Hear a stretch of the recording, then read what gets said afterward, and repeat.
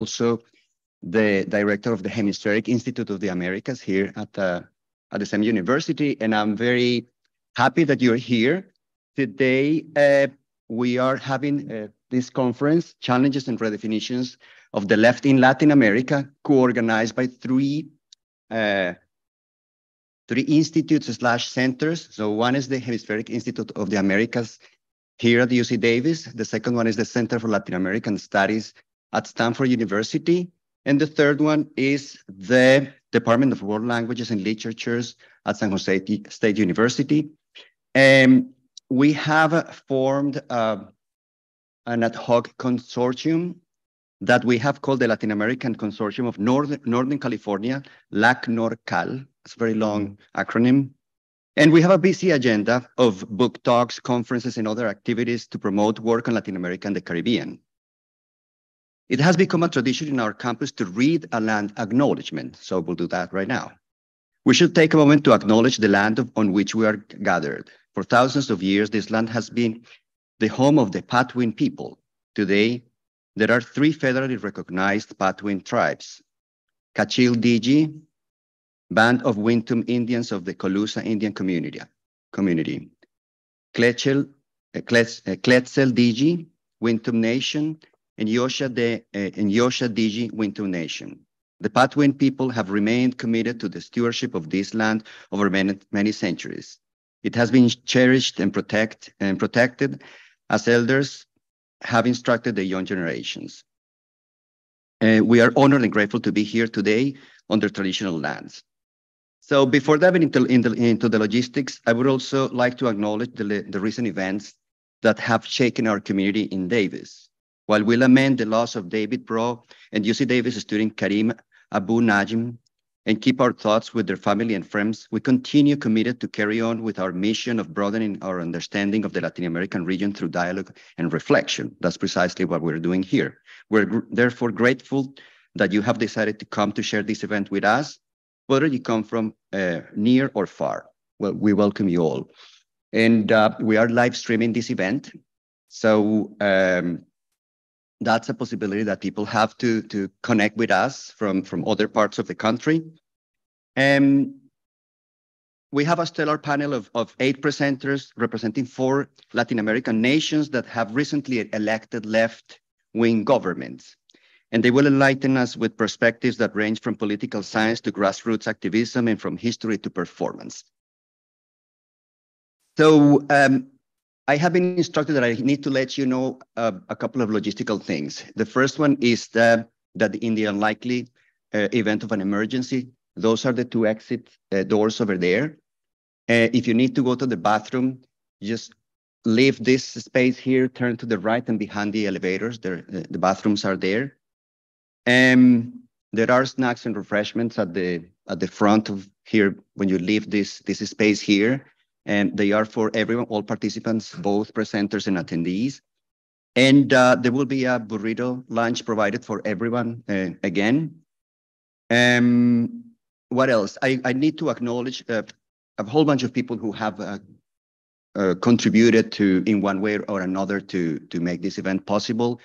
First, uh, the I should mention, of course, the director of the, the, the co-directors of the Center uh, for Latin American Studies at, uh, at Stanford University, our friend and colleague uh, Alberto Diaz and Elizabeth Ackerman, and the wonderful Sarah Clemente, who's doing a fantastic work working with all the logistics.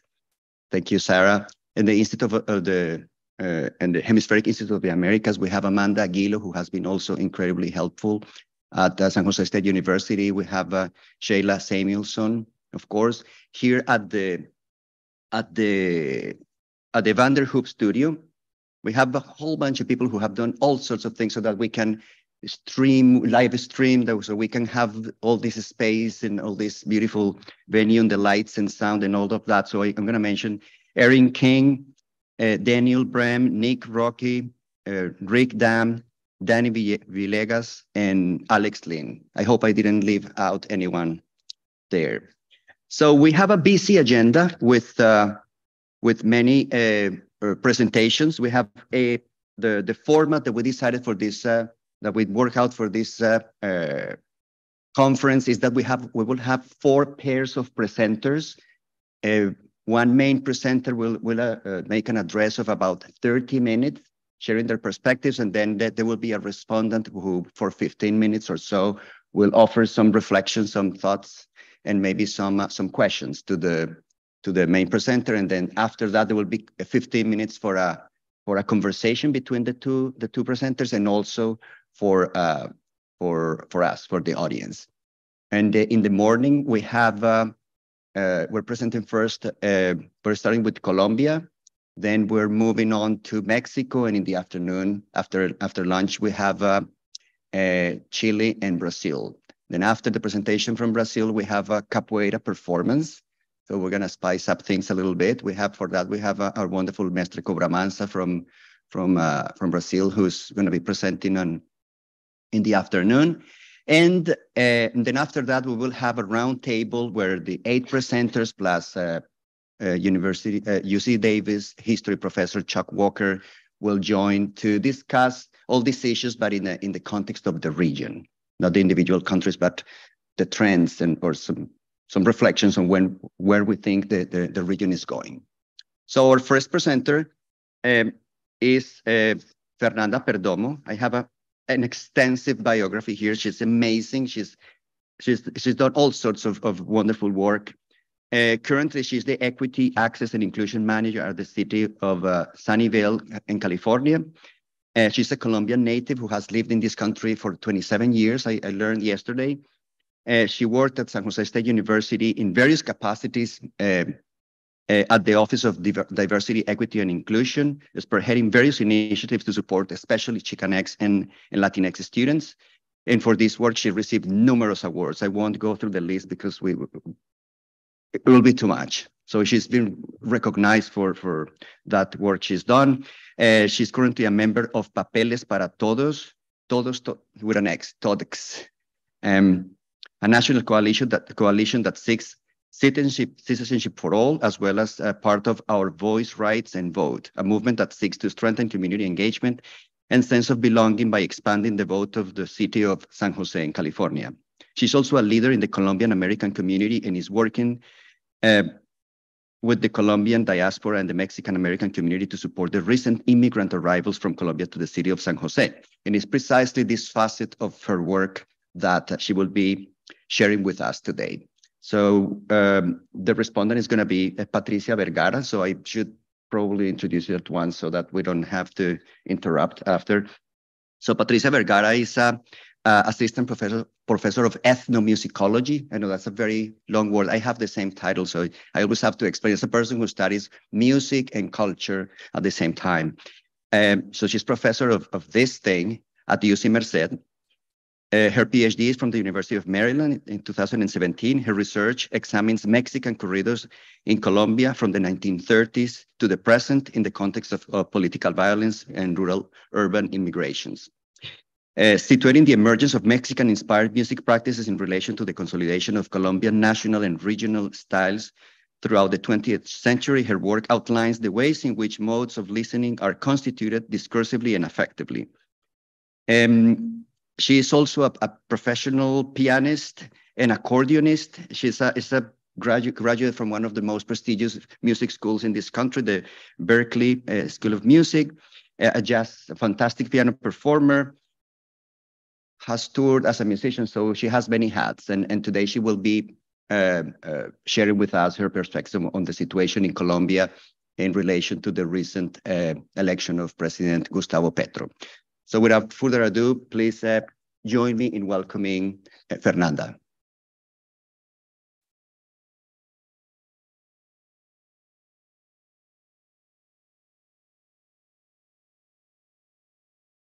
I'm short, so I need to bring the mic down. Buenos días a todas, todas, todas. ¿Cómo están? No, mejor, a ver, ¿cómo están?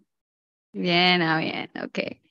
Bueno, pues um, I just want to say that thank you so much for that introduction, uh, Juan Diego. That was uh, very nice.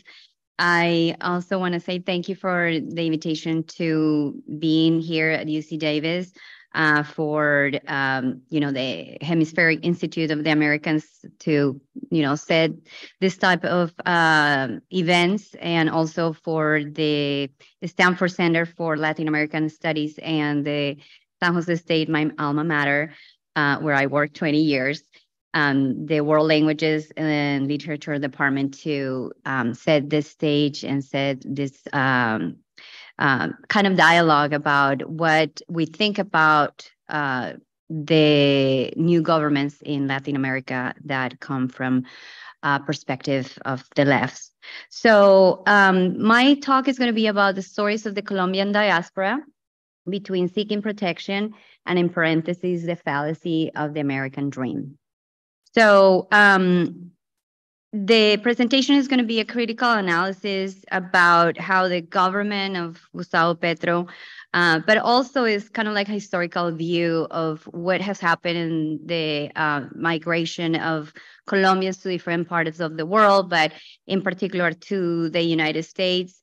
How uh, the fact that I am an activist as well as somebody who is, the, cares deeply for the rights of immigrants um, got involved into uh, supporting these recent arrivals and also bring attention that we are at this point uh, between which is this uh, this crazy number of five to 10 million Colombians outside of Colombia. So um, we don't have exact numbers as far as uh, because the the Colombian government has not done that type of census and also bring attention to the type of need or services that we need as um, as Colombian migrants and immigrants um, in this country um, by looking critically at the Colombian consulates in in this region in this country. Um, okay, so let's see. I think this is all right. So this is the agenda for today. I'll be talking about again what this wave of migrations that we have had in the United States um, and also kind of like throughout the world we learn about how to build community in the diaspora and what are those um, challenges and opportunities for the uh, government of Gustavo Petro. So let me let me talk a little bit about the this three waves of Colombian migration, uh, which I have divided in three periods. Not me, but several scholars have um, kind of done. In general, this this uh, this division, but obviously within those waves there are subdivisions. But in general, this is um, how Colombians have migrated um, throughout the world. So the first wave um, is between 1915 and the 1980s. Um, and the context here is that, as you probably know, Colombia has been a very inequitable country where the land the problem for us has been the manage of the land, right? So the land is basically in the lands of in the hands of a few. There are uh, high levels of inequality and concentration of the land in the small groups and elites. Um, the, we have uh, we had a 60-year conflict that it was exacerbated by the exclusion of non-traditional movements. Um, there was a lot of government neglect uh, under the underdeveloped rural areas and also privatization of not, not natural resources and the drug trafficking. Um, so in this period of time, there was a lot of organizations, rebel movements that decided to fight against the government. And in this picture, we have a protest uh, of against President Lopez, which was one of the four presidents of the Frente Nacional, which was uh, basically a, a, time in our period of our history where the two party system decided to govern in a way to kind of like appease this time of violence that went from 1948 to 1958.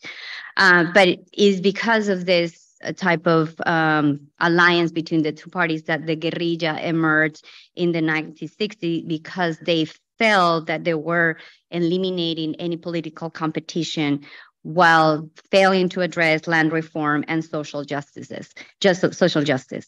Um, so in this period of time, the reasons for people to leave, for Colombians to leave, is like lack of jobs and opportunities, and also the armed conflict. And the countries that we left to uh, were Venezuela, uh, United States, and Ecuador. And um, around 1 million Colombians uh, throughout the last four decades. Um, we have a population around of a million and, and a half. Um, and it's estimated that around 557,000 Colombians um, migrated between 63, 1963 and 1973. Um, this migration was low and high skilled workers that came uh, in turn to the United States and kind of set up the um, the migration or facilitated the migration for the next wave, which is actually the wave that I came. I've been here 27 years in the United States. And this second wave is between 1980 and 2000. And as you know, this um, this time period, um, you know, in the 70s because of the declaration of President Nixon um, war on drugs. Uh, the consequences were felt in Colombia when we started um, fighting the Cartel de Cali, Cartel de Medellin. And here is a picture of the Administrative Department of Security DAS building that I was bombed in December um, 6, 1989, uh, with 500 kilograms of dynamite. 63 people were killed, 600 wounded. I can recount many times that I was in different parts of Bogota where a bomb will explode and you didn't know if family or friends were actually the victims of that bombing. It was a period where we uh, we li- lived in constant fear. Um, two presidential candidates were assassinated during that time. Um, my actually my dad actually was in the National Telecommunication Building, um, and by the grace of God, he was he say he he he was not in that. Um, I'm sorry, I just get kind of like emotional at that part, but yeah. So he he was safe, but not a lot of people can say the same about their family members. So um, the migration duties this time was made of people who left the country because they were part of the leftist government or they were part of the uh, very nascent left a leftist party that actually was disseminated by the government of Colombia. Union, lead, union leaders, people who were threatened by the government and by the cartels, recent college graduates, and or people who had family abroad and that's kind of like my my situation. In that period of time um, colombians were also looking to go to spain um, and other european countries uh, were popular destinations to um, colombians. The next wave is the third wave which is between 2000 and 2000 and to this day. And um, during this time uh, we don't have data exact exact data from 2023, but according to the Pew Research, an estimated of 1.2 million um, Colombians are residing in the United States. They are one of the fastest growing Hispanic Latinx groups in the country that are um, in in this country. Um, you they represent roughly uh, 25% of all South Americans that live in in the um, in, in, in this country. Also, we had migration to uh, Venezuela, Ecuador, Spain, and um, many in the and because of the situation different countries in South America, um, they have also migrated to Chile, which has a large percentage of Colombian immigrants in this period.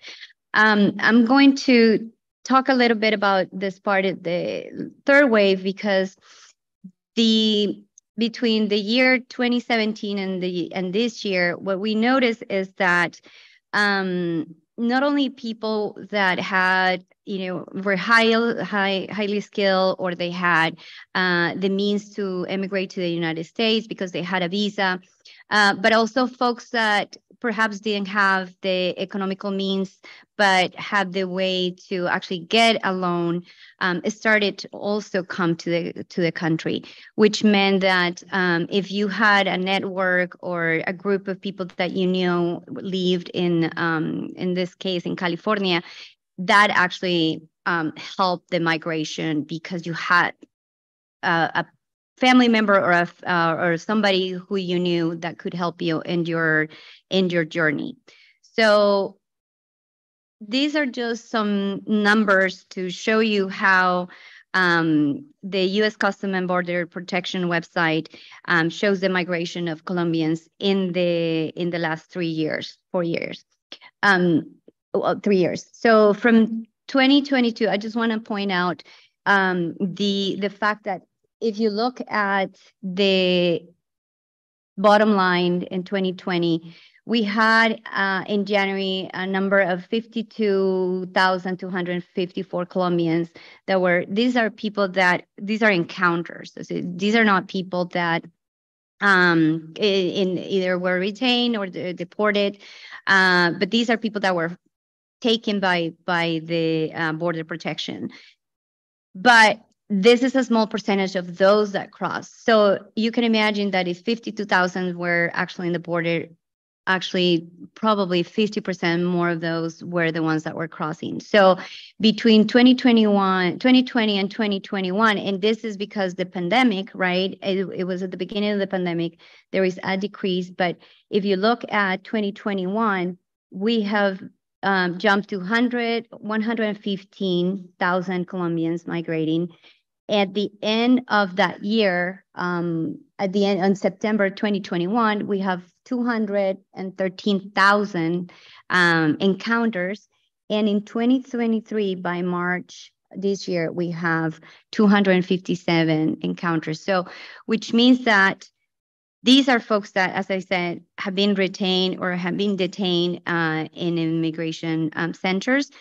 But that means that at least three times more are the ones that are crossing into our borders. So um, the situation was hard in the sense that um, not only our migration was single adults, which is a large population, but also the fact that many folks came with families. And the problem with it is that um, the migration that we are accustomed, let's say in the area where I live, is um, single family members that usually work and then send um, money to their countries of origin or later come and ask for their, their family members to come. In this case, we were seeing families, complete families, coming with nothing because they were either stopped at the border, documents were taken, all their belongings were taken, and um, and the situation was very dire because the city of San Jose and the county of Santa Clara were not um, prepared for for it. So how did I get involved in this situation?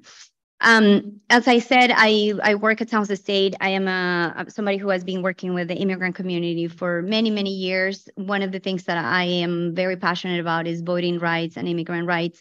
And at the time, I was working with um, several community organizations, but in particular, Amigos de Guadalupe, in getting the vote for the Colombian, uh, I mean, for the immigrant community to vote, to vote in local elections.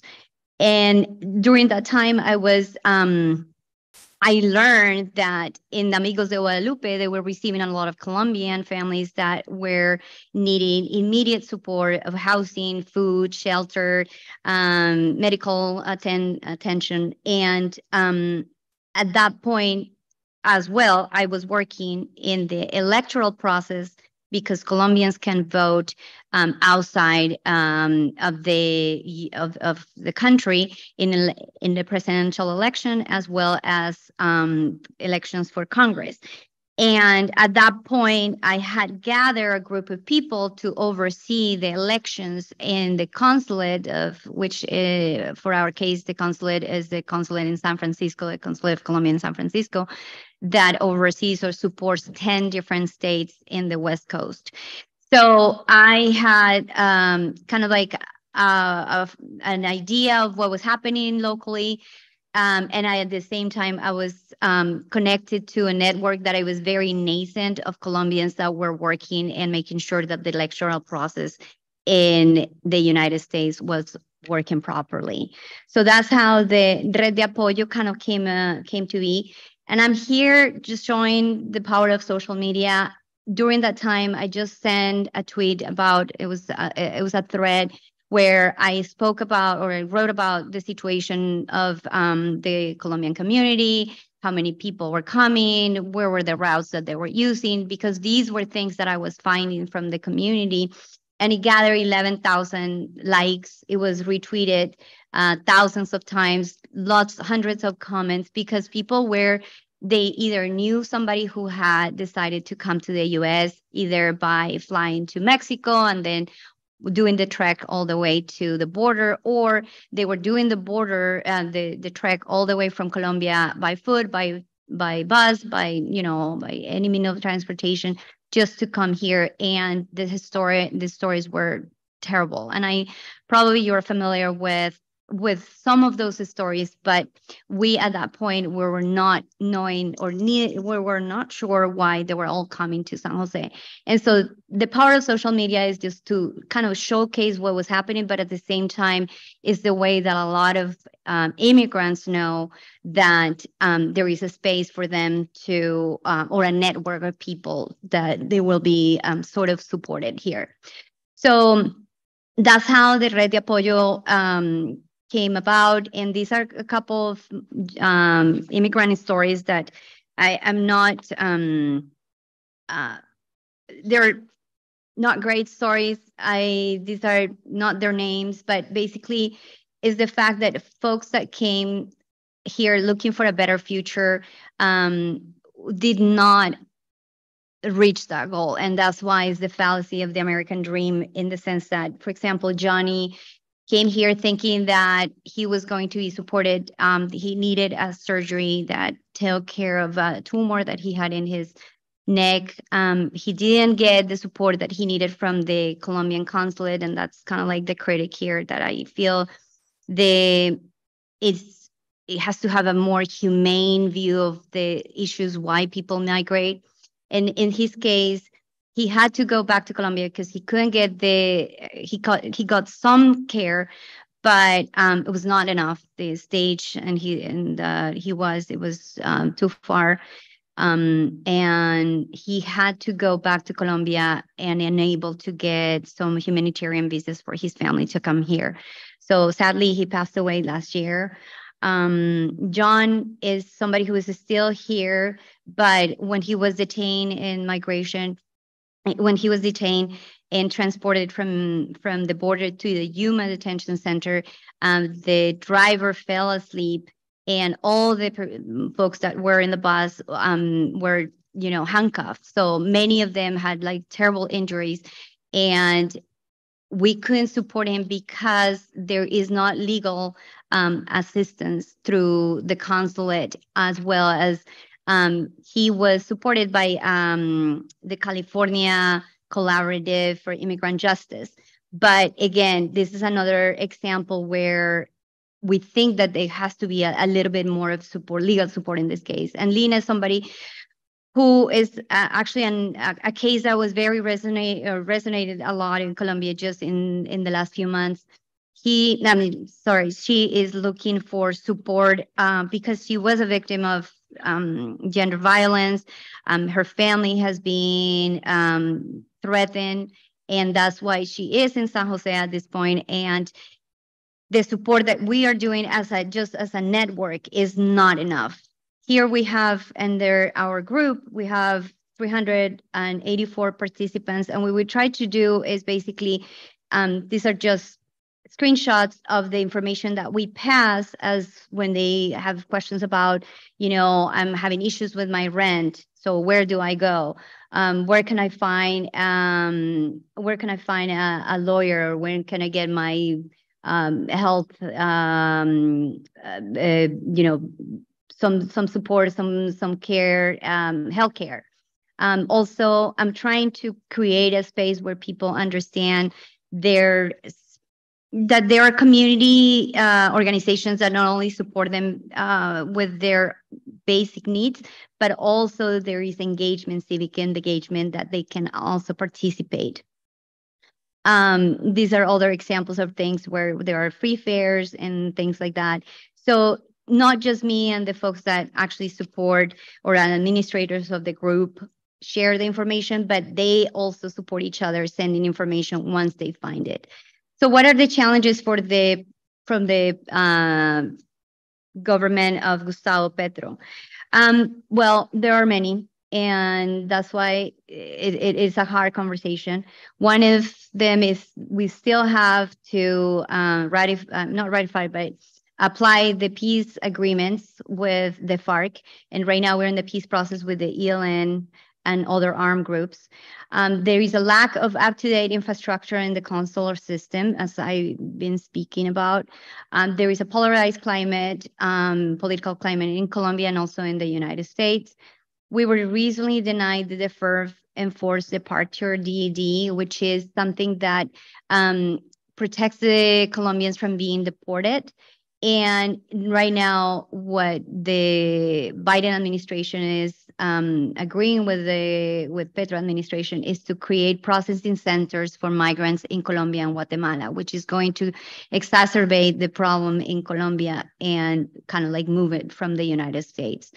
There is a lack of cohesive, cohesiveness at the international uh, branch of the Colombian, uh, the Colombia Humana political party, which is part of the, um, you know, the coalition and the party that brought Petro to to um, to power. And there is also the mafias and human trafficking. These folks that are coming to San Jose, um, I learned that they were either um, sold some sort of package to come, um, and so they sell everything that they have, buy this package just to come to the U.S. And then they are either traffic or they are um, extorted to pay um, even more more money than they, they uh, borrow. And then also the classism and elitism in the consular service. So what are the opportunities in this case? Uh, what I propose is, or several of us, and it's not just me, um, is that we create diplomacy that is head on and at the service of the people. Uh, we call it no más corbata de, no más diplomacia de corbata y cóctel. So uh, avoiding this type of just um, just places where you do just your paperwork and you get your uh, passports and such. Um, also, reform the consular infrastructure. So find out how many of us are we out there. So uh, find out demographics, what are our needs, where are we located. Um, continue to press, uh, press the invited key senators and Congress of the U.S for the DED, for the passing of a DED or a, uh, a better uh, immigration policy. Also, a national campaign of visibility where, you know, migrating is a right, but I also feel that it's important that people know of what they're going to be facing once they get here. So develop a national media campaign where they're um, they're warned of the difficulties of migration. Also support those that are in detention um, the consulates actually have a role of going to um, detention centers to provide legal services and at least just to have a visit. Many, many years, for many years, um, none of the Colombians um, who have been in um, detention centers have been visited. And then um, just to finalize is the community support uh, to the, you know, recognize the Colombian diaspora and the work that we've been doing for years as well as create better channels like there's a program called Colombia Nos Une um, to address our migratory social health and economic needs. Um, so this is uh, kind of like my presentation. Here we have some pictures with like the the marches that we have done, the gatherings that we have created for those um, folks that have come to um, San Jose. And those are some of the organizations that I am working with, like Red Colombiana Apoyo, Papeles para Todos, Somos Mayfair, the California Collaborative for Immigrant Justice, and Amigos de Guadalupe. And um, that's all. Thank you.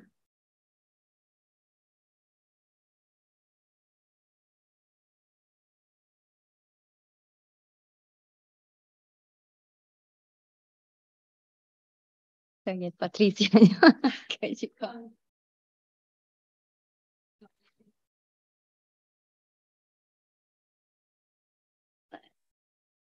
Como quieras, si quieres.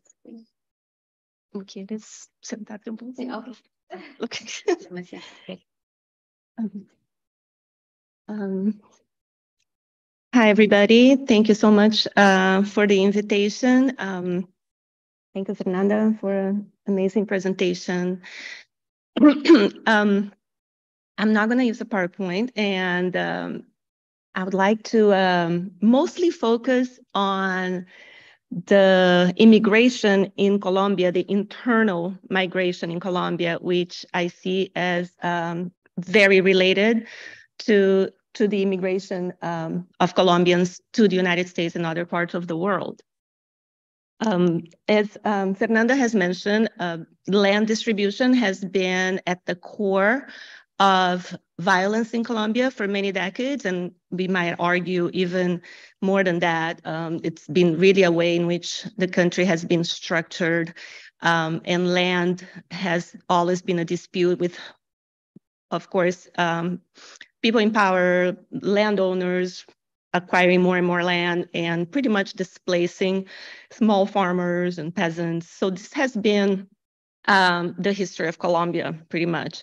So these displacements of people um, have happened uh, for a long time. And the reasons got exacerbated when uh, the violent conflict, as Fernanda already explained, beginning in the 1940s, with uh, waves of violence called La Violencia in um, the late 1940s, and then followed by the formation of uh, small militias that pretty much protected landowners and power politicians. So these waves of violence, they have um, they have transformed, but they've always been um, tied to each other. It's not that we change from one type of violence to the other. And of course, there are many types of violence that come um, in its wake, which is um, domestic violence, gender violence. Um, so um, with the formation of the first peasant guerrillas, which were the FARC,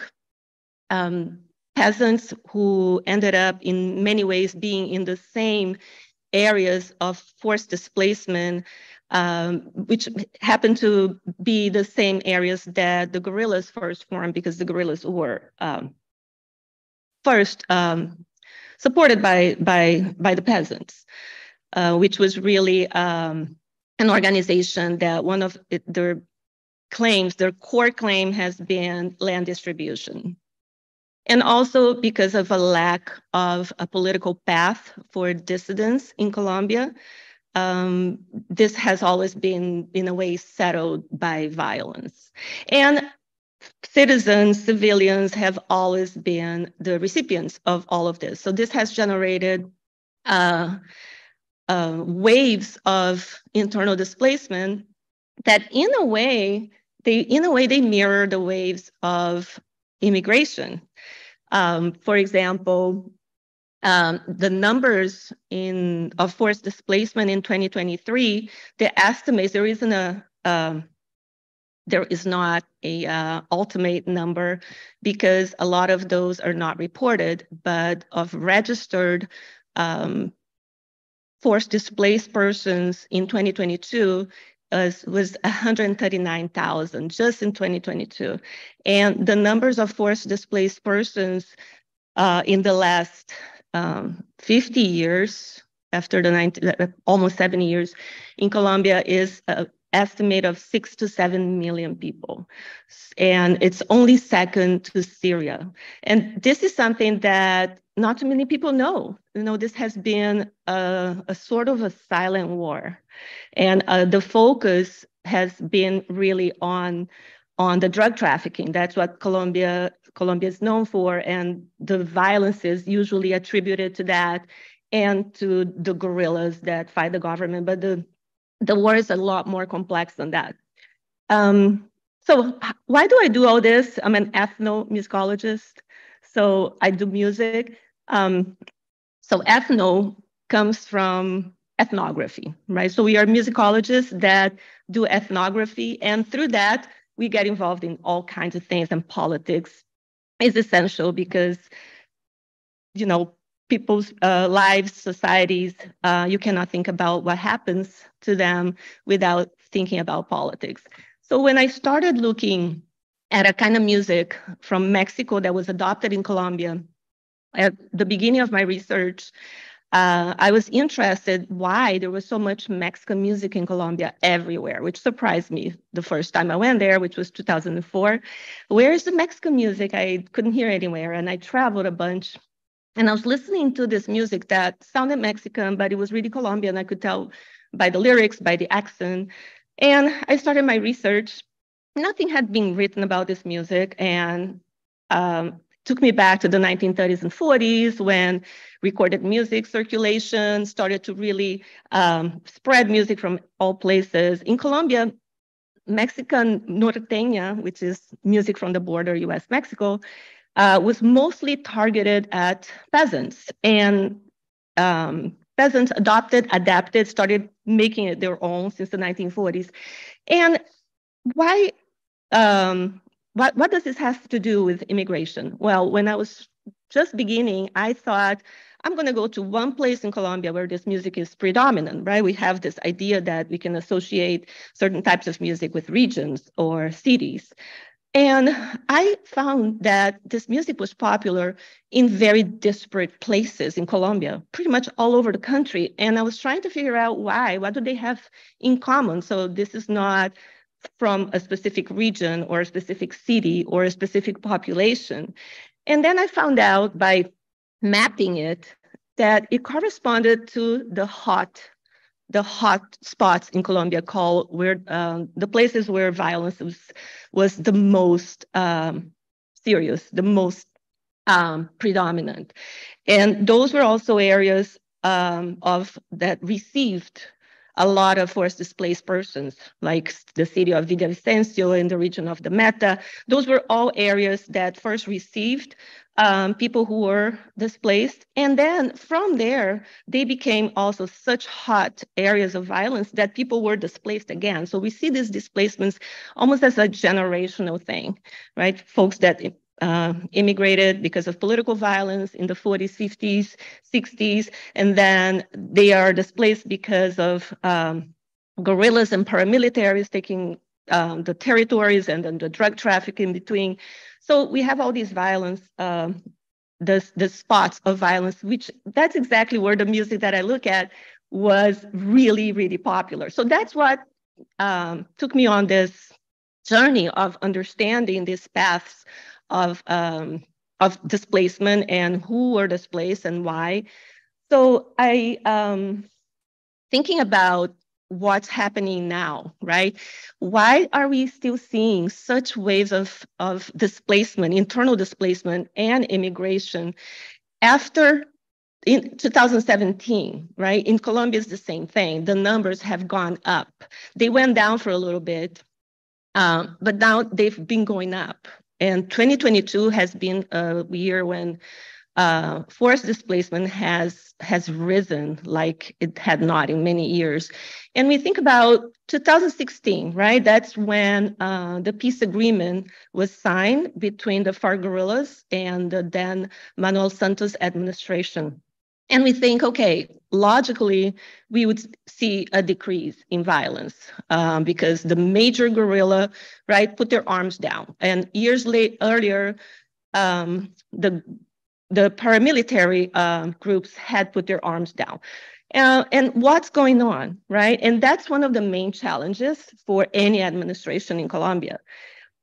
What's going on? Are peace agreements not not enough, right? So one of the one of the things that the prior administration by Ivan Duque has been accused of, and very rightly so, was by uh, it was of uh, not following through with the main provisions in the peace agreement, uh, especially uh, in the, with the issue of land distribution. That's really something that his administration was totally reluctant of even touching. And while this is not addressed, right, there won't be a stop to, to this kind of violence that happens mostly in rural areas. And that causes displacement mostly from rural um, or small cities to larger cities. So that's when you see the growth of uh, settlements in the peripheries uh, and so on. So um, which puts a lot of pressure on on the local economy. Uh, there are no services, so that creates a very massive um, economic, social economic problem.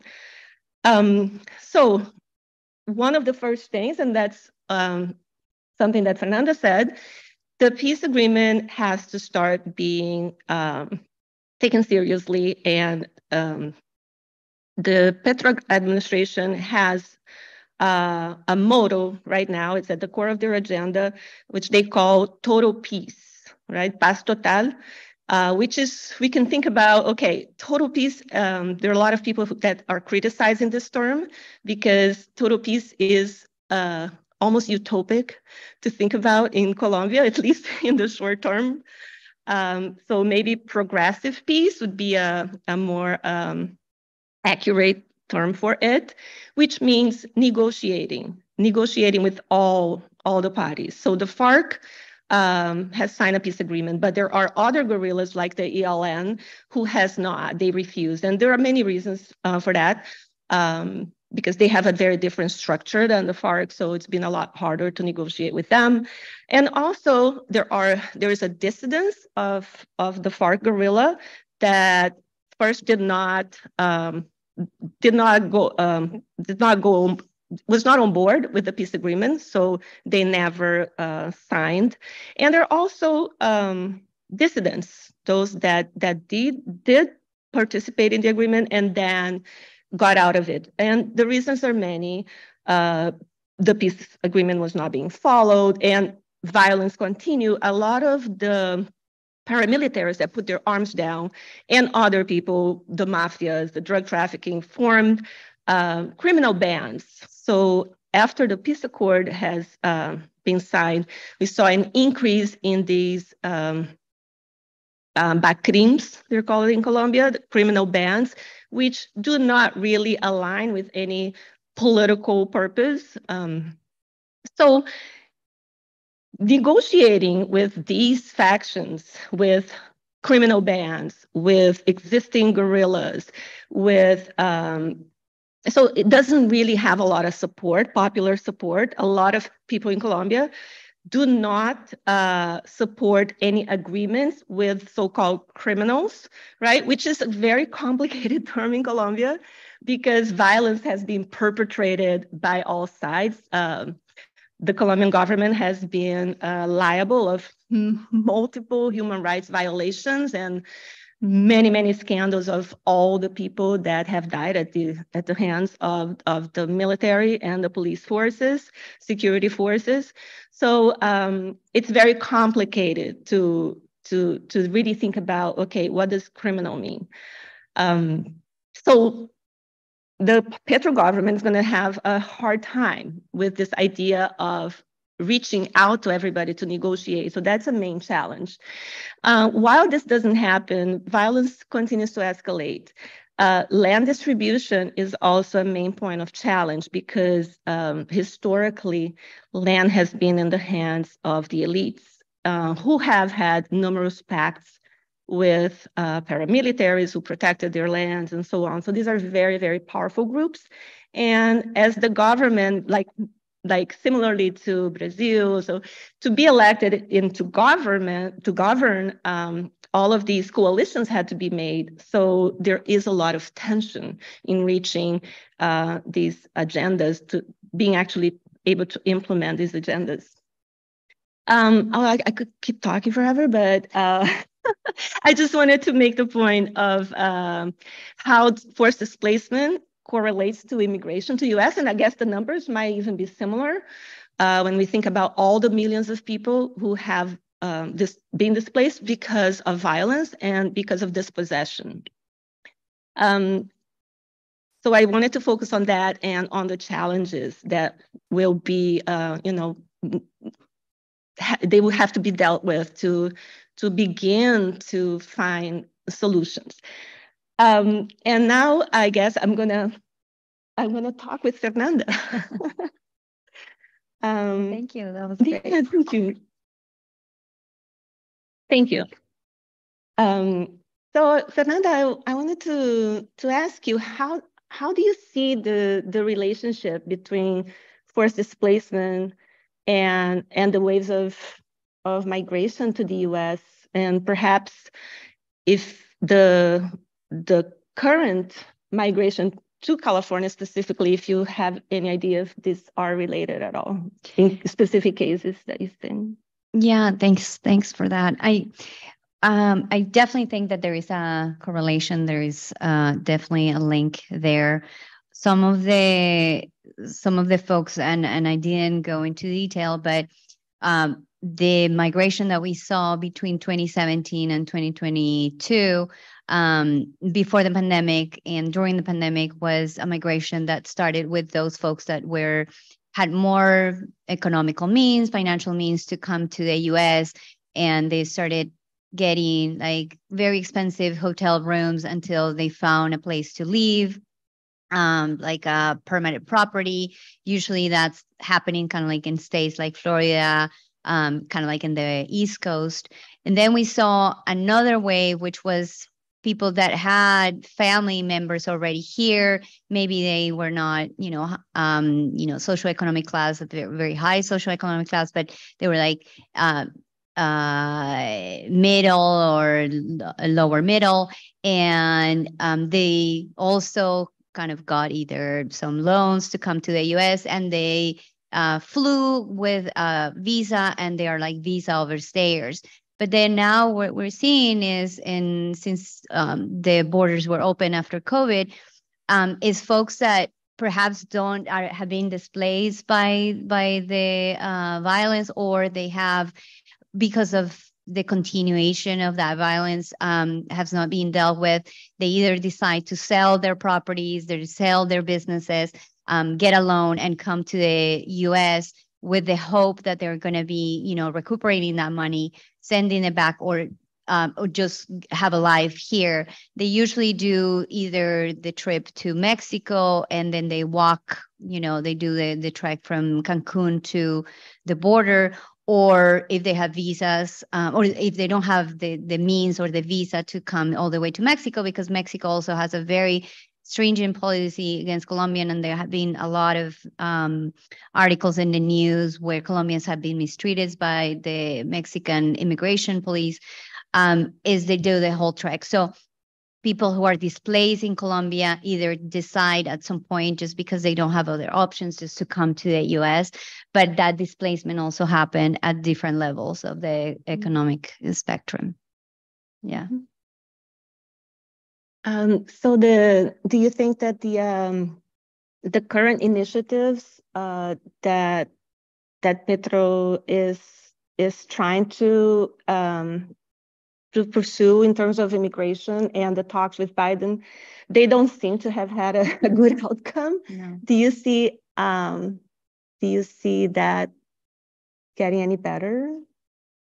Yeah, I I'm hopeful that um, at the local level it's possible to do something with the programs that, for, uh, for example, Colombia Nos Une Eh, and the is is a program that the um, minister uh, or the secretary of um, external relations has for Colombians. Is not well funded, so not a lot of um, uh, eh, consulados, uh, consulates have that program. Um, so those type of social services that we can provide here in, in in the local area are very very hard to do because there is no there is no financing, there is no the infrastructure to do um, to kind of find out how many Colombians are here. And then I guess at the macro level, it's so um, polarized the conversation about immigration that I is going to be an issue in the next election. I think that it's going to be used against Biden um, to show that he's not tough on immigration, that there are open borders, uh, that anybody, everybody's coming, when in reality, he's still applying Title 42, even though May 11 is the day that they stop using Title 42. But he's sending troops to the border right now. And so um, it's not that Biden has been, I, mean, slightly better than, than Trump, but I feel that things are not going to get better in general mm-hmm. for any country that has some sort of like immigration issue with with the United States. It's going to continue to be a, um, a point of contention, and definitely in the elections, mm-hmm. the coming elections. Should we open to to others? Uh, anyone who would like to to ask questions.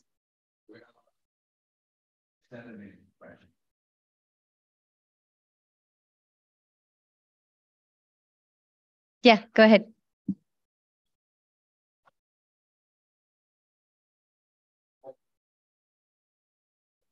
Migration, immigration, migration, and immigration. Uh, so, so this language that one uses really matters for the narrative. And, yeah. Uh, in some ways, you know, one of the things that is so striking to me about Colombia, and I don't know if you want to comment on this, is that it is in a way like the, the, the it should be the place we should be studying the most in the world on migration because the Venezuelan inflow, the internal displacement, and now I learned the movement into the US. Why isn't that narrative kind of at the core of the way we imagine Colombia? Uh, That's a good question. why, why, why, why? Also, a surprise, Mhm. I say the same thing you said up there. People don't know, this is the biggest massive movement of people, both with the internal displacement and the Venezuelans. Sorry, I'm sorry.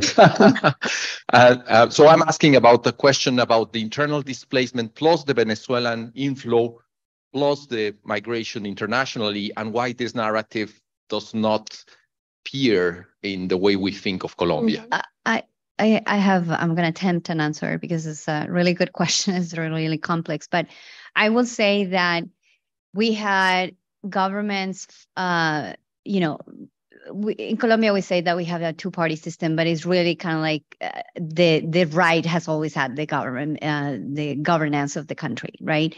And if you look at Duque's for years, and even Santos and Uribe's, um, they always talk about the potential of the, you know, the economic potential that Colombia has, how many, you know, uh, wonderful not natural resources can be exploited, uh, exploited. Um, you know, a beautiful, uh, very friendly folks that live in Colombia, all the positive things, but they never really wanted to bring all the issues up to the forefront in the national, international uh, platform because they wanted to keep a different kind of view of what the country was because they were looking for more uh, international financing and support. Um, but now that we have Petro, I feel that there is this opening of like, let's talk friendly about what's happening in Colombia because is in it, which is also in detriment of the government of Petro because now they're you know putting it all on his um uh, kind of like is his fault and it's the lack of uh, uh, governance or what have you. But that's why you don't know what's happening is because it has always been hidden. And when we speak about this, there are always other issues that we are very complex. We have so many issues with the peace, um, that the fact that we were not able to implement it and that it, Duque torpedo that process that Colombians outside of Colombia are not that important, even though we have the right to vote and we send million billions of dollars in remittances to Colombia. Um, even for Petro, I think that he is so focused, and I, I will give you another example. The uh, el canciller, the, the minister of regional um, external relations, his main focus was not just working on the diaspora, the Colombian diaspora, but is trying to get international support to bring the ELN to the table, to get support for the peace process for La Paz Total. And so even in that sense, we were not looking for us who are outside, but is looking at how do we get the peace. Mm-hmm. Uh, if I can add just a little bit more, um, agreeing 100%. I would also say that the lure of the drug trafficking um, has been uh, really strong. Like people think of Colombia, and I don't say just you know the general public, uh, even people who are interested in in in doing research. So the drug trafficking has really really grabbed the attention, and violence because of the drug on war, uh, the war on drugs right? Uh, violence in Colombia has been construed as derived from from the drug traffic and from the guerrillas being second after the drug traffic. So this focus on uh, the guerrilla is a rebel guerrilla that the Colombian government is fighting, and that's their problem. So, uh, you know, this is it. That that's that's the cause of violence, uh, and and the other one being the focus on violence generated by the drug traffic, uh, and that's because the United the Colombia has been the number one ally of the United States until this government. So these these narratives, right? They they have this foundation as well.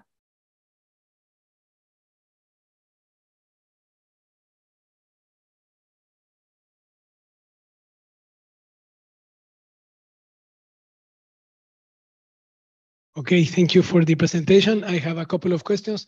One is more related to internal politics. So um, recently there was a like a dismissal several of the ministers from from Petro and uh, Ocampo, who was supposed to be the financial minister, who who kind of had support from the from the right or so I, I want to know you reading about that happening is that going to give more maneuver for him to accomplish Petro what he wants to do or that's going to have more uh, discussion or uh, political would be more difficult because the, he would be more isolated from the other political parties that's one thing and uh, you mentioned about that the the the that, that, I want to to focus a little bit more in what you mentioned about how important uh, are the migrants outside of Colombia in terms of, of internal politics. So the people that have migrated, how how many vote and uh, how important is for the internal politics that uh, that uh, portion of Colombians outside and and if if if you see outside the same uh, division politically as you see in Colombia, or people that have migrated are more socially conscious because they have suffered violence and they support more Petro than the right. I don't know. So I would like you have an, a, a lecture, a reading of, of, of what are those debates of the Colombians outside of Colombia. Mm-hmm. Yes, I'll answer the second part. Okay. um, I can talk about the first one when we go to coffee, have coffee. Um, and Fernandez, you want to answer the second? Yeah, I can answer the second part. So, uh, do you want to do it? Oh, okay. So, um, there is so just to give you some statistics, Petro won in Spain. Okay, in the uh, election, um, and he won in like 35 different countries outside of Colombia. Um, he didn't win in the U.S., but I have to say that in California uh, or the district of Cali- the circumscription of California, um, some, some was the only uh, part that we were close to. We didn't win, but we were like 49% against 51% with Duque. So um, definitely the the folks that migrate to the the United States have a view of um, they're more conservative. They're more with um, you know Uribe and the kind of like that vision. But I will say that the the sense and and and what I try to do, which is some educational. So I come from that educational background. I want to share with them that these issues of social justice and support from services that they're getting from the county or from the city, these are coming because we're paying taxes because it's important for the fabric of the uh, of the community because we want them to feel welcome because we want their kids to go to school. It's the same sense that Petro is talking about social justice in Colombia.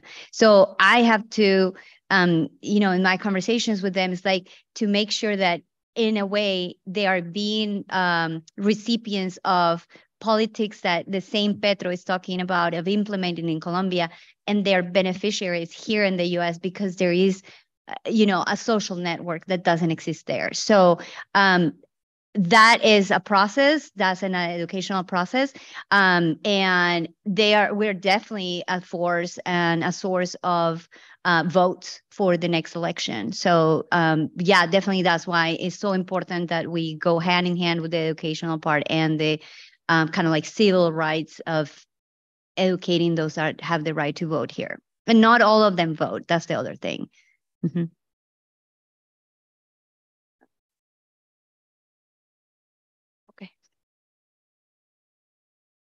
Thank you.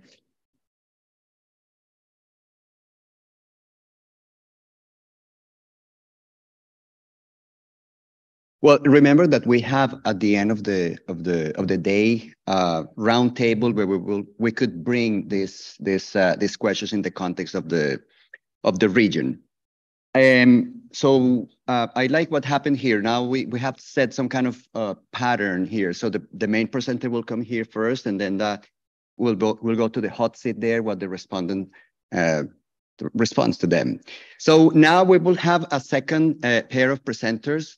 Uh, the first is uh, Viridiana Rios, uh, who is a political scientist specializing in public policy in U.S.-Mexico relations. She's a lecturer at, the, at Harvard Summer uh, School and received her PhD from, uh, from Harvard University. Her work has been published at various journals, and uh, she regularly advises top political leaders, helping them identify, measure, and expose counterintuitive policy truths using data. Besides her uh, labor as an academic, she's a columnist at the European newspaper El País. So uh, that's Viridiana. And the respondent, I'm, I'm very glad, Alberto, you're going to be respondent here because uh, I was looking forward for you to be a respondent with actually with Gustavo Petro a, a few days, days back, and you were not allowed to do that by uh, um, a few of us were there in in a for a few days ago. But here we will have you uh, sharing your views on what is happening with uh, uh, the government of uh, López Obrador. So I have a very extensive uh, biography of Alberto here, is very accomplished scholar. Um, uh, he's uh, the senior fellow at the Freeman Spogli Institute for International Studies and director of the of the CLAS at Stanford University. He was associate professor at um, at UC in, at UC San Diego. Uh, I mean, there, there's he's published many many books. His PhD is from the University of Duke, Duke University. Uh, his work is on uh, has focused on federalism, poverty, and violence in Latin America. Um, yeah, so you can you can look him up. There's there's a, there's a lot to to learn from him. So uh, welcoming, uh, help me in, in uh, welcoming them uh, to the stage.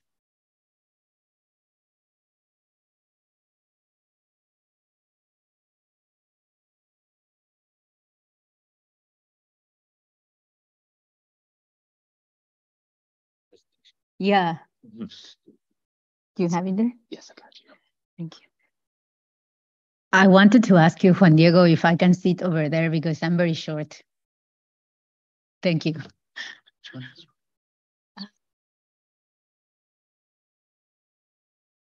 This one, Rios.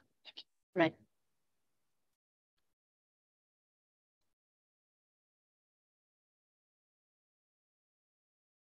Okay. Wonderful. Thank you so much. Mm-hmm. All right. Um, well, uh, I want to start by thanking uh, Juan Diego for organizing this event.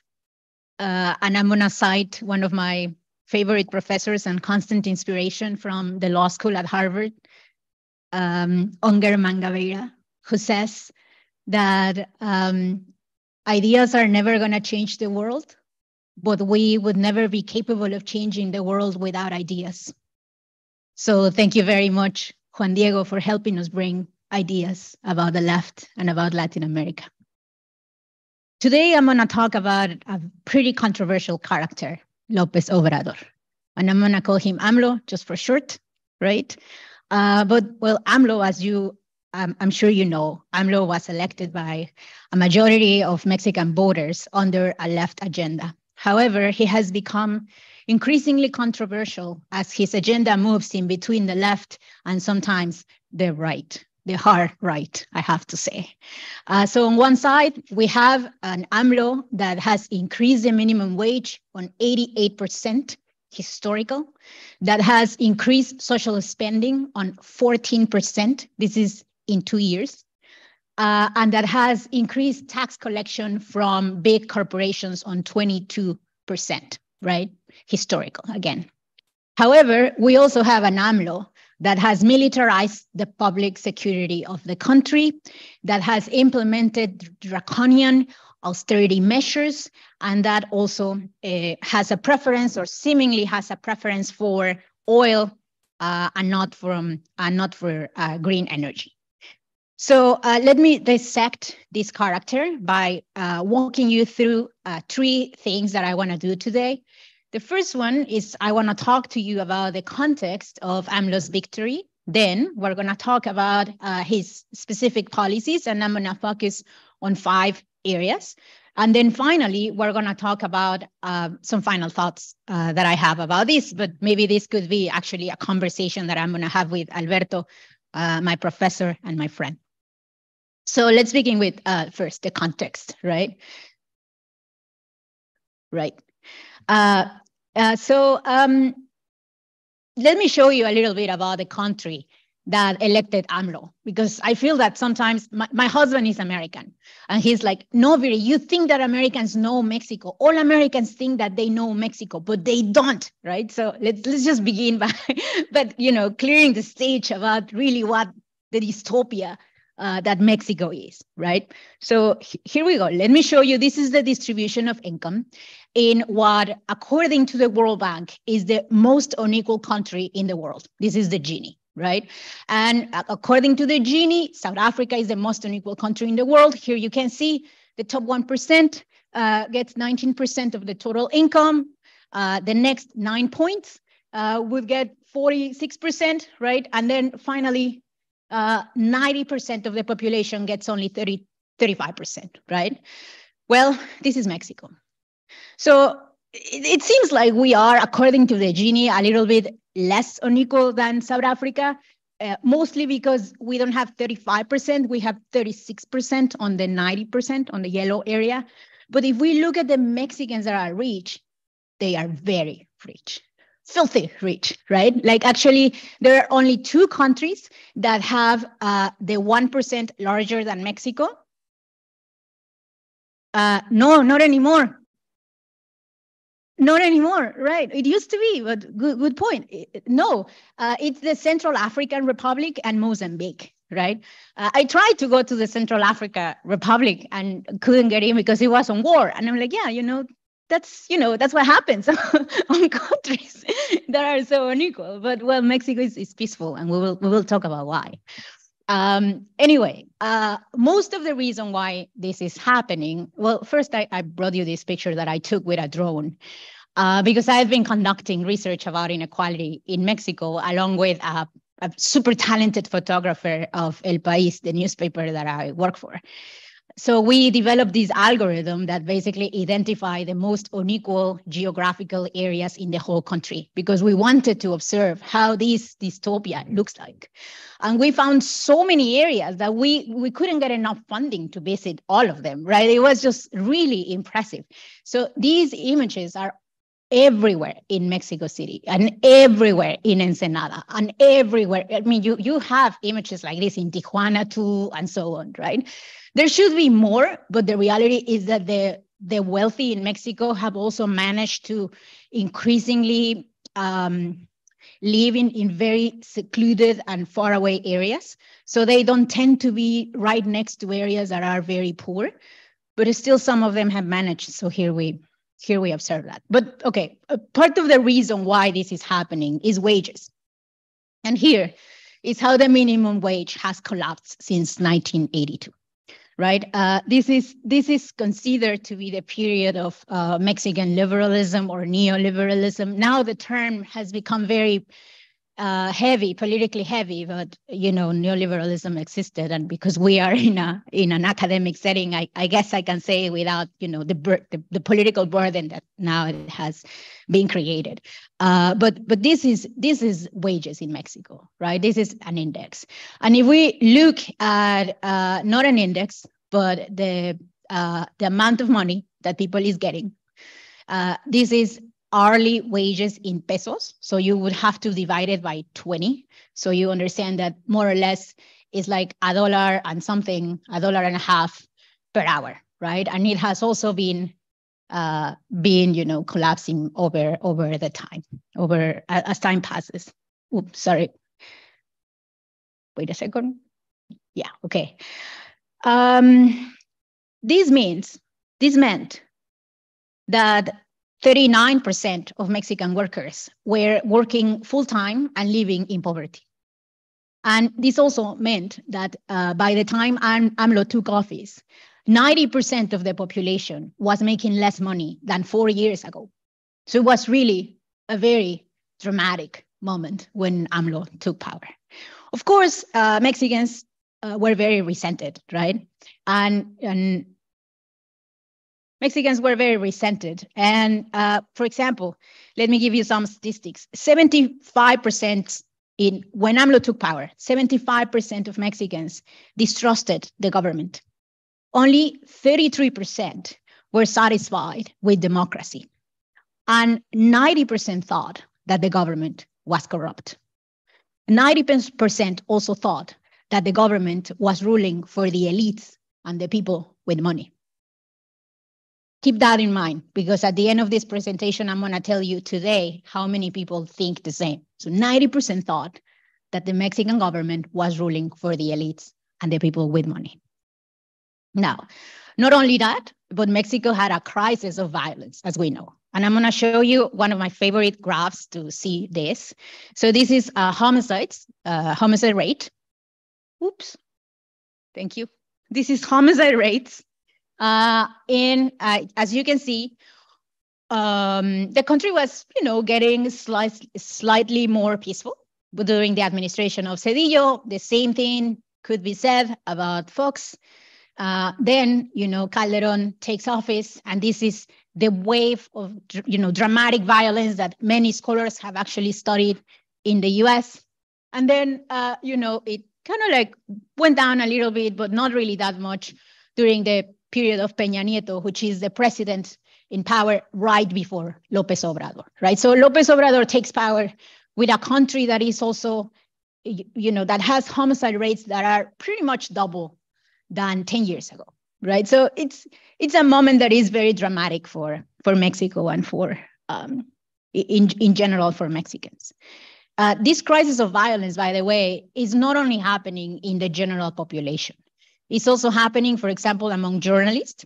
Uh, for many years, Mexico has been, not every year, but for many years, Mexico has been one of the countries with most journalists being assassinated. There is debate about whether the assassinations are conducted by drug traffickers, by corrupt politicians, by, you know, it's, it's, a, it's a debatable situation, but the, the point is that it is happening, right? Uh, and also, there is some evidence that violence uh, has been increasing more in the most unequal areas of Mexico. So there is uh, one paper that show, for example, that an increase of one point in the Gini in Mexico was associated uh, with an increase of 10 uh, homicides per 100,000 inhabitants. So it's, it's not huge, but we do observe these, these relationships. There is another paper that also show that um, militias were emerging more in areas that were more unequal, right? Because people was looking for the security that the state couldn't provide, particularly people living in areas as the picture that I show you, right? Like in a in a tennis court next to next to a favela. Okay, so let me go to the second part of this presentation, and I'm going to talk now about um, AMLO's policies, right? Well, uh, as you can imagine, in a country as the one I showed you before, where uh, wages have collapsed, that is prey of a crisis of violence, uh, where inequality is by some measures larger than in the top most unequal countries in the world. As you can imagine, a character like AMLO that brings a new agenda, that brings an agenda that tries to create more equality and to give to the poor, uh, you know, what they have been owned for decades, is very popular, right? This is, uh, and he he won with an extremely powerful mandate. He got 53% of the vote. Uh, in Mexico, no president had ever had won with a majority since 1998. Uh, so it was, you know, dramatic. He won in 31 of 32 states in Mexico. Dramatic. Uh, and also he got the first unity government uh, since 1994, meaning he controlled the majority of Congress and also the presidency, right?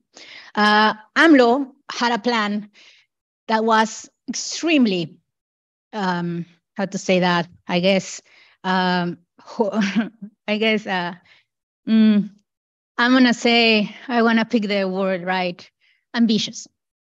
and he, he, he was very ambitious, right? In, and in his, for example, in, in his plan, uh, I was reading his six-year plan.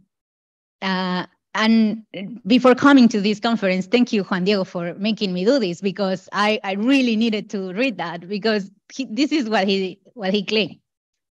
After my six-year term, no young people who wishes to pursue a bachelor's degree will be left out of higher education. Salaries will have achieved a recovery of at least 20% of their purchase power. The emigration of Mexicans abroad will stop. Organized crime will be reduced and in withdrawal.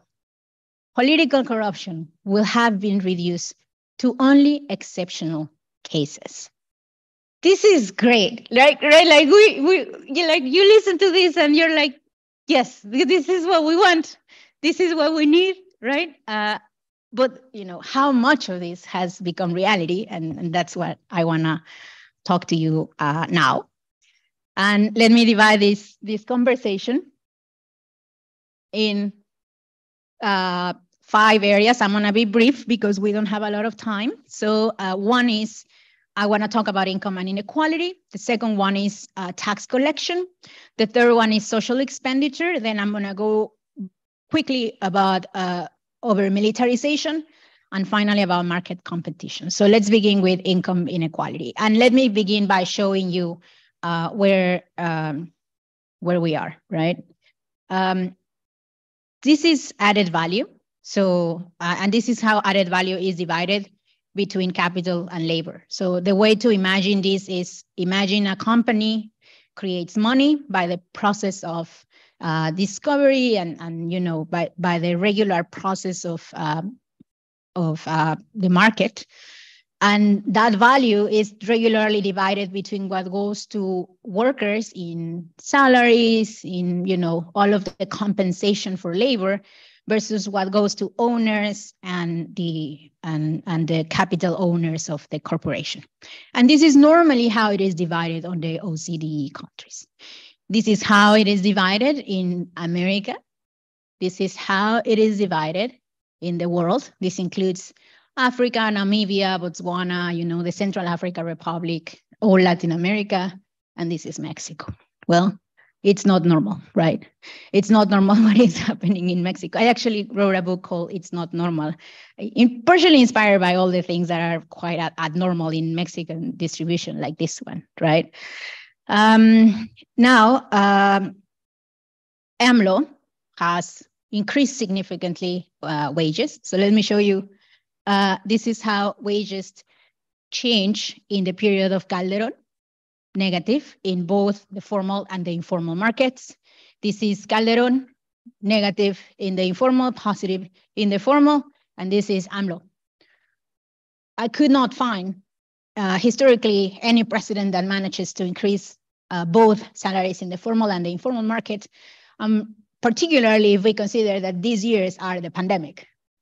Uh, so uh, part of the reason why this happened is because of increases in the minimum wage. So remember, this is the graph that I showed you before, and this is the period of AMLO, right? So this is pretty significant. Um, uh, however, uh, and let me just, you know, bring to you some of the red flags of this. One is that uh, even with these increases, poverty has remained very sticky in Mexico. So only poverty has only been diminished in two percentage points, uh, particularly among workers. In Mexico, 15% of workers used to be poor, and now it's 13% of workers, right? Uh, there is a slight dec decline on inequality. However, it seems like the most important part of the decline in inequality is not wages is more the pandemic that reduced capital gains for the very wealthy. Second, uh, tax collection. Well, this is how much taxes the Bahamas collect, a fiscal paradise. And this is Mexico, a secret fiscal paradise that nobody knew about, right? Uh, so uh, the reason why this happens is because Mexico does not charge enough taxes basically to anybody, but particularly to the rich. And let me show you how this looks. This is the effective tax rate that people pays in different deciles. So as you can see, is is pretty low, you know, even on the top what you are paying is more or less like 20%. So this is not what, what it takes to live in a functional country. It takes more money to live in a more functional country. Uh, however, if we look at the very wealthy, this is what happens, right? This is a graph that we're used to see in the US. Like this is uh, the, the work of uh, Berkeley, uh, Berkeley professor, um, I'll remember in a minute, but uh, he has shown this in the US and, you know, it's, it's dramatic, but in Mexico is further more dramatic, right? Like what you're observing here is that the top, top, top elites are paying less taxes than the upper middle classes, which is not something that should happen in Mexico, uh, in any country.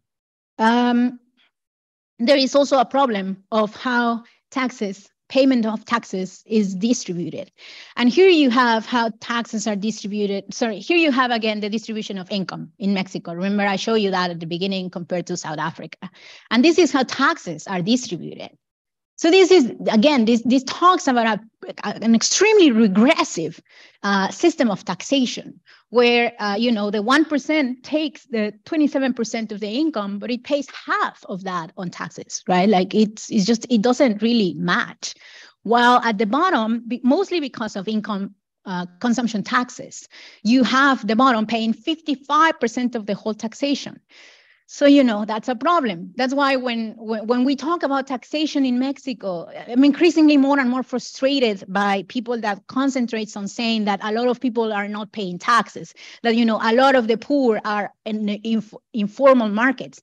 When in reality, the problem is not the poor that are in informal markets. They are contributing their fair share because they pay consumption taxes. Uh, the problem is the top 1% that is not contributing the right, the, the right. Now, how AMLO has done on this? Not very well, right? So as you can see here, um, the, the, the tax contribution of people is, you know, slightly better. It has increased 1.7 uh, points of the GDP during AMLO's period. Remember, AMLO goes from 2018 on. Uh, the former president Peña Nieto, I think we have to say that he was a better tax collector overall. As you can see, he increased tax collection in almost five points during his period that goes from 2012 to 2018. Now, there is something further more problematic than this in AMLO's government, which is that increasingly tax collection is more regressive. And let me show you how this looks. So this is how taxes were collected with, um, oh no, sorry. This is the distribution of income, so you remember it. Um, and this is how taxes were collected. Uh, sorry, this is how taxes in the high poverty sections of society uh, are collected by the three most recent presidents. And I'm gonna keep showing you how this changes in the income ladder as we approach the very wealthy. And you can see how this is a problem, right? Uh, AMLO has, or it seems that increasingly uh, the rich are paying less and the poor are paying more. This is something that we need to research more, of course. We don't, I don't think we yet have the, the full data and the full picture uh, to understand what is happening, but I have two hunches, uh, not, not only hunches, but like supported by some data, but still to be uh, research more. The first one is that the former increase of, of salary that I show you has also made that people in the middle income and below um, are paying more income taxes, right? That's just the nature of it. So I think this was a policy problem because if AMLO was going to increase wages, he should have also uh, increased or changed the rates of taxation such that with the increase, people not suddenly start paying more taxes, but remain in the lower part of the tax uh, brackets, right? So I think that that was a, a problem of, of policy. The second one is that now people are consuming more in established stores, partially because social expenditure uses uh, debit cards to distribute the money. And debit cards can be used on Walmart and in you know formal formal areas. So instead of going to the markets, to the informal markets, people increasingly more people are using that money in the formal markets. And of course, that is increasing the VAT payments that, that people are doing. With respect to social expenditure, well, um, let me say first before moving to the to the to the graph. Let me say something. Um, AMLO has dramatically increased the amount of cash transfers that exist in Mexico. According to the last measure, uh, cash transfers have increased in 47%. This is in total amount of money. So that's really significant for many people. Um, and also, more people received cash transfers. The former program of cash transfers was mostly focused on attending the poor, uh, which meant that it had, you know, conditional cash transfer. It had a lot of monitoring to understand where the money was going, and therefore, by nature, because of these uh, constraints, the program was also limited. AMLO decided to move into a universal cash transfer system uh, in which the, the goal is that everybody receives cash transfers if they if there is still some conditionalities. For example uh, the most important cash transfer is for people above 65 years old so it's more, mostly like a universal pension.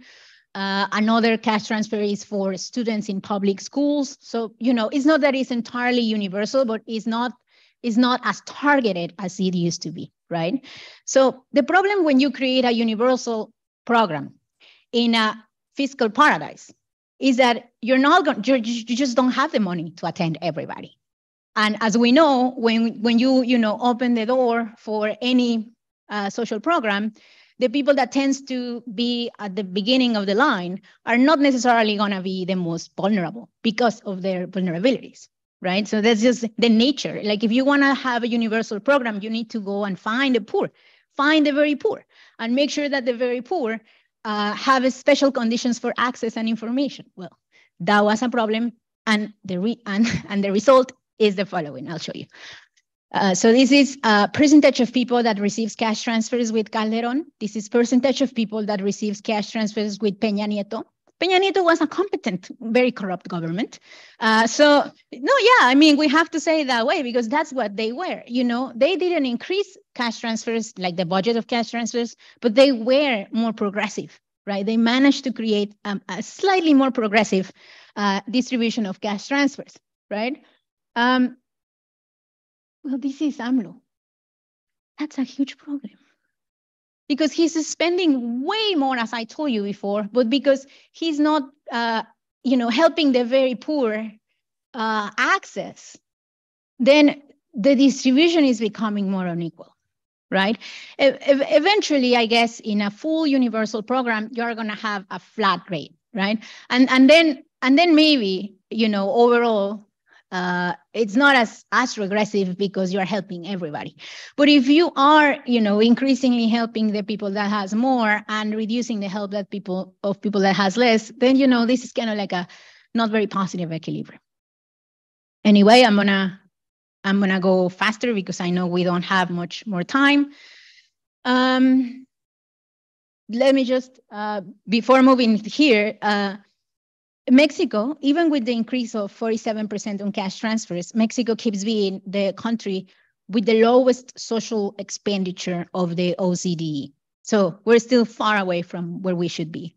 And also, most of the money of the cash transfers has not been has not come from a fiscal reform or from charging more money to the rich, but it has come from austerity, draconian austerity measures that have cut uh, funding from for culture, for you know many many areas that the, the president and his team does not consider to be priorities in his government. So this is this is also problematic because we're observing um, defunding of many of the programs that the government used to have in order to create uh, more space, more fiscal space for cash transfers.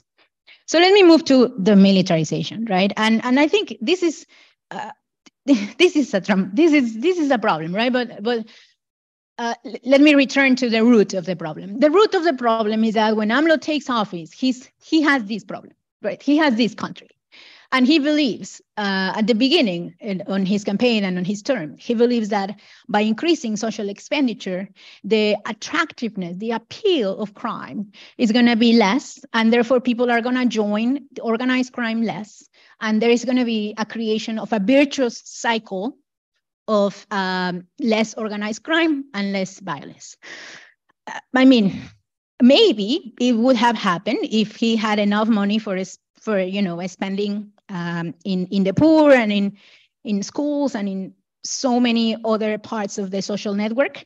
Uh, but he didn't, right? And uh, the approach proved to be quite ineffective. I mean, it's still a little bit better than before, right? Uh, but but pretty much ineffective.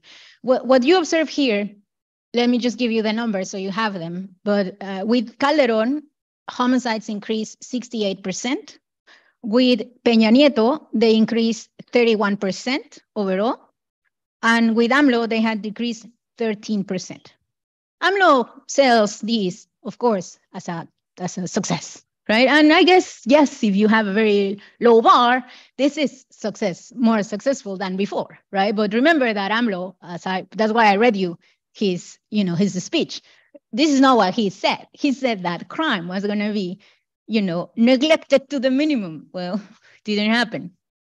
Now, uh, when his approach of social expenditure proved to be ineffective, he he, you know, returned to what most Mexican governments have done, which is the use of the military to to battle organized crime. However, very soon he also discovered that the military was kind of like there to help him with so many other things, right? And in a in a government that is a fiscal paradise, well, the military uh, is like a very competent, young, and well-trained force that is also very loyal. So he said, let's just use the military to do many, many, many things, right? Many things that we want to do, we don't want to do with the private industry because the private industry charge too much money.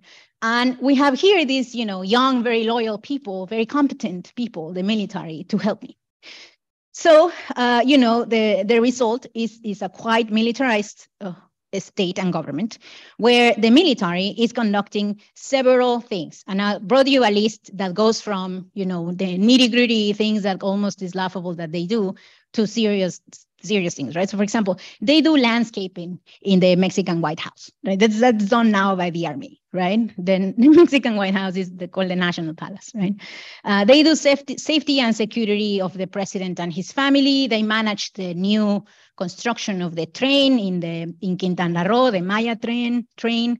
Uh, they developed new airports. They are constructing the airport of Tulum, Chetumal. They constructed a new airport in Mexico City. Uh, they established new uh, branches of a public bank that is called El Banco del Bienestar. All of that was constructed by the army.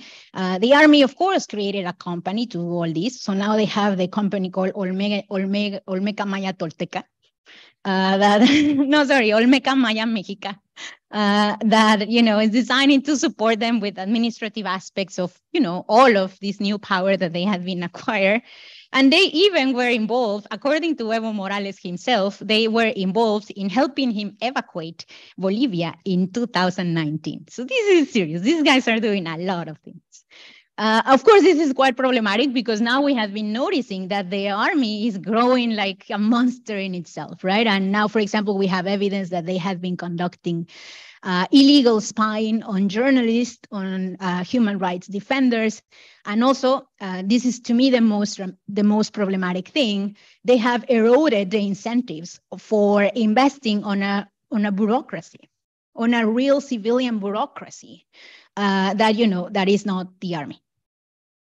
finally, let me talk about market competition.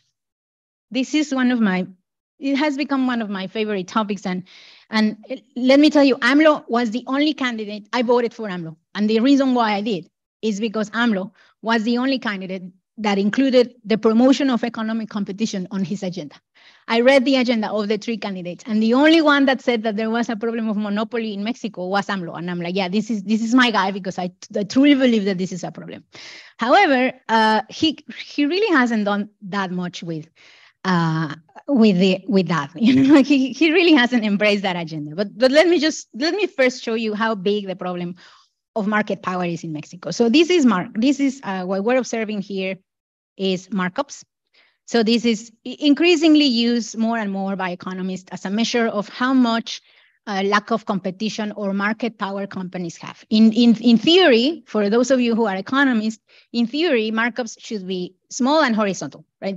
There should be flat. Actually, in, in economic theory, you know, cost equals marginal uh, mar marginal cost equals equals price, and therefore we should not observe markups that increase this dramatically. The reason, you know, behind the U.S. is now discussing monopoly problems, uh, uh, you know, because we have this this distribution of markups, right?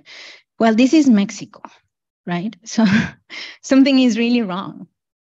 Um, and this has created also a problem of overprices.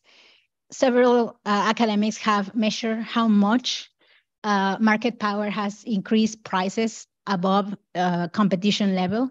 And I brought you one of the graphs that uh, show how you know the problem is severe. This is how much prices uh, increase because of lack of market competition in different deciles of the population. And also you can see that it's not, it's not only a problem that prices are too high, it's also a problem of how regressive this is, right? Because the people with more money, they have also access to more competitive markets, to markets that have more competition than the people with less money, right? So, you know, huge problem. The problem is that AMLO uh, pretty much, oh, this is my image of the of the millionaires of Mexico. Uh, well, AMLO has not really empowered the antitrust commission in Mexico that is called COFECE, partially because he believes that COFECE is ineffective, which is true. COFECE, COFECE has not done a lot, as you can see by the images that I showed you before. Uh, but also, AMLO distrusts COFECE because uh, uh, COFECE, the antitrust commission, is against his energy policy. AMLO wants to create a public energy company with some form of market power, and, and the Antitrust Commission believes that that should not be done, right? And therefore, there is this kind of like power problem, you know, going on, and the result is that nobody is really paying attention to the important work that the antitrust commission should do and also empowering the antitrust commission the way it should be. Uh, furthermore, AMLO has become, you know, very close with some of the oligarchs. My favorite example of this is what happened with the with the subway. I don't know if you knew about this tragedy, but like uh, the subway of Mexico City that was created uh, in by with the money and a company of one of our mayor billionaires, which is Carlos Slim, collapsed. And now we know that this is because it was constructed, it was not very well constructed. And AMLO basically agreed with Carlos Slim that there was no problem except that he needed to fix it. Right? When people should have been in prison because there were people assassinated. Anyway, let me just conclude here uh, and uh, tell you a little bit of, um, you know, the I guess we're going to have a conversation now with Alberto, but let me just finish with my, my, my data point that I gave you at the beginning of the conversation. Remember that when AMLO took power, 90% of the population thought that the government was uh, ruling for the elites. Well, now that that share is diminished to 45%. Right? So something is happening in Mexico, that may not be necessarily entirely related to results as we observe, uh, but you know, people are hopeful and people are supporting AMLO still. Thank you.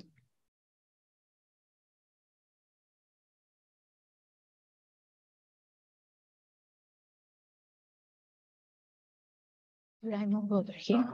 You can also bring a chair and we can sit here. Okay, I'll, I'll start here. Okay. And if I can have a chair in a second. Uh,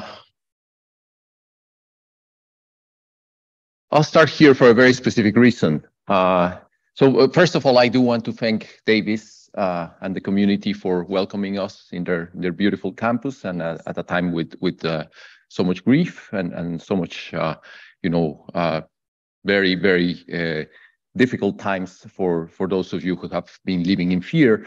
Uh, I do have to say that that Latin Americans um, constantly live in fear. The majority of Latin Americans, uh, uh, not exactly for the kinds of things that happen here in Davis, but I do want to make this as a point about how the normalization of living in fear. And one of the things that is most important of uh, Viridiana Rios's work, I mean, it's a tough act to follow to talk about these issues after what she just did. Uh, but uh, this book that she has, No es normal, the, the way we normalize uh, things that we should be so outraged and so angry and so upset and think of them as completely unacceptable in a society that to some extent has succeeded in various things of economic, political, social development uh, throughout the 20th century and a good part of the 21st century. Uh, but we as Mexicans, and it's painful to say it, have just normalized uh, so many of the things that happen in our midst. And, and I think Viridiana's work is so important because of the way she's, you know, putting, you know, uh, uh, uh dedo en la llaga uh, on, on, on these issues. I, I, do want to also say that any of you who did not see her El País uh, article uh, that came out, I tweeted it just a few minutes ago. Uh, do do like look at that if you if you cannot read her book. Okay, um, so so let me tell you a little bit about um, you know four points I, I want to make. I, I, actually had a longer thing, but I just reduced them uh, given uh, the, the way um, things are going right now. But let me say uh, four things uh, that are reflections really about um, you know Mexico, but I think it's it's also about Latin America, and it's also about you know the the the, the reckoning uh, that Latin America has to make as, as a region. Um, so the first one is that Mexico really cannot, we cannot have a meaningful discussion of Mexico if we don't start from the questions of inequality. I think that comes so clearly from what Viridiana just did. Uh, but it's it's just not just inequality, but it's also something about what's going on in the most excluded segments of the income distribution. So this is something that she kind of hinted at different aspects of this.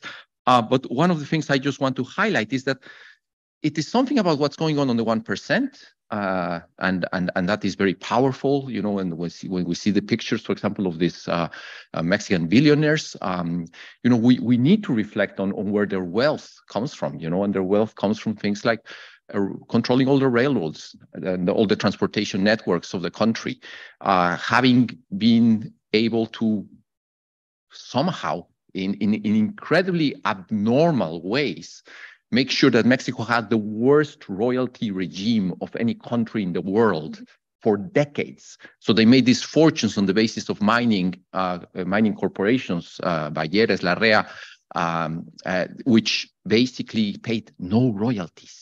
It's unheard of. Royalties happen in any country in Africa, in any country in Latin America. Mexico had no royalties to speak of. I mean, it was a completely crazy tax that comes from a particular moment in history that was based on the surface of the land and it was measured in pesos. You have to pay 50 pesos if you have one hectare, 100 pesos if you had two hectares.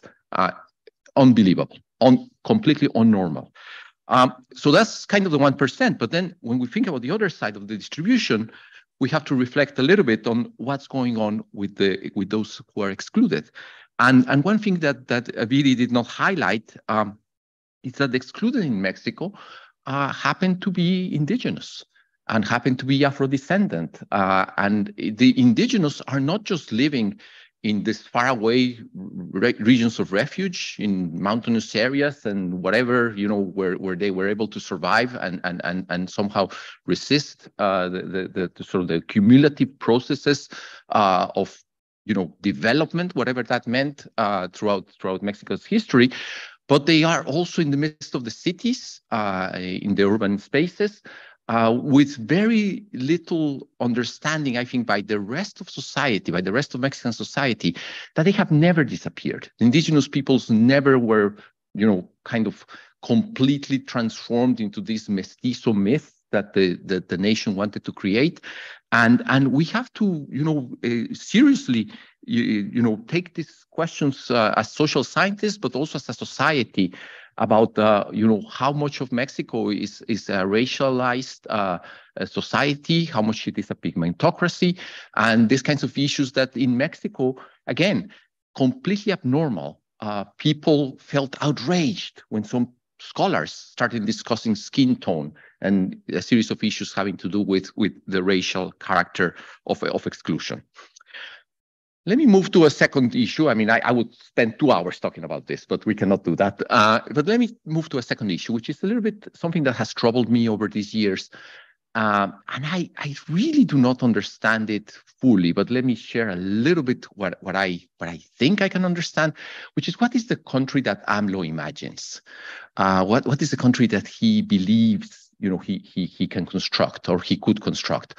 And um and it's interesting that Viri went to see, to read the, the the plan de gobierno. I did read the plan de gobierno back when it when it came out and and and i was a little bit uh, you know astounded by what it said but i said well this is just campaign promises. Nobody's going to hold him accountable. Viri will.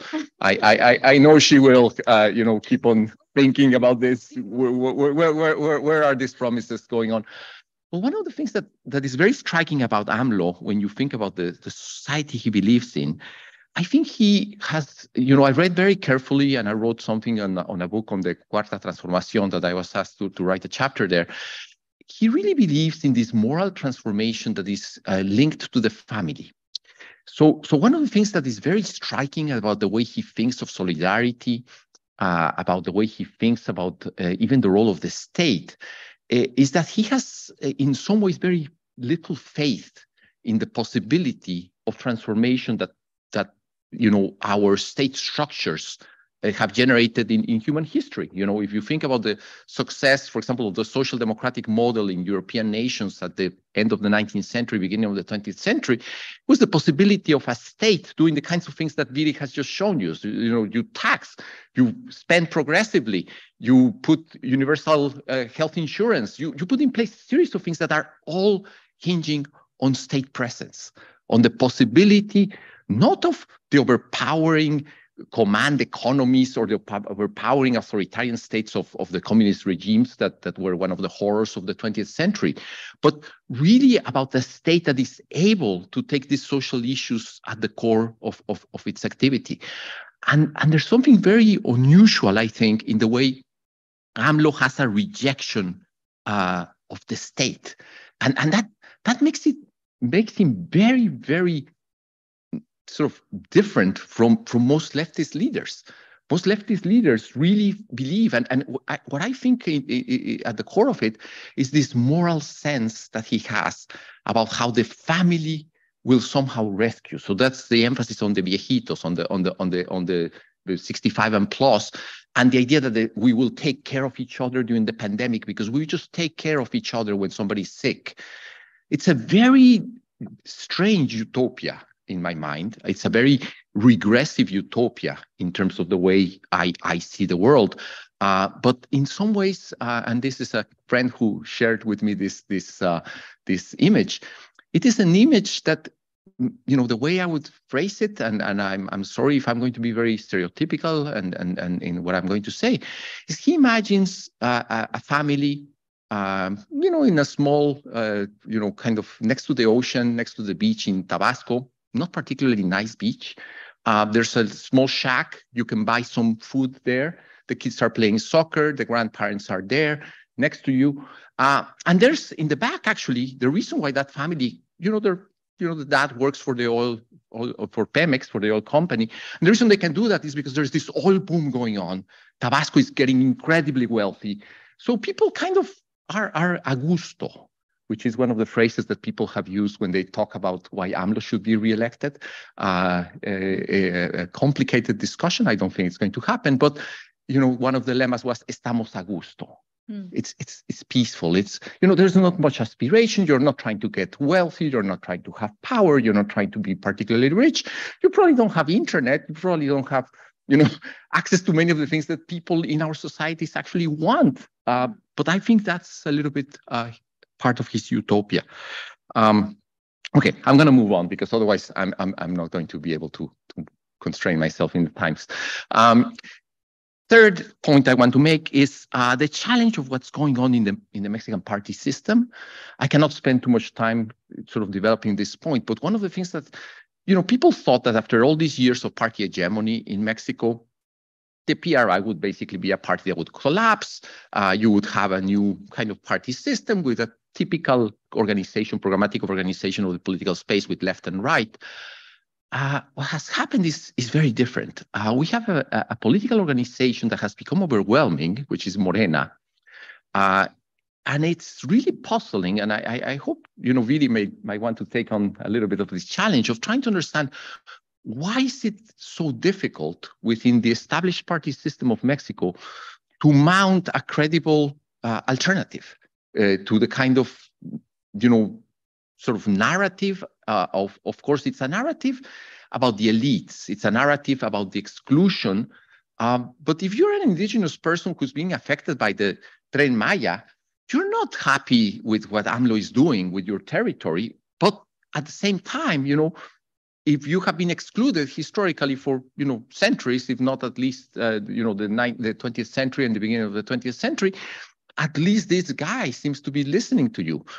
But within that kind of whole uh, sort of you know programmatic political space, it is not really clear to me, and I'm really struggling with this, is what Morena is. Is that really a political party? Is it a social movement on the basis of one charismatic populist leader? Um, is it going to outlive uh, kind of the the, the the change of, of government when when when AMLO uh, when AMLO leaves office and and and someone else wins? What is very clear, however, is it it seems to be very clear that Morena that there's sort of Mexico is in a very peculiar kind of political moment, a, a, a democracy without any question, still a democracy in which most of the game will be about whether Marcelo Ebrard or Claudia Sheinbaum, I think those are the only really relevant ones, uh, will be president because of the nomination into Morena. It's, it's almost like the election is a done deal. We don't really you know, unless unless Viri tells me why I'm wrong, uh, I don't think it, any of the political parties has any leader with any appeal, any charisma that was able to defeat either Claudia or or Marcelo. Uh, now, at the same time, I do not understand what Claudia or Marcelo stand for, which is, you know, a problem when you think about supposedly this party of the left or a movement of the left, etc. Okay, I'm gonna say my fourth point, and then I'm to move on to a couple of questions for Viri.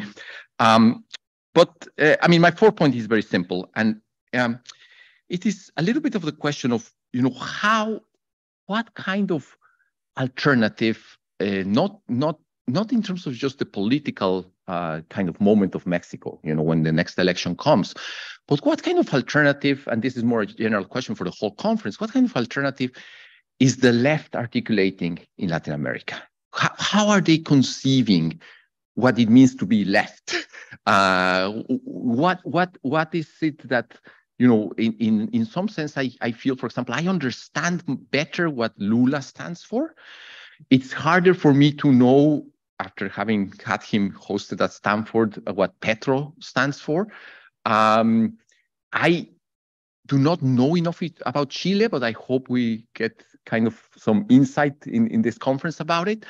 Um, but I, what I can tell you about the Mexico uh, context is that it is very clear to me that my conception of the left, the one that I had when I was young and I was in university, and then I kind of over the years, which is this social democratic uh, vision of democracy, is just not there.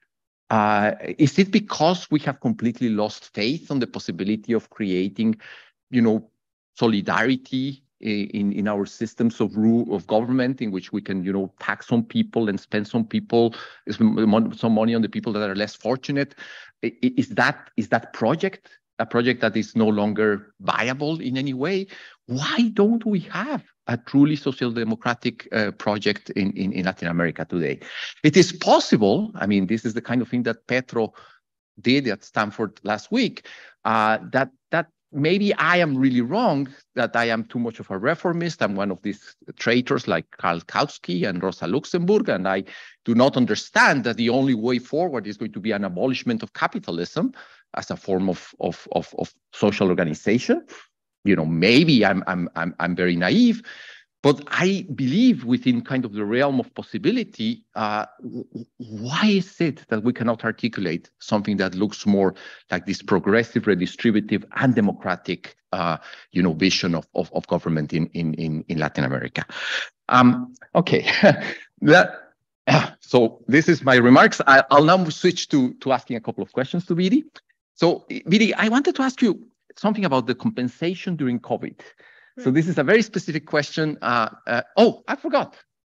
Sorry. I said I was going to go up here.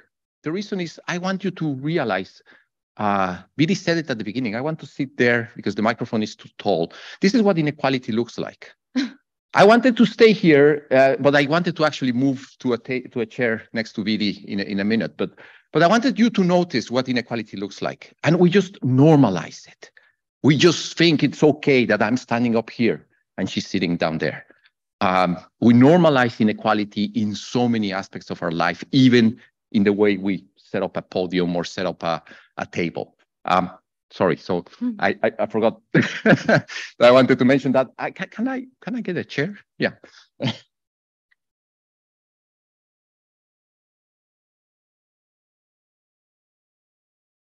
so Viri, good question is. Ah, okay. okay. The question is really, why did AMLO probably do the most stingy compensation right. of any country in Latin America during the time of the okay. COVID. So I think that can can can you hear me? Yeah. Okay. So um, first about the remarks on inequality in the podium, I think that you know this could be simply solved by a policy solution, which is having a little banquito right there, so people that are short can you know jump in, and I think that would be very you know pro pro female because we tend to be shorter. Uh, so yeah, that is true, right? Just like a banquito. Uh, but, but well, uh, so like a tiny bench that you stand up, you know. Um, that's a wonderful question. And I think, Alberto, that that speaks a lot to what you were formerly mentioned, right? Which is why AMLO has so low ambitious, right? Like, because on, on the paper, he seemed to be very ambitious on his plans.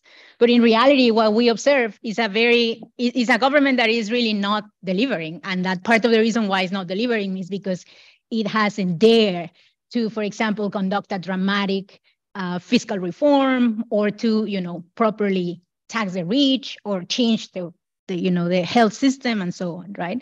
And I feel that AMLO, sadly as it will sound, but I believe this, I think AMLO is kind of like the perfect son of, of neoliberalism.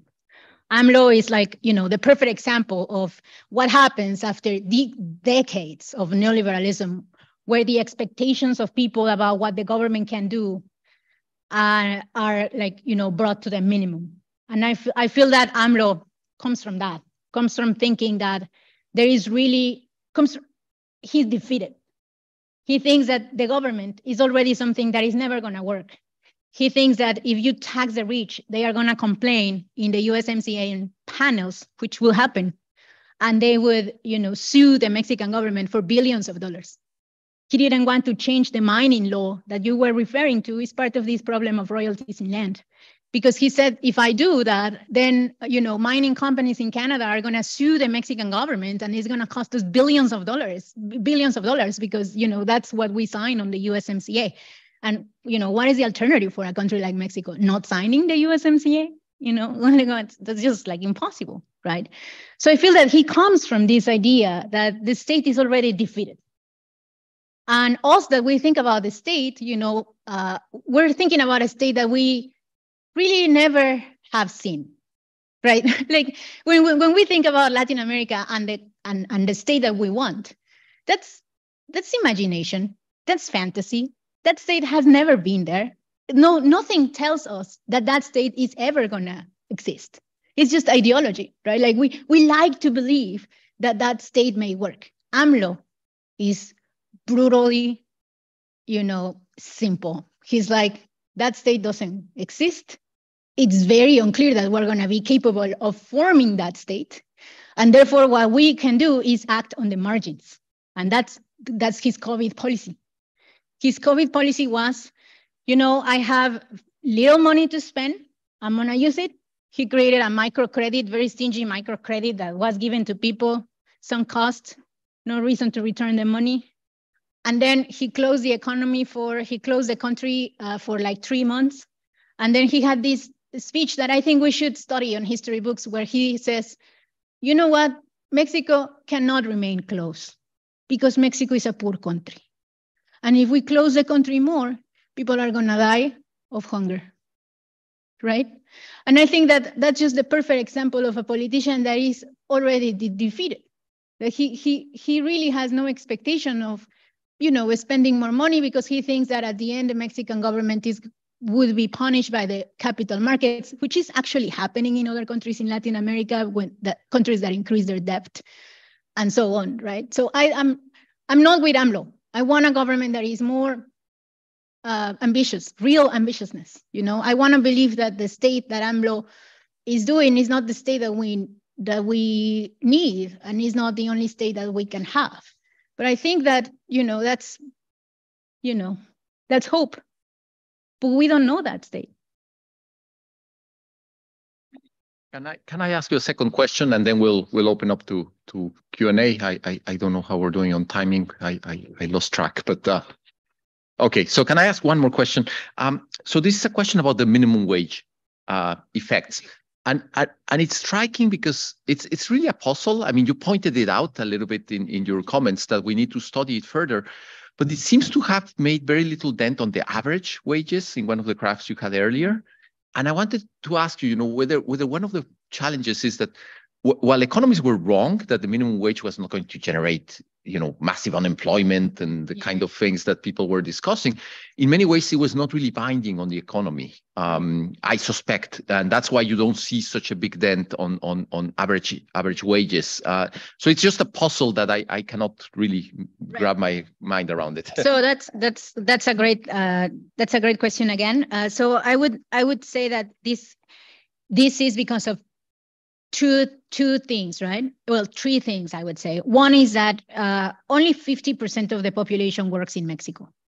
So, and that's a normal rate. Regularly, you know, if you look at the uh, población económicamente activa, which is people working for some form of wage, in most countries, with the exception of a few European countries, only half of the population works because you know you have the elderly, you have young, you have females that sometimes cannot join the labor force.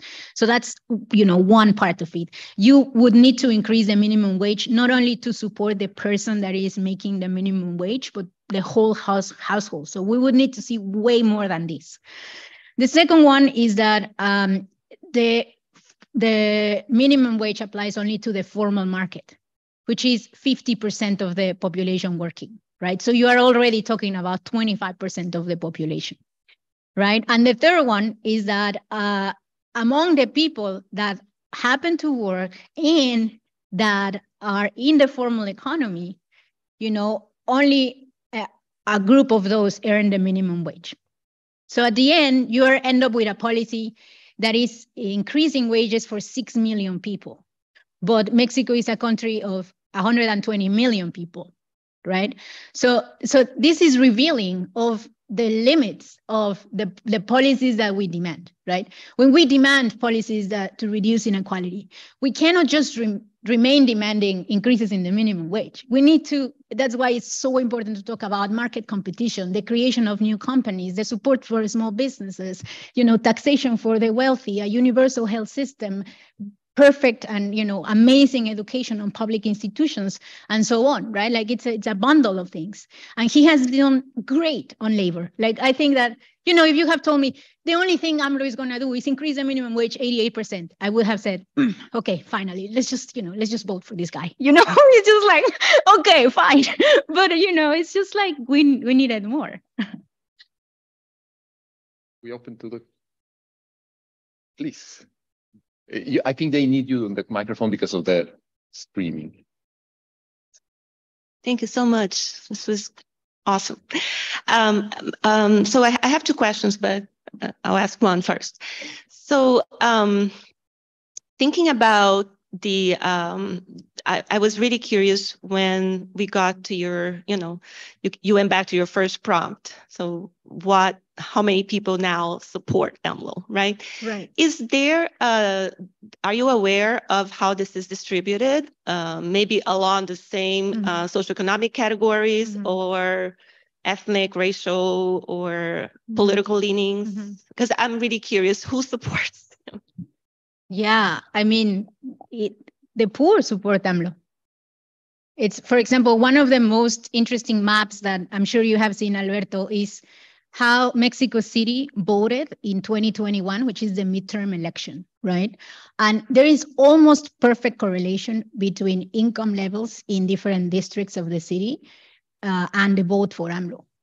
So th that's why, you know, when I read the, I'm, I'm very concerned about the news in the US because when I read the Atlantic, the New Yorker, the New York Times, arguing that AMLO is a dictator, I'm wondering who they are talking to I'm wondering why they haven't get the right sources, or at least they haven't get the right, you know, the, the kind of like the whole picture. And I think that partially, and this is very, very sad, but I think partially is because to speak English in a country like Mexico, you already need to be kind of like from a privileged background, or you know, be kind of like a complete outsider. So, uh, like you know, kind of like something that doesn't really happen. So I feel that the US, the press in the US, is making wrong decisions on how they cover Mexico because the majority of Mexicans approve AMLO. And you, observe these, you know, differences in, in both and income that are very, in, very, very intense. And this happens too in academia. There is a very famous poll that shows how as students, we don't we don't have the numbers about academics, but students in public universities approve AMLO like by far, right? While students in, students in private universities believe that AMLO is authoritarian and is a dictator. And if you talk to the people in the elites, which are not even the elites, it's just the middle classes, right? But the middle class in Mexico is very small, as I show you. So if you talk to people from the middle classes in Mexico, they truly believe that AMLO is authoritarian and that the other people are not understanding because they are ignorant, right? And so, so then this, you know, it's a very difficult conversation to have right now because if you are going to assume that, you know, 60% of the population is ignorant, then just transit to authoritarianism. Like, you know, why, why would you have a democracy? Thank you. Um, I'll save my other question. yeah. Well, thank you so much. The presentation was um, incredible, and I um, I just kept thinking about how familiar, how similar Mexico and Colombia with AMLO and Petro um, and their governments um, are. Because, um, but I'm not going to concentrate on that. I wanted to ask you if you think that because this is a criticism that I also have with Petro's government is the lack of uh, a very much more feminist view of um, the mm-hmm. situation that is affecting their country. And I didn't see in your presentation, and it was not part of my presentation, but I I feel that um, when I was in Colombia last year, I actually met people from Morena, and because they were supporting, I mean, they for us, Pacto Histórico and Colombia Humana, they were kind of our um, guide in in a way, right? And and I saw several women, right? And so I'm thinking one of the criticisms that I have for Petro is that his views are very patriarchal and that he has not given a space for more women to, uh, even though he had an, a, a, you know, equality kind of kind of um, government. The problem is that some of those policies are not with a lens of, you know, a, a women's view or a feminist view, and I feel that that is seen in some of the policies that AMLO has. So wanted to have kind of your perspective in that sense. Yeah, I mean, AMLO is not a feminist, and I, and I feel that this is partially because he is he is raised in a in a in a former form of left that it was all about labor, labor and capital, right? So the main cleavage the main cleavage for AMLO is uh, labor, the, the struggle between labor and capital. And feminism and other forms of identity politics for him are the result of the disempowerment of workers and of the contamination of the left agenda by neoliberalism. That's how he observes this, right? So then for him, uh, the, the reason why women are oppressed is not that they are females, is that they don't have money, right? Is that they cannot battle capital. And I think that this is, you know, kind of like out of touch. Of, of course, like he should be more multi- multidimensional and understand that there is the struggles of labor and capital and also the struggles of other forms of identity. But I think that he really doesn't uh, understand that. Now, in Mexico, most people don't understand that either. If like Mexico is not a very feminist population, is not like, you know, most people are against abortion even today, you know, it's just like, it's, it's not a society that has moved to, you know, uh, more modern uh, form of understanding of the left agenda is still kind of like on the very basics of like, you know, wages and or labor organization, you know, the, the more traditional left.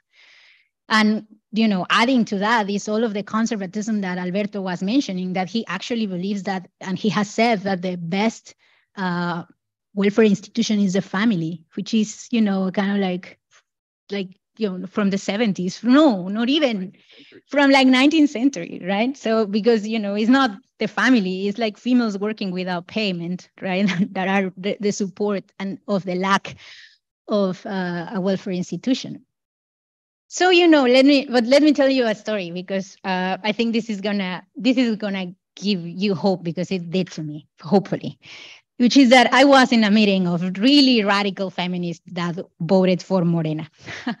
and this is a big meeting in like Iztapalapa. It's like, you know, hundreds of females. And it's just like they are talking about, you know, radical, radical things like they need to, you know, move into an agenda of the destruction of capitalism because capitalism is oppression and is a patriarchy and very young, very also very well collected, like, you know, fascinating, super articulated.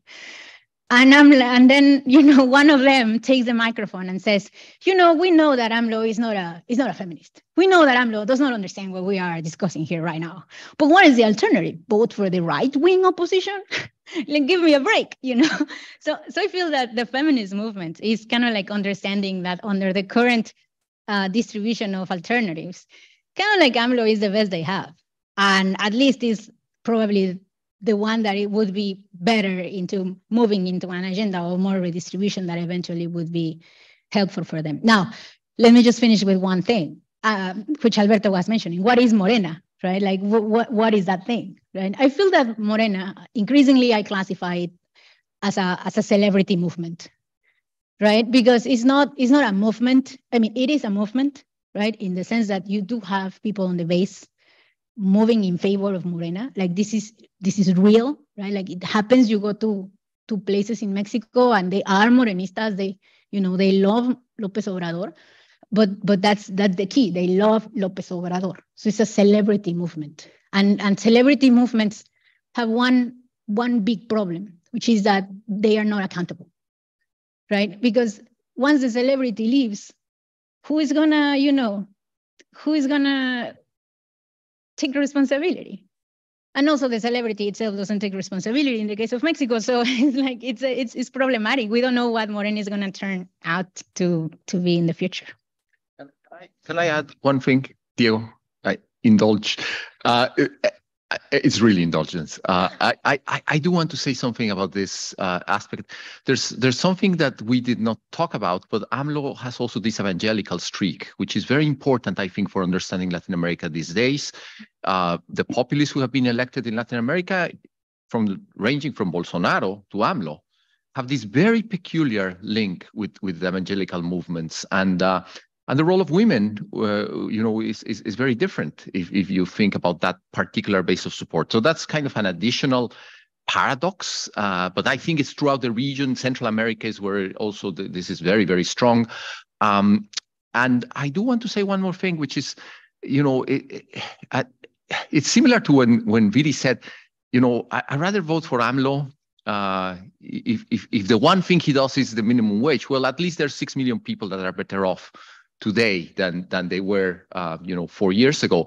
Um, when I think about the alternatives we have right now, I, I did see in the airport in in San Cristobal, in, in Gutierrez, in, in Chiapas, I saw Mar, uh, Claudia Sheinbaum arriving to the airport there. It just happened to be the case that she arrived. There were all these women receiving her welcoming her. Uh, it was an incredible energy and excitement about her there.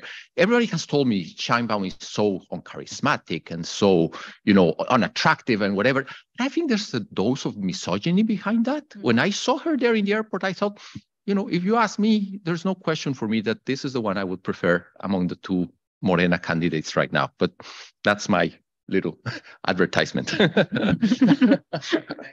Thank you very much. Muchas gracias. Muchísimas gracias.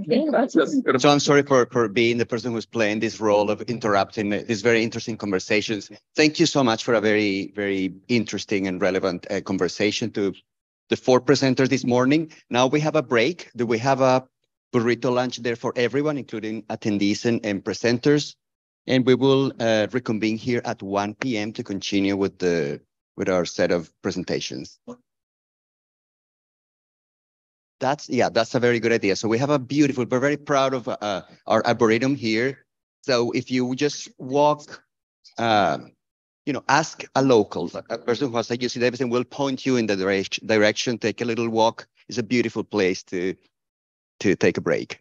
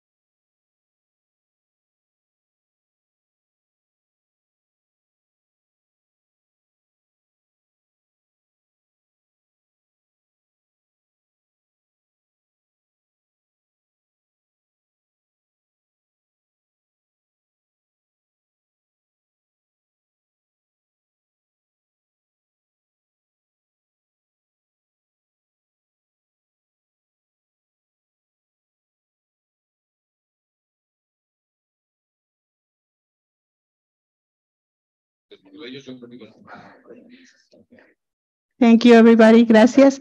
We have wonderful burritos in the lobby, so please join us. And if everybody agrees, I would like to let the presenters probably go first.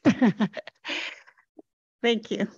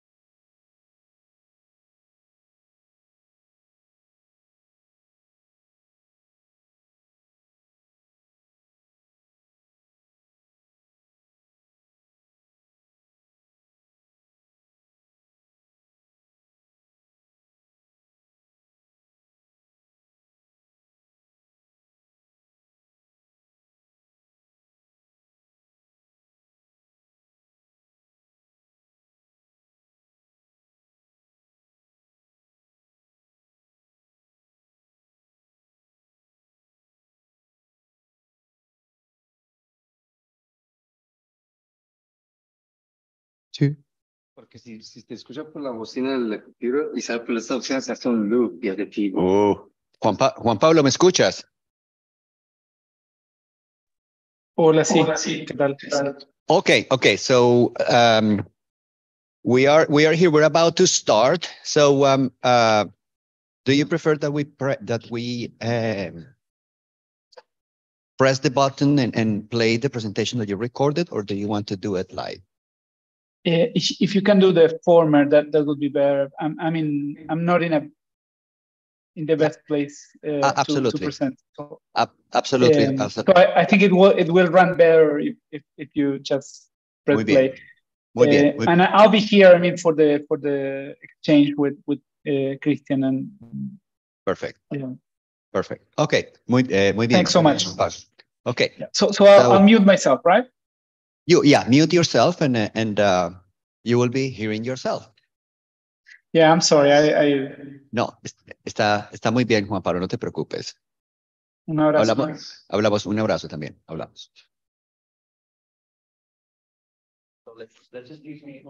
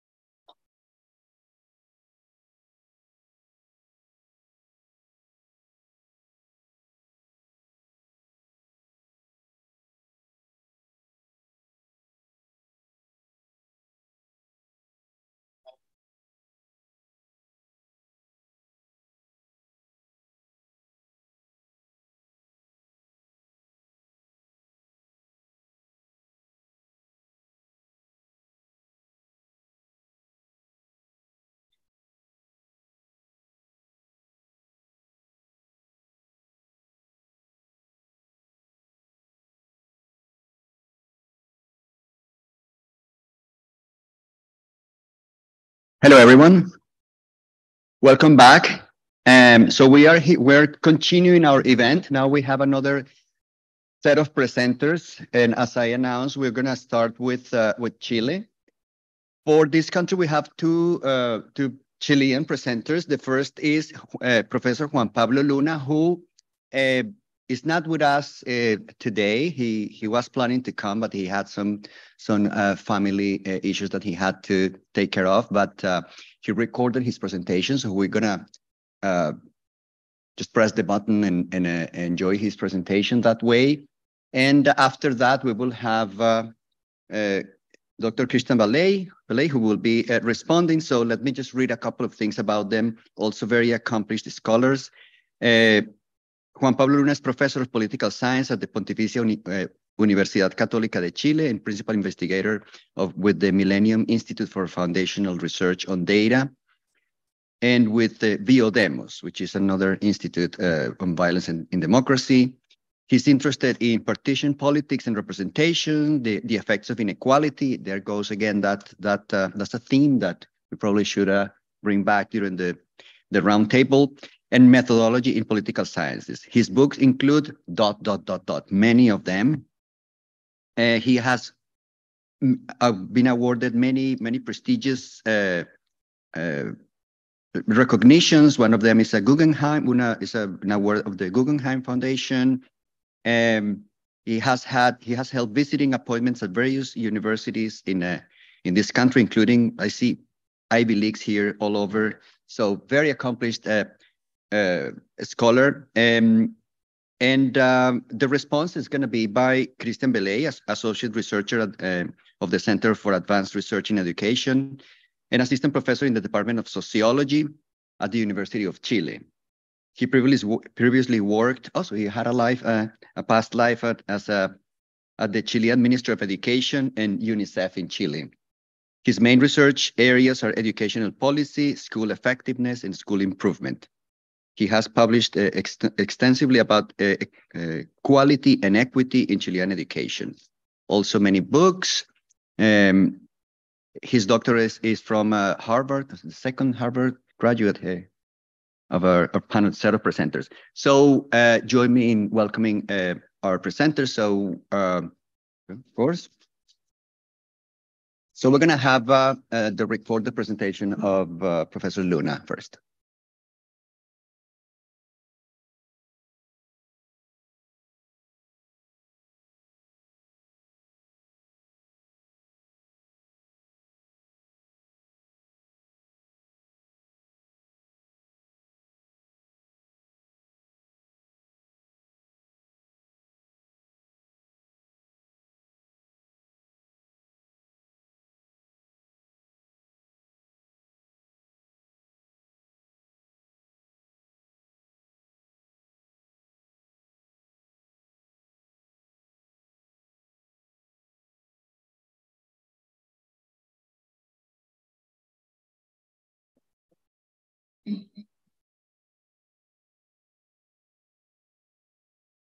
Well, yeah.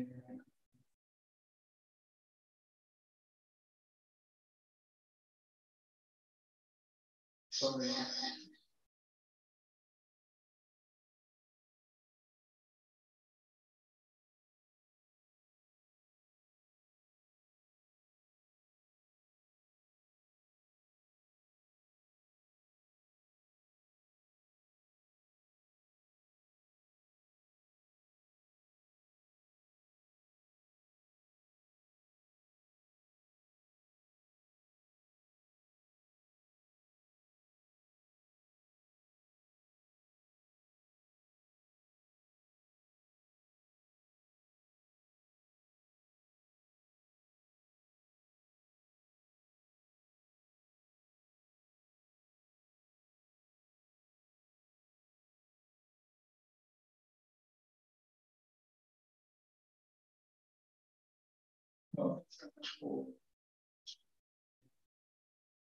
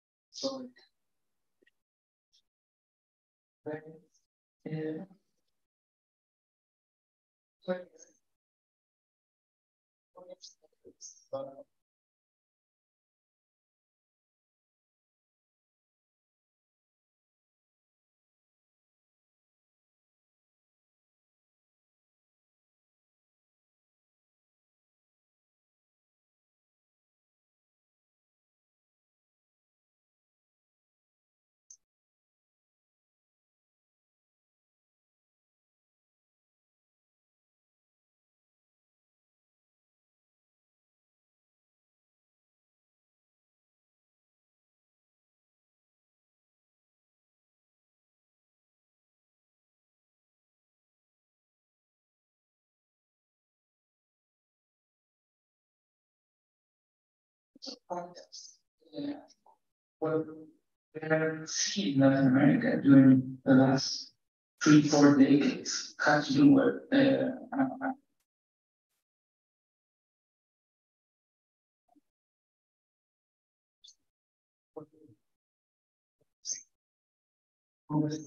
Vamos democrático.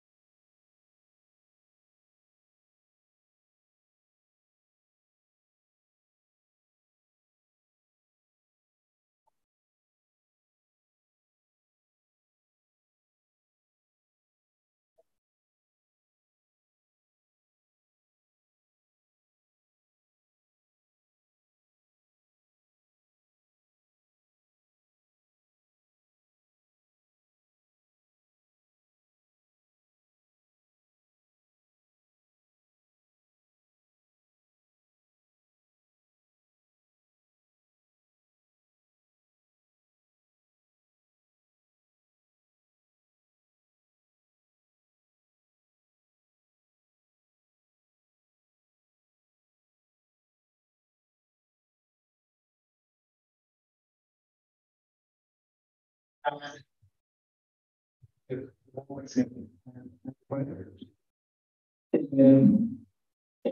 what we have? Uh, essentially, most of the parts that were in the early time is having the world in the world. And what we have now is uh, what in recent um, and some others have um, called electrobeams. And with what we, what we have in America is um, for uh, leadership. The, the, the parts Ustedes no pueden poner por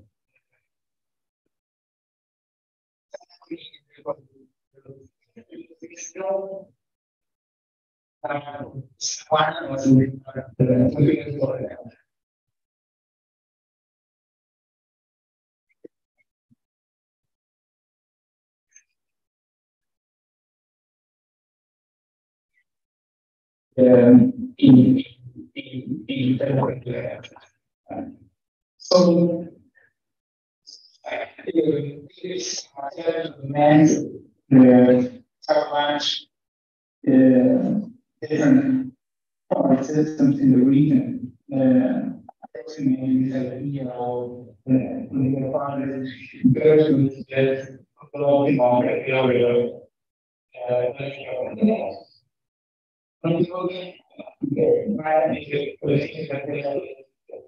Thank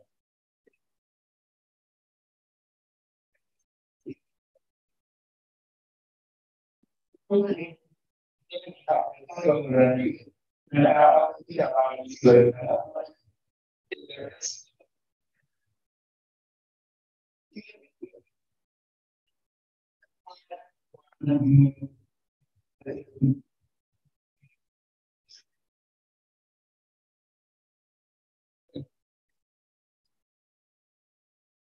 Required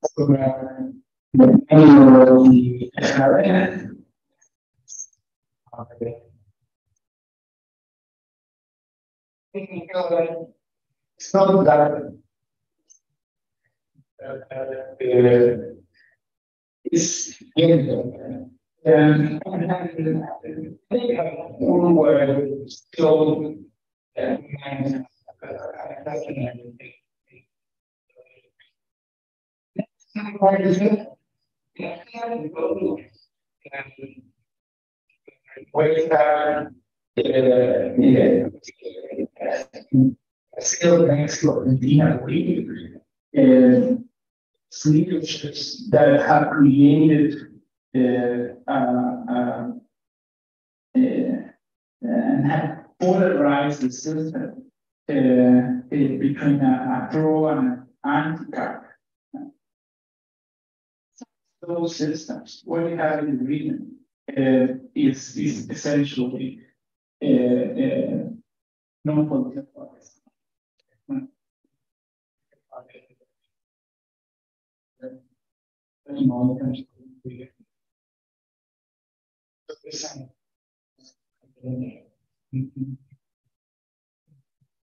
What is that?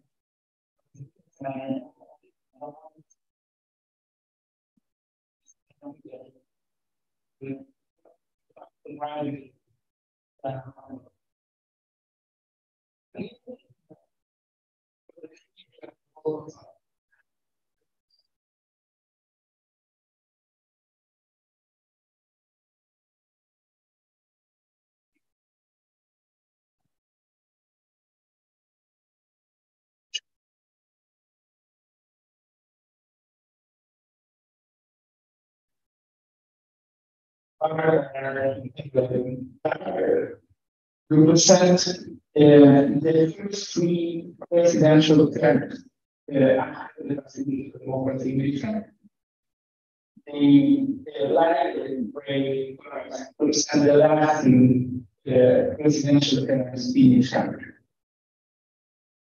Uh, something more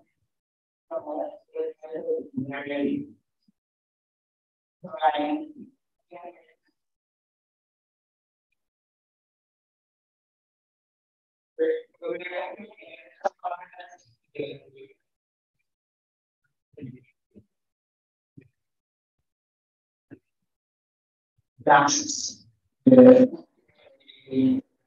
for, for each, each country. And what you have here is the number of bonds that on average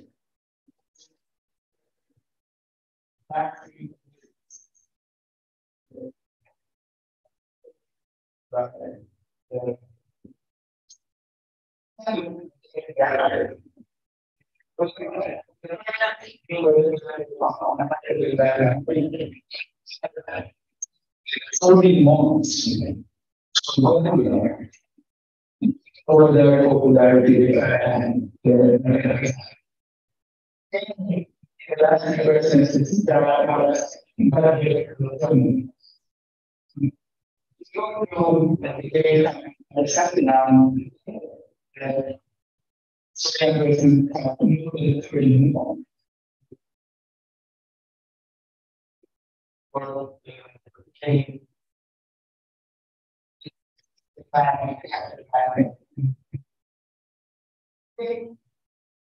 it here? you are elected and before 10 months, you already are, are, are facing problems. Right?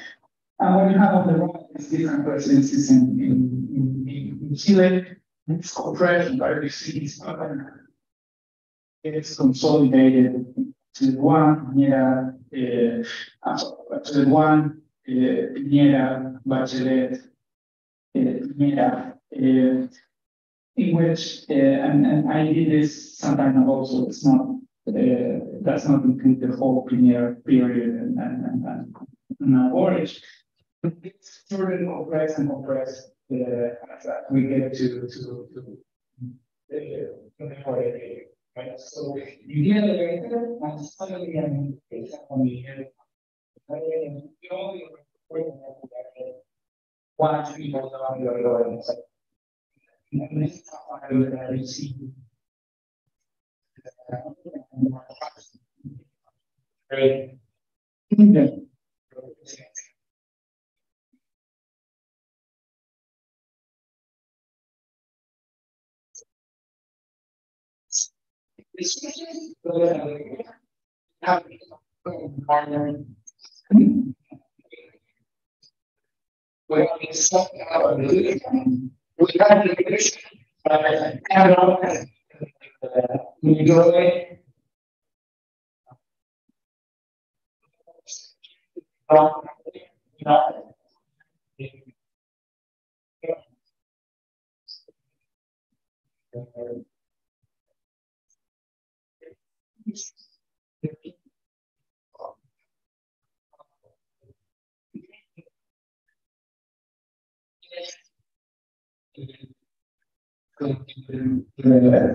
time to uh, wrap it up. So what has happened in Chile how this uh, doctors were uh, this this notion of this structure of the of the quarks is that you know So um, if, if uh, I show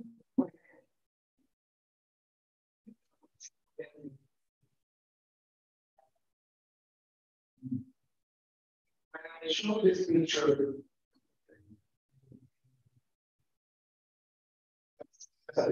University, is one of the wealthiest universities in, the country. And for the social crisis of, of 2019, and that picture uh, belonged to and and I think that that picture was taken in the 11 kilometers and all of that. And the picture where, where, some of my students came, uh, where most of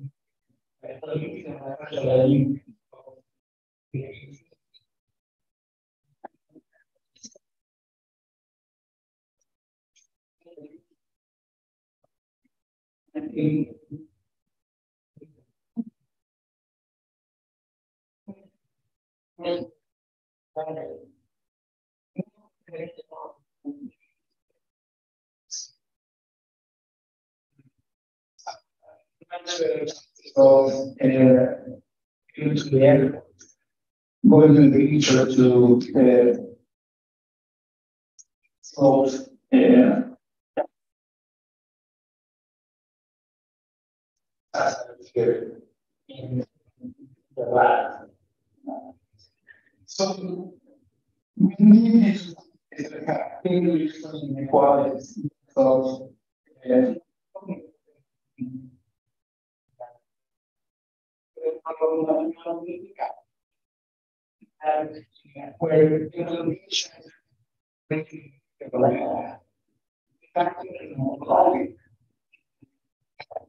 innovation making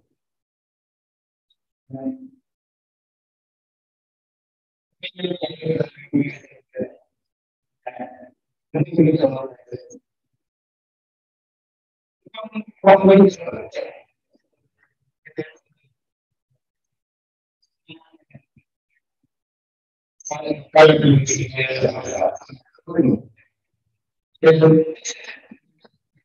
lab you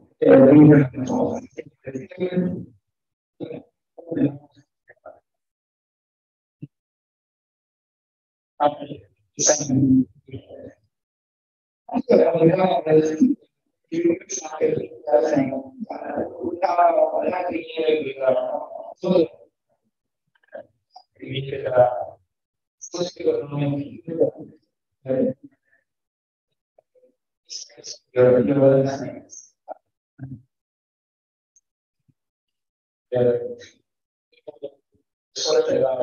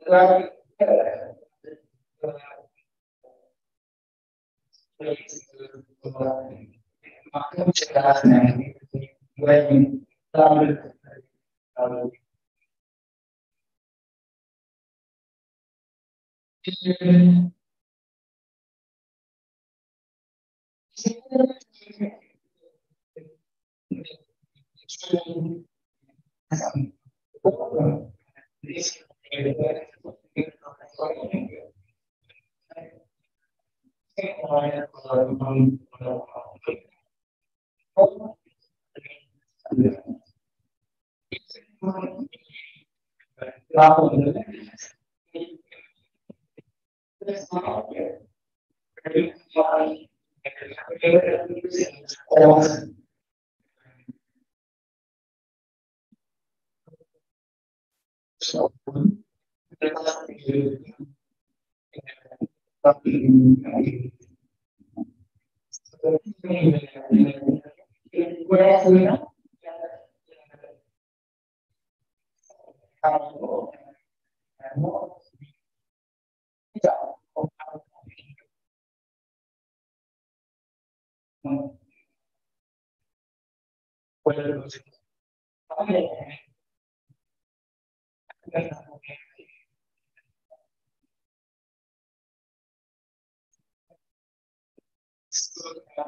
the younger cohorts in the also um, youngsters Chile turning out to vote in, in, in elections. Here, seventy-eight percent of youngsters under voluntary voting uh, get involved uh, in, in the election. Uh, here in the latter spaces, 20% of uh, took out to vote in, in, the last round of voluntary uh, elections that the country had in 2007. So you have kind of like this. What I'm trying to show here is that we have societies that are very close distance. Uh, huge inequalities, not only in terms of different citizenship rights that have to do with social rights, uh, with civil rights, with political rights, and the way those are practiced in, in society or, or enjoy and, and lead to, society. And trying to expand this uh, analysis to Latin America uh, with Rodrigo Miller, we just published an, uh, an article that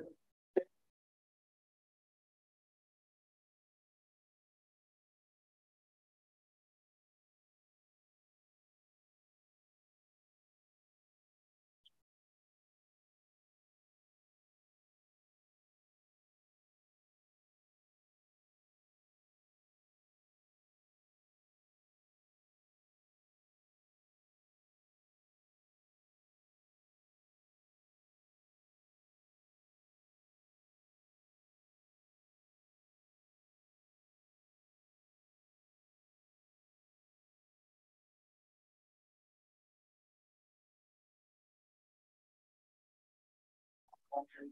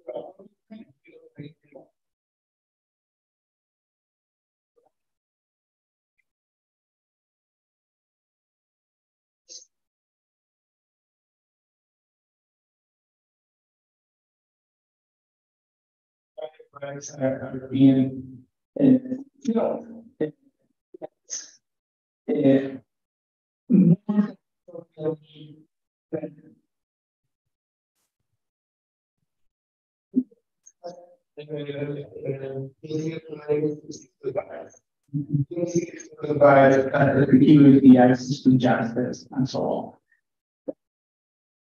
So this, uh, is wondering how those. So essentially, uh, we live the contemporary the It's very,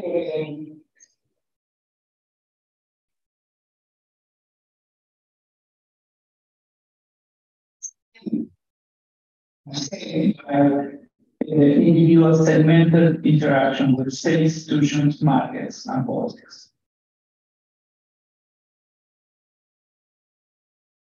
Which are the so threats for political representation and the left?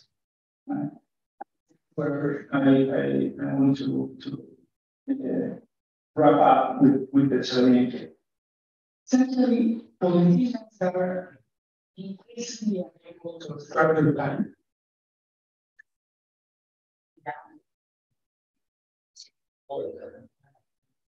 Enjoying legitimacy because these discontents that are very difficult to to to set uh, destroy the legitimacy very rapidly. Conditions are increasingly unable to compress and simplify space.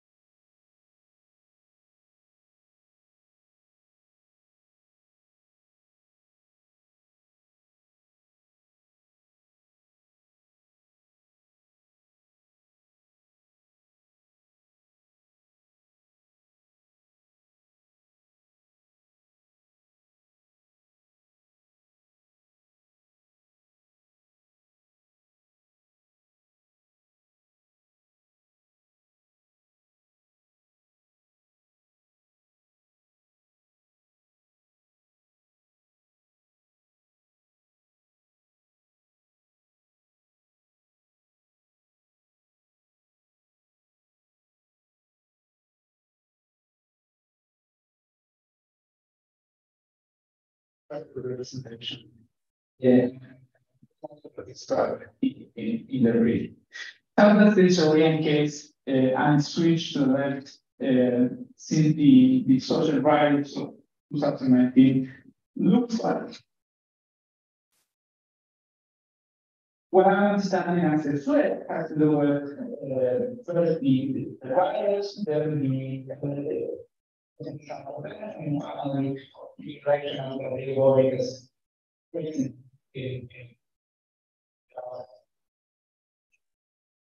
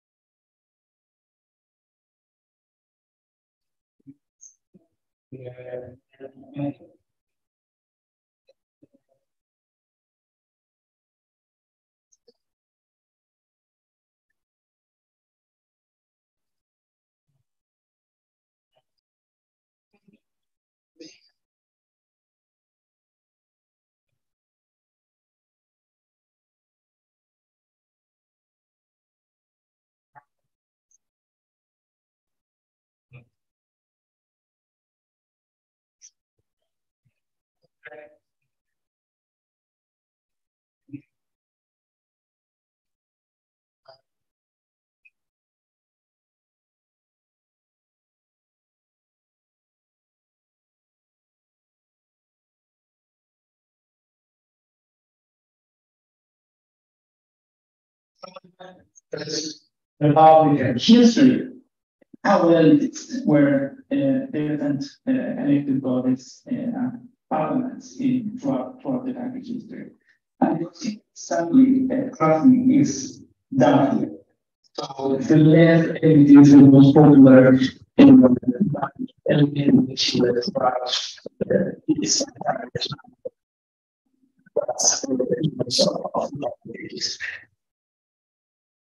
the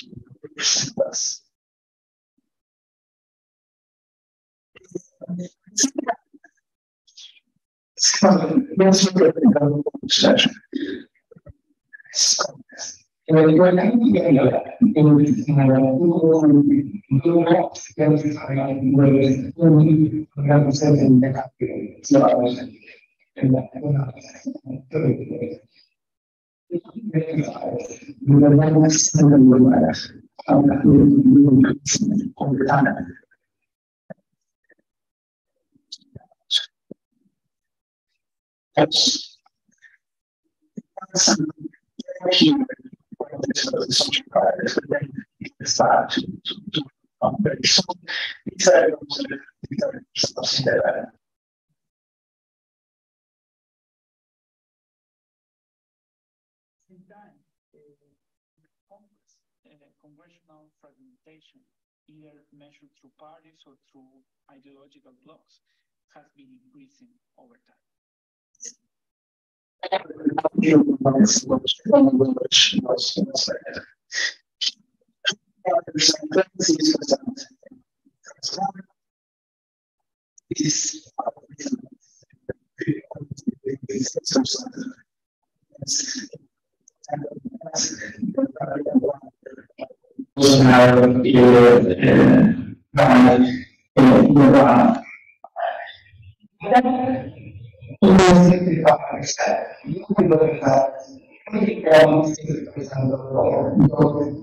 actually individuals role in so that skill the non-obligatory uh, voting and roughly 55% of the electorate those eligible to cast their vote in that front, which most there. 55 percent. So the problem is, um, when things happen when the, the, the innovation in voyage, uh, 35 reactors they were involved. Uh, huge disappointment. Uh, in, uh, in the case of the constitutional convention, 68 percent of the population rejected the budget proposed by, by, by, by the population. Most of the polls have switched uh, from approval to rejection. As a whole, uh, you know, in that short period are of words that were very rapidly disenchanted by uh, what they saw in the, in the, in the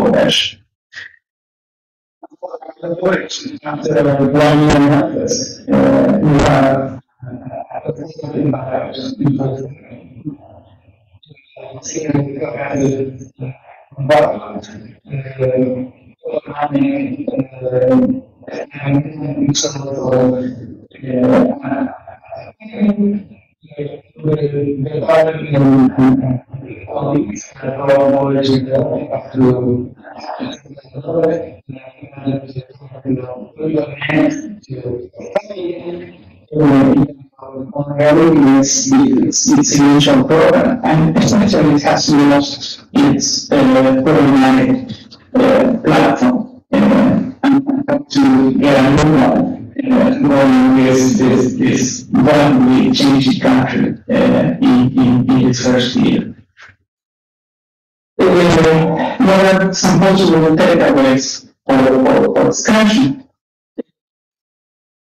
What we see as ideological transition switches in, a mobile instead, uh, uh, of, of, of the increasing ability of architects to structure legitimate political representation in our society. I think we, can see we are seeing the future has to do the infrastructural, and so you have to do with this, uh, very societies in very human states that create foreign universes in which people in our societies very close age. And when we use uh, days up to 40 years of uh, endurance to challenge the democracy uh, and eventually in, in the capital to uh, democratic evolution. So we require absolutely everyone's uh, having to at and I, so I can't be aware I had to, to listen this way in, the conference. Thanks very much.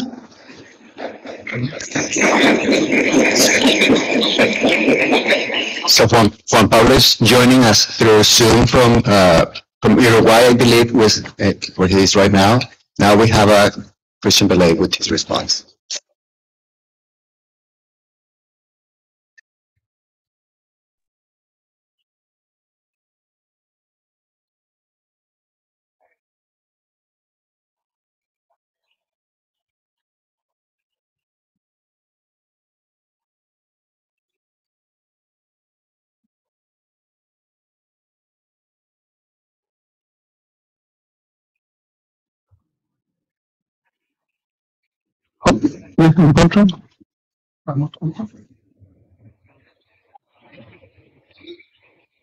PowerPoint presentation. Okay. It should be there. It should be. there. It's back.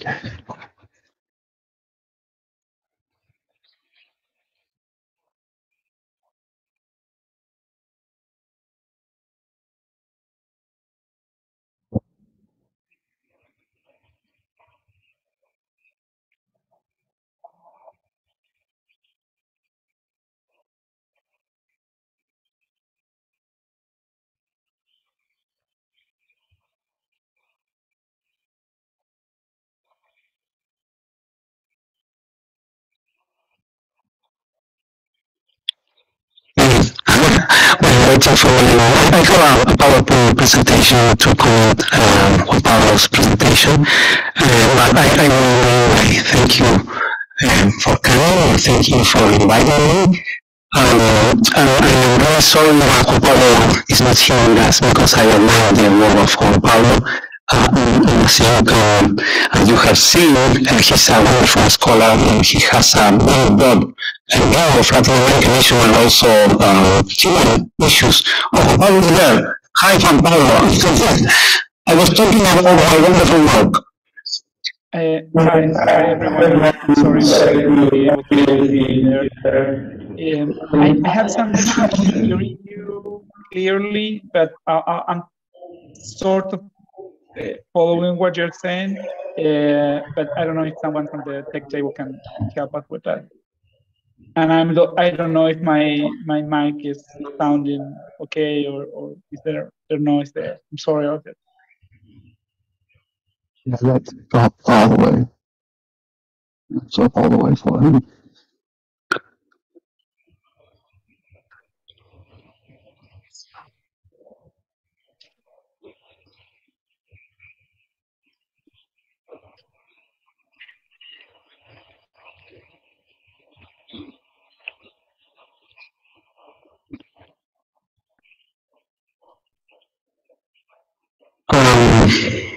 The audio is up on audio.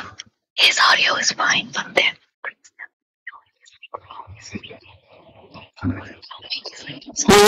I told you that my opinion, um, I have some thoughts, um, so I, I want to, to, to say uh, I, I can, I can, I can call the issue, uh, while, correcting uh, the presentation. So, uh, thank you, again, and thank you, Juan Pablo, for your presentation, for your analysis, and also for these difficult times.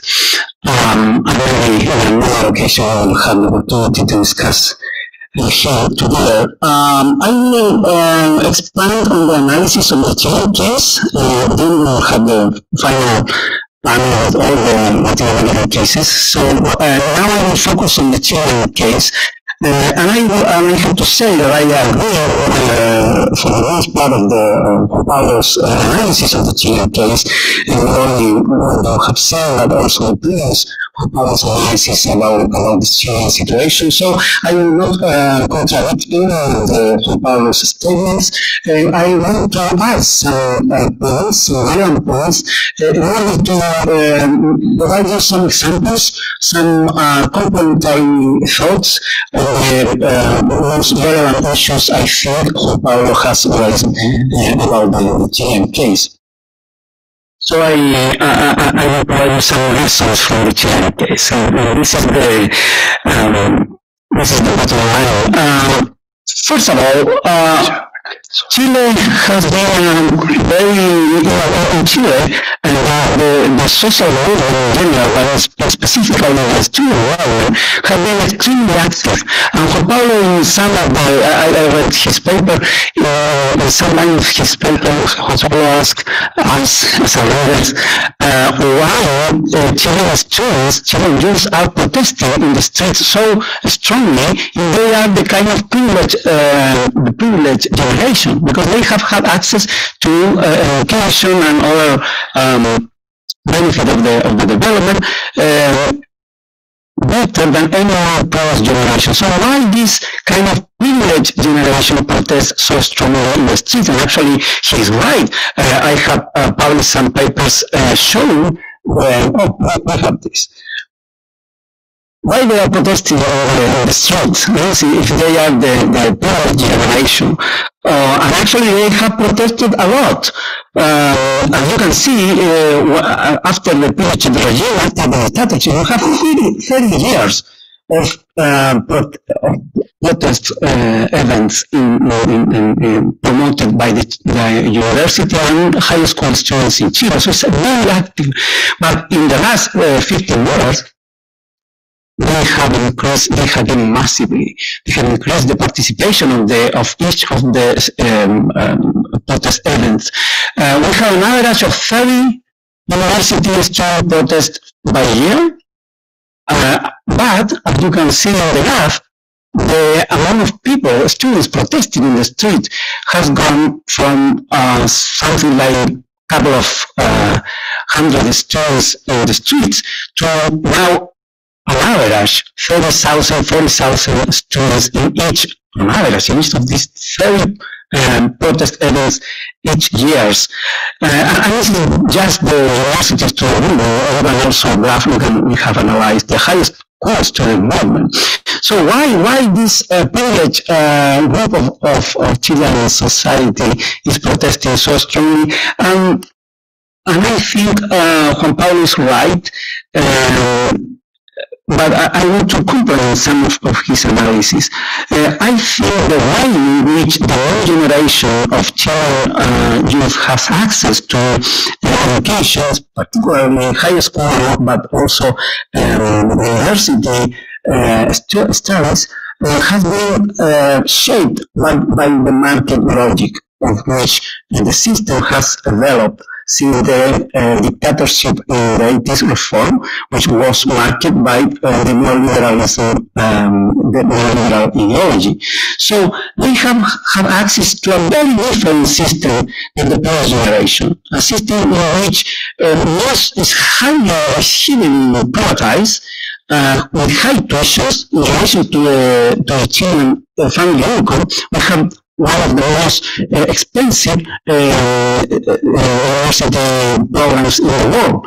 In relation to uh, most of the universities have for-profit companies uh, so the system, and uh, for expanding to the middle class and lower middle class, um, the, the, the, the tuition has been paid by loans loans managed by private banking, uh, supported by the state, but managed by the private banking. So uh, the money is uh, going to uh, for-profit universities and to banks, but the loans and the debts the students uh, finish their study with very large debts. So the educational system uh, possessing this social right is actually organized in a way that is in the opposite side of the traditional way of, of seeing uh, human rights, social rights.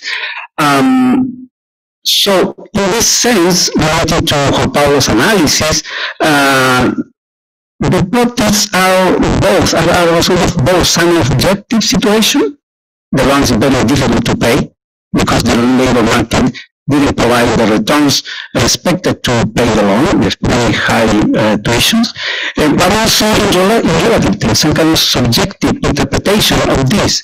I have to put more effort than the previous generation to be in the same or worse in, worst compared to the, the worst situation compared to the previous generation. So um, the Chilean youth is increasingly perceiving Chile is a less a less meritocratic society uh, than in the past. And this is a trend we have been seeing uh, systematically. Even though they have objective, more objective opportunities, they perceive that they are living in a less meritocratic society than before. This is my first point. So how to interpret it, uh, how to interpret uh, social movements when you have this kind of situation where you have to combine objective and subjective uh, interpretations to understand the people uh, in the street. Okay. Let's to the second point. Uh, mentioned that it's very difficult, has been very difficult for Latin American uh, social movements, well, the political system.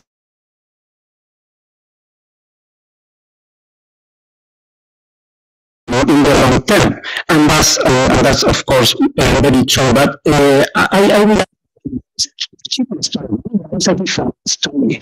They have been extremely successful, and they are uh, in, in this way, in, in, institutionalizing the protest and then the power, the social power and the political power, and transforming this in political power.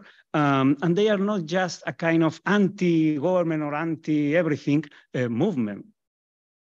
Uh, and this has been um, for 15 years it's not just a kind of uh, short-term event. It's a 15 years process, starting in 2006 with the high school student movement, 2011 with the university student movement. Some of them were participating in both movements. And then the, the leaders were going to the parliament. They work in the parliament. Uh, they created political parties. So they are uh, building strong social and political and academic coalitions to support the changes they are promoting. They are working, in, they have been working in the social media, in the public arena to change people's mind and to relate with the with different uh, constituencies in different parts of the country. So new social movements, no, now not just related to education, but environmental issues, social issues has been um, very active in Chile since then. So I, I, will argue that they have been very successful in constructing this kind of general social anti anti commodification. We will say is the is the is the common uh, idea here, because they started in education, but the health issue, the social security issue, they, they are the same. You you can see the neoliberal uh, ideology corrupting all of these uh, social rights in Chile. And the, the, common, the common idea here is how to create a um, welfare state uh, that is outside of the market of the, neo, the neoliberal uh, way of thinking uh, or providing services. Um, and actually, uh, it's not only Gabriel Boric as a president, some of his main ministers are also previous students leaders, university students leaders. Um, so I, I, I, think they um, successfully created uh, not just social movement, but political coalitions to institutionalize power. Of course, Juan Pablo is right. Uh, times are very difficult. And all of these uh, general trends that you have seen affecting previous um, Chilean governments are now even more, uh, more uh, severe uh, in, in, processing Gabriel Boric's power. But the future is uncertain. I would say that uh, this coalition, the current coalition, has been um, during the 20th century maybe the second most uh, most successful uh, student movement moving to the general political arena in just uh, a couple of uh, 20 years, 15 years, only compared to the Democratic uh, Party the, Christian Democratic Party in the 50s and 60s. Uh, but they were also saying at that time that they will govern for 30, year, 30 years. And they just won one presidential election, Eduardo Frei uh, Montalva before Allende. Uh, so, and, and, they, and they were the, the, the most relevant um, renewal of Chilean politics in, in, in the after the Second World War. World War II. Uh, so I, I, I, will give more time to Gabriel Boric and his uh, uh, previous student movement, now political movement, uh, to, to, to make a final um, evaluation. But what is uh, especially I, I, I previously say, previously say is the, the, the general trends have been more severe with um, treating Gabriel Boric, and I, and I agree with that um, because I agree with the analysis of Juan Pablo, which, uh, which is that um, some structural uh, features uh, of the of the our society, capitalist, advanced capitalist society, you're saying advanced in the sense of of a, a very radical neoliberal economy, which is the Chilean case, uh, creates a very difficult structural situation uh, for um, for legitimizing public policies oriented to uh, provide uh, social rights to the population. Uh, um, but I think in the in Juan Pablo's analysis, it's not totally clear how this um, weakness of the state uh, capacities uh, has been created by the very policies implementing the neoliberal reforms. So promoted by the state policies, the private sector have been, has increased his power enormously. But most of these areas has been promoted by specific state policies that are privatizing um, housing policies, uh, health policies, also educational policies. For example, um, in education, we provide universal vouchers. And we provide vouchers even for for-profit companies, for-profit organizations providing educational services. So the, the public uh, education has decreased a lot. And uh, now the power is in the hands of private companies providing education, but they have been funded by public money for, for years. When the system, when, when the Chilean politicians wanted to increase the quality of educational of education in Chile, they didn't uh, um, increase the capacity of the public servants to do that. They created a market of consultants, private consultants, for-profit consultants, and they provide, provided public money for these private consultants. And you can, you can have many, many, many examples, similar examples. So when after 40 years, a progressive coalition, not just Gabriel Boric, but previously Michelle Bachelet also wanted to use the state power to provide, to, to design and implement uh, public policies oriented to um, more egalitarian uh, way of um, implementing uh, social, the access of, to social services, they uh, see themselves in a very difficult situation because they don't have the state power to implement this effectively, but also they have to negotiate all the reforms with a private, private sector that now is, in my opinion, the most powerful stakeholders in all of these social uh, fields, that, uh, especially in education and also in, all, in other fields. Uh, so market dynamics are still there. So you wanted to, to, to change the market dynamics, but using, but you have to work, you have to play in the market logic. The best example is precisely uh, a consequence of the university student movement. They were asking for free university. So when Michelle Bachelet, I'm not talking about Boric now, previous progressive government wanted to provide free public education, she couldn't do it because it's unconstitutional. So they have to provide the same money to the private universities also. So uh, now you have a very, very expensive program of free university, but most of this money is going to the private sector, not the public sector. So it's not public as, as in the first uh, photograph picture I, I show you, it's not free public education. Now it's free education, but it's mostly private education funded by uh, the very uh, Michelle Bachelet reform. So you are kind of trapped in these um, market logics. So is there a way out of neoliberalism? We don't know. Um, final point, uh, we are uh, on time. Um, sociocultural issues. Also, Juan Pablo talked in his paper and other uh, work um, that it's not just structural limitations, the weak, weakness of the state, in my point, uh, the, the power of the private stakeholders, but also some cultural issues are here. Because when you live in a radical neoliberal society like Chile has been for the last 40 years, um, who is seeking for the public good? There is a new common sense, and the common sense is that you, as a private entity, as a family or as a person, you have to fight for your um, uh, best, best position in the market, not just a collective uh, issue in the, in the social arena. So for example, um, in, in, Chile, we have a universal voucher program uh, in, in high school and, prim and primary school. Um, we, can, we have conducted a lot of uh, research on the way in which uh, families um, exercise school choice. And it's heavily social class uh, related, but in a very specific way. In the first, uh, the first quote you can see there, uh, the theory of the market say that family will choose the best school for uh, for their children, but families are not educational experts. So they, uh, what what can they see and evaluate? Not the quality of the service, but the quality of the peers, the families of the peers.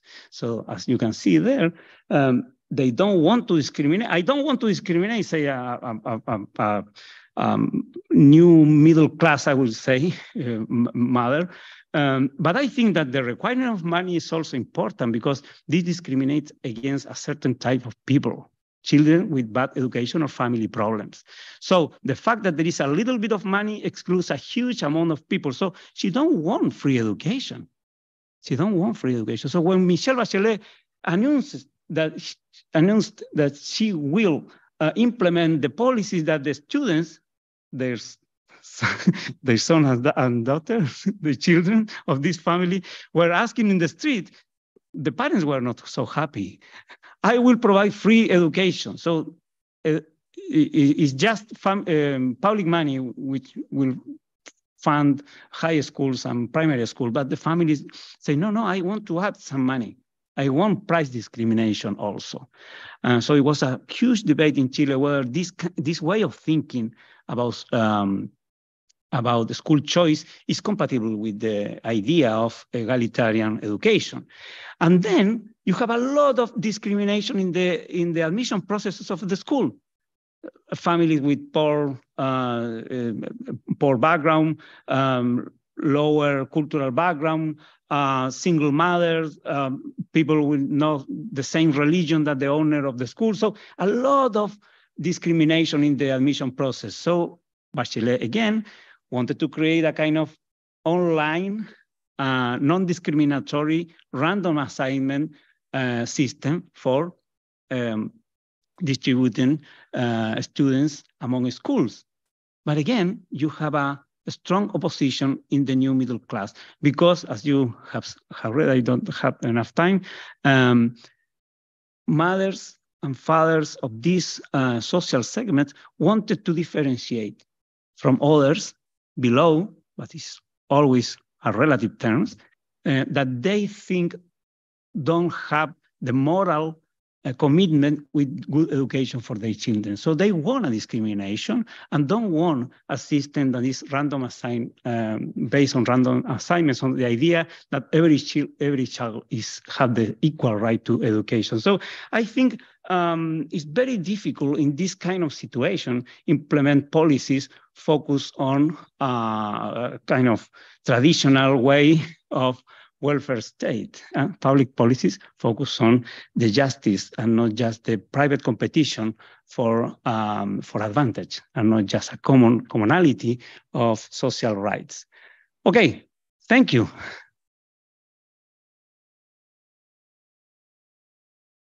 I have a question to Juan Pablo. Uh, Juan Pablo uh, analyzed the, the result, the, the, the process of the constitutional um, the, the, constitutional process of creating a new constitution in Chile, which is part of the result of the social movement. Uh, but I want to, to hear um, more, Juan Pablo, how do you see the unexpected uh, rejection of the constitutional proposal? And how do you relate uh, this rejection with, this, with all these uh, very complicated structural and cultural issues in Chile? Uh, thanks, Christian, and thanks also for, for, for the comments that I, I, finally was, was able to hear. So thanks so much also to the technicians that made this possible. Um, let me like address some of the issues you mentioned in, the, in your response and, and in that way also try to, to address your question. Uh, I think something that is very important that this youngster did, uh, and I think it will last longer than and, and I completely agree with your point on that, uh, than, than this president, had to do with uh, a transition of uh, protesting in the street without voting that was very uh, clearly uh, dominating in, in the early 2000s to a situation in which they not only protest, but they also vote and they also build uh, a political party, right? And, and, and that's an important outcome of, of, of, of, of this process. In that process, they also, I mean, the youngsters also uh, produce what uh, a colleague of mine, Sergio Toro, calls uh, inverse socialization, right? They, particularly in the popular sectors, youngsters were very actively uh, convincing their parents and grandparents to vote and to engage in politics. Uh, and this was people that were not being voting for, for and, and being not uh, were not engaged in politics for, for a long time, right? So uh, there is also a politicization of older generations that has to do with this uh, uh, electoral mobilization of, of, of, youngsters. And as Christian said, this mobilization had to do with uh, uh, different issues that related in different ways to consequences of the economic model that was enacted by the dictatorship and that was kind of maintained during uh, the, the, after the transition to democracy. Right. In this way, uh, the, the youngsters and the uh, like student movement created a, a, a, cultural victory in terms of like uh, uh, putting into question, bringing into question the, uh, the, the, the, economic model.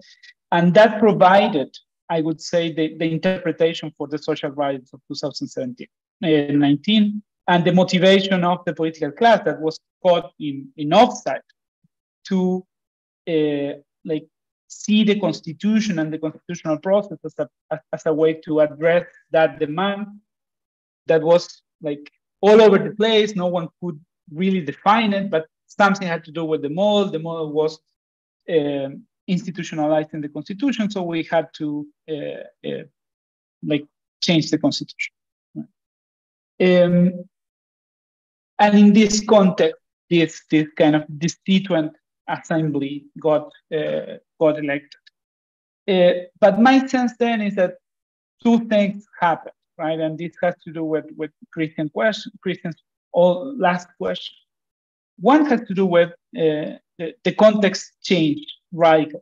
uh, you have the pandemic, economic distress, the security crisis being kind of like uh, uh, taking over the, the, the agenda, immigration starting to create xenophobic reactions, and that xenophobic reactions also uh, were like uh, triggered by the association between immigration and uh, new uh, challenges in terms of security. Uh, and that created an, uh, a rapid switch in terms of public opinion mood. Right? At the same time, the, the Constituent Assembly was priming and, and, and pushing for like uh, post-materialist issues, or what became post-materialist issues in the context of that uh, public opinion change, right? Which has to do with the environment, gender, like work issues, and uh, some uh, like um, uh, aspects of the of the of the economic model. And I think like that misfit between what ended up being the Constitutional Convention and, and public opinion uh, after this shock of the pandemic and all the other related things that, that I just mentioned uh, explains part of what, what, what we saw in the referendum. The other thing, and, and this was very clear in, in uh, focus groups and qualitative interviews we did in the popular sectors, is that at the beginning, the people expected the Constitutional Convention to create a new political game, a new political class that was more responsive, right? And that was closer to them, that uh, took care of them, etc. And even so, even though the, the, the, traditional political class saw the new political class uh, as very different from that, and, and they were very different, particularly in terms of ethnic ethnicity and class. Right? Uh, the popular sector saw the Constitutional Convention representatives as behaving uh, in a similar way as the traditional political class had behaved before.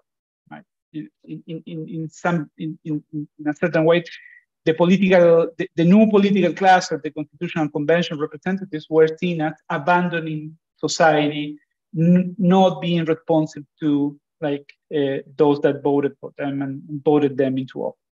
And I think that too explains the, the result of the of the referendum that we saw uh, last September. Uh, and just to, to wrap it up, I, I think it's a very important point, and, and uh, if you wish, you, you can call it the, the, the, neoliberal trap. And I think we are in agreement with Christian on this. Is that Chilean society is a society in which there are no public goods, right? And uh, without public goods, you cannot anchor solid political coalitions, right? Solid and stable political coalitions, right? Because people organizing around public goods, right? and that's what kind of enables political parties to vertebrate uh, constituencies and, and, and, and, and electoral coalitions that last for, for, for, for that longer, right? Uh, and there is no way to do that in contemporary Chile, in my view, and that's part of kind of the limitation we're seeing, right? Uh, this movement has created a leadership that will last, has created some political organizations that will last and will eventually continue to be important in, in, in Chilean politics. Uh, but uh, like in the short term, like crafting a, more or less stable political coalition and alliance, it, it's very difficult to, to get. And just to, to summarize this in a way that I think makes sense, um, I always recall a, an interview um, someone had with a, a technocrat of, of the Pinochet regime. Uh, and uh, the, the, interviewer asked her, uh, why did you decide to municipalize, to, shift to the municipal level uh, education and health. Uh, and what she replied was uh, the first reason she gave was, well, we'd rather have 350 small municipal unions than having a one national union for teachers or uh, uh, physicians, right? So the political project of the economic reforms uh, like introduced by the dictatorship had uh, as it, one of its main aims to fragment uh, political coalitions uh, that uh, and, and, and the effects of that uh, of, of, of, those reforms are still very central to explain what, what we see in Chile and, and, and, and, its democratic thought. I'm, I'm sorry, I have to, to interrupt the conversation here. I want to open it up for, for the public for at least one question, hopefully waiting for a brief response so that we can move on. Thank you for that. Um, and this might have there, the, might be a counterexample with Mexico. I, I was in Chile in, in January, and one impression I had was what you talked about compression, just this incredible impaciencia con Boric. Like a lot of people, progressive friends, sort of expected in my mind too much too quickly. And I'm simplifying brutally here, so I know we're short in time new social movement, younger people were very critical of his government wasn't perfectly representative of the country. There were sufficient women despite having major gains. Then I talked to older friends, more traditional leftists, who said they're not attacking structurally neoliberalism, the, the, the, modes of production. And it just struck me as an outsider coming from the very dire, horrific, you know, politics of the United States as just impaciente and things like that. So when I saw your numbers, I guess my question would be, is this something faced primarily, and Petro comes to mind as well, by the left or also in the right, where it, at first I want to say Trump and Bolsonaro did everything wrong and got away with murder, quite literally, but they were kicked out of office. Is this something specific to the left, and maybe it's incredibly mosaic, broad coalition, or is it part of electoral politics that AMLO has sort of tricked us by having the you know people that that statistic you gave? So anyway, I know it's a broad question, but thank you. Thank you for the, the question. I, I, I would say, and my, my hypothesis that this is bro- it, applies more broadly than to, to leftist leaders, right? And I would even say that uh, populists today, unless they engage in like uh, democratic erosion and, and democratic backsliding or whatever, however you want to call that, if they continue to contest elections and without like uh, uh, going the, the, the authoritarian route, they last less uh, and have less time than, uh, than, than, than in the past, right? So, so I think this has essentially to do with a very fragmented, uh, like electoral uh, universe in which uh, segment and put together an electoral coalition on election night right? But the only thing that they have in common that night is essentially that they are voting against someone else or that they have a very specific uh, agenda that they wish this leader will eventually enable. But once in office, uh, that electoral coalition, that election night coalition that crystallized uh, by, by, by, by at the polls start to uh, like uh, collapsed, right? And and I think that that's not only uh, something that you see for the left, but you also see it for, for other types of leadership. But that's my intuition, and, and uh, I, am more than willing to to debate it and discuss it and, and explore it further. Thank you very much to our presenters.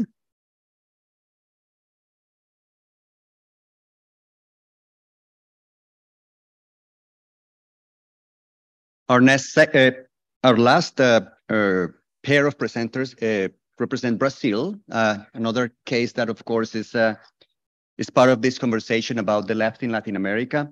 And for that, we have first Dr. Cinézio Feliciano Peçanha, better known for to all of us who, who know him as Mestre Cobra Mansa. He's a Capoeira Angola mestre and the founder of the Fundação Internacional de Capoeira Angola, perhaps the largest uh, Capoeira Angola organization in the world, along with uh, his mestre and others in Bahia, he spearheaded a movement of revitalization of Capoeira Angola during the 1980s and 1990s, forming uh, some of the most important mestres uh, of Capoeira Angola of the next generation. In addition of all that, he was uh, uh, he was co-investigator in the project The Angolan Roots of Capoeira, uh, which produced the acclaimed documentary Jogo do Corpo, uh, Jogo Corpo uh, in 2013, co-directed with Matthias Röhrig Assunção and Richard Pakleppa. This is a documentary that was actually recently uh, liberated for the uh, on, on YouTube, so you can go and watch it. It's, it's a wonderful piece.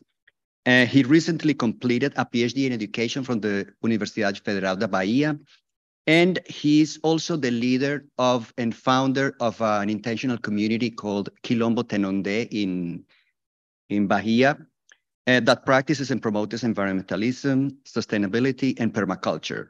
His presentation today is yet about, about another facet of his work, which is his involvement with grassroots mob movements uh, in Brazil, more specifically the Movimento Negro and Movimento Sem Terra. The respondent is going to be Professor Cliff Welch, who is visiting us. In this moment, he's based in Santa Cruz, but he's uh, more permanently based, based in Sao Paulo, where, where he's a, a professor at Universidade Federal de São Paulo. His PhD is uh, in Latin American history from Duke University. Um, his work is mainly on agroecology and the, uh, the history of the ag agroecology movement in California, with a special, a special emphasis on transnational influences. He has authored and co-authored several books. Uh, I don't know which one I should mention. There's so many here. Uh, Joffre Correa Neto, Capitão Camponês. Is that a good one? I'm sure it is. So um, many, many, many awards, many, many kinds of things that uh, successful academics have. And so let's welcome Mr. Cobra Mansa with his presentation.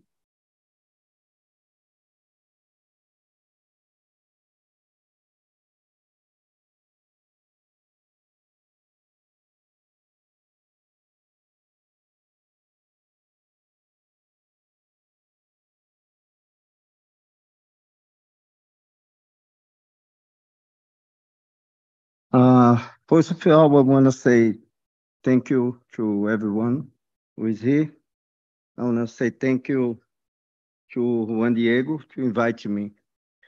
But um, first of all, I wanted to say thank you to my ancestors who brought me and they give me strength and they make me think my ancestrality. And I hope I can represent them on the best way I can. Because the, my life and the way I was raised, I was not supposed to be here today. I came from a very poor family, fatherless. And by the statistics of Brazil, I was not supposed to be nowhere when I get by 21 years old. And uh, I broke all the statistics they gave it to me. And uh, I say thank you to my ancestors, but basically I wanted to say thank you to Capoeira, because there's one who gave me space between the last space they gave me on the way I born. And the, me and my friend now the group of 30 people, 12 of them decide to do capoeira, and we're gonna commemorate on September 50 years of life. As mean we was one who decided to overcome poverty. And the, our dream is from the uh, trash to the internationalization, do lixão para a internacionalização. Uh, my presentation is going to be on my experience um, on these 45 years I have been not just doing capoeira, but with the black movements, landless people, and many other things I get involved. And it's going to be the challenge redefinition of the left in America Latina. On the first, I wanted to say this denomination, left and the right, like someone told me here, I think it's too anachronic, it's too old, and it's, it don't represent anymore what we have today as government called left. Um, because of that, I, I'm gonna use like popular movement. And if this name, popular movement, either they don't represent, you know, um, what is, because most of the people, if they were elected with the majority votes of the people, they make some kind of agreement with this big company, and at the end, they need to satisfy this company. Uh, however, it's present during this administration, we encounter the great challenge because we need to be confronted with a big paradox.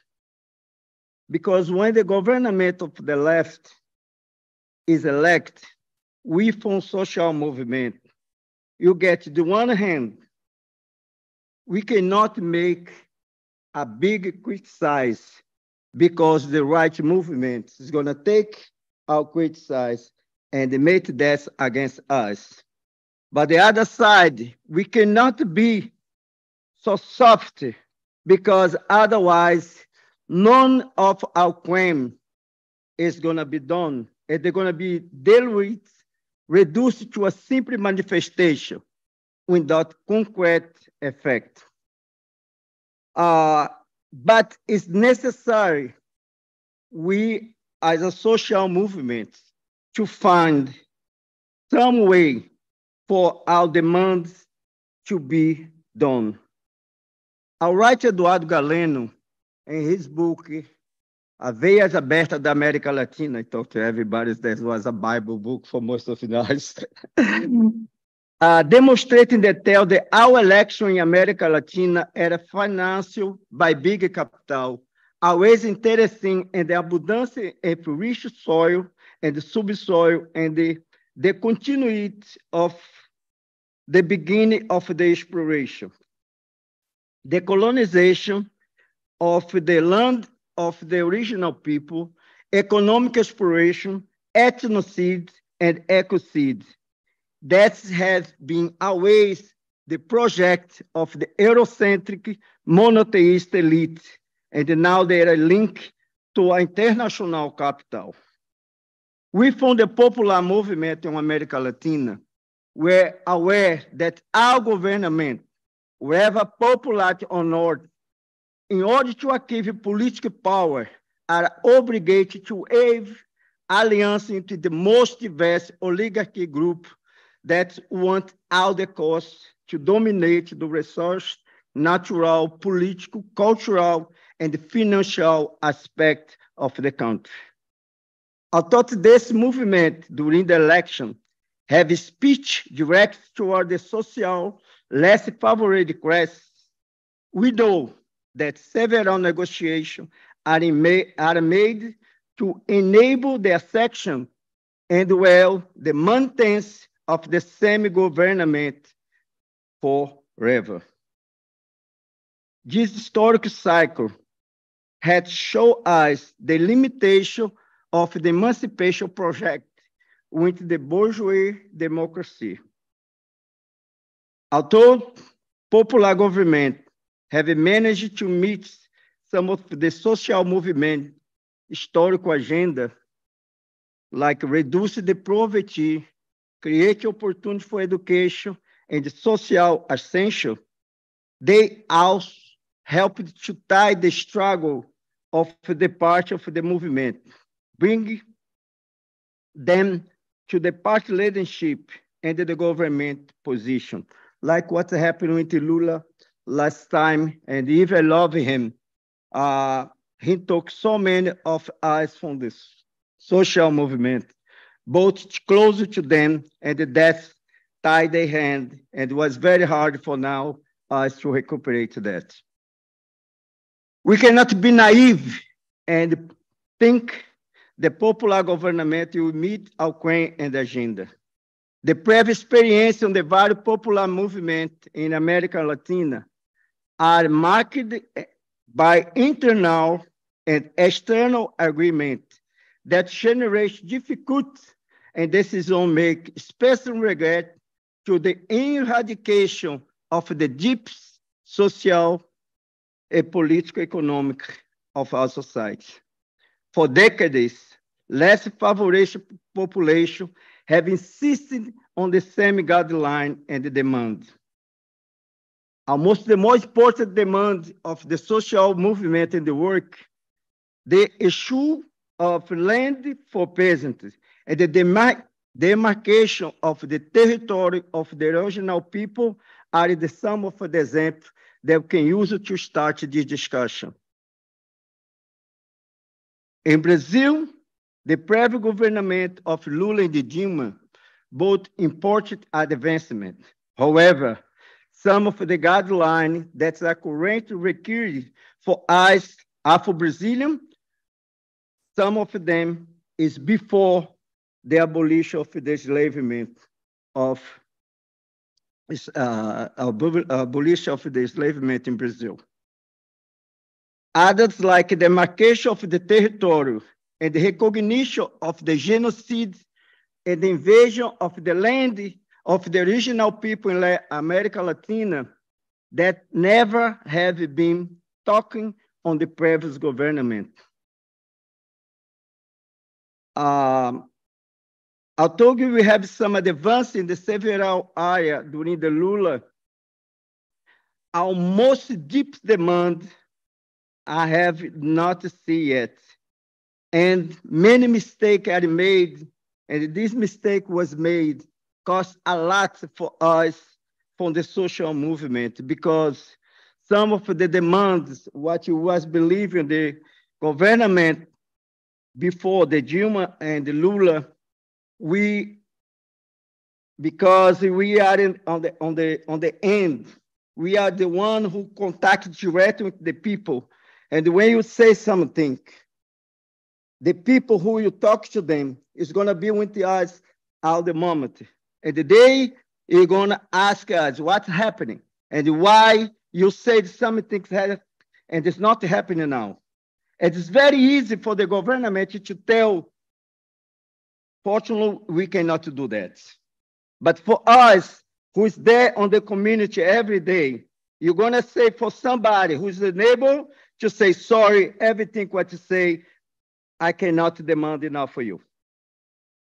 My experience of 45 years of struggle with the social movement allow me to say that it's gonna be very difficult to eliminate totally, eradicate social inequality because this is generated by structural problem.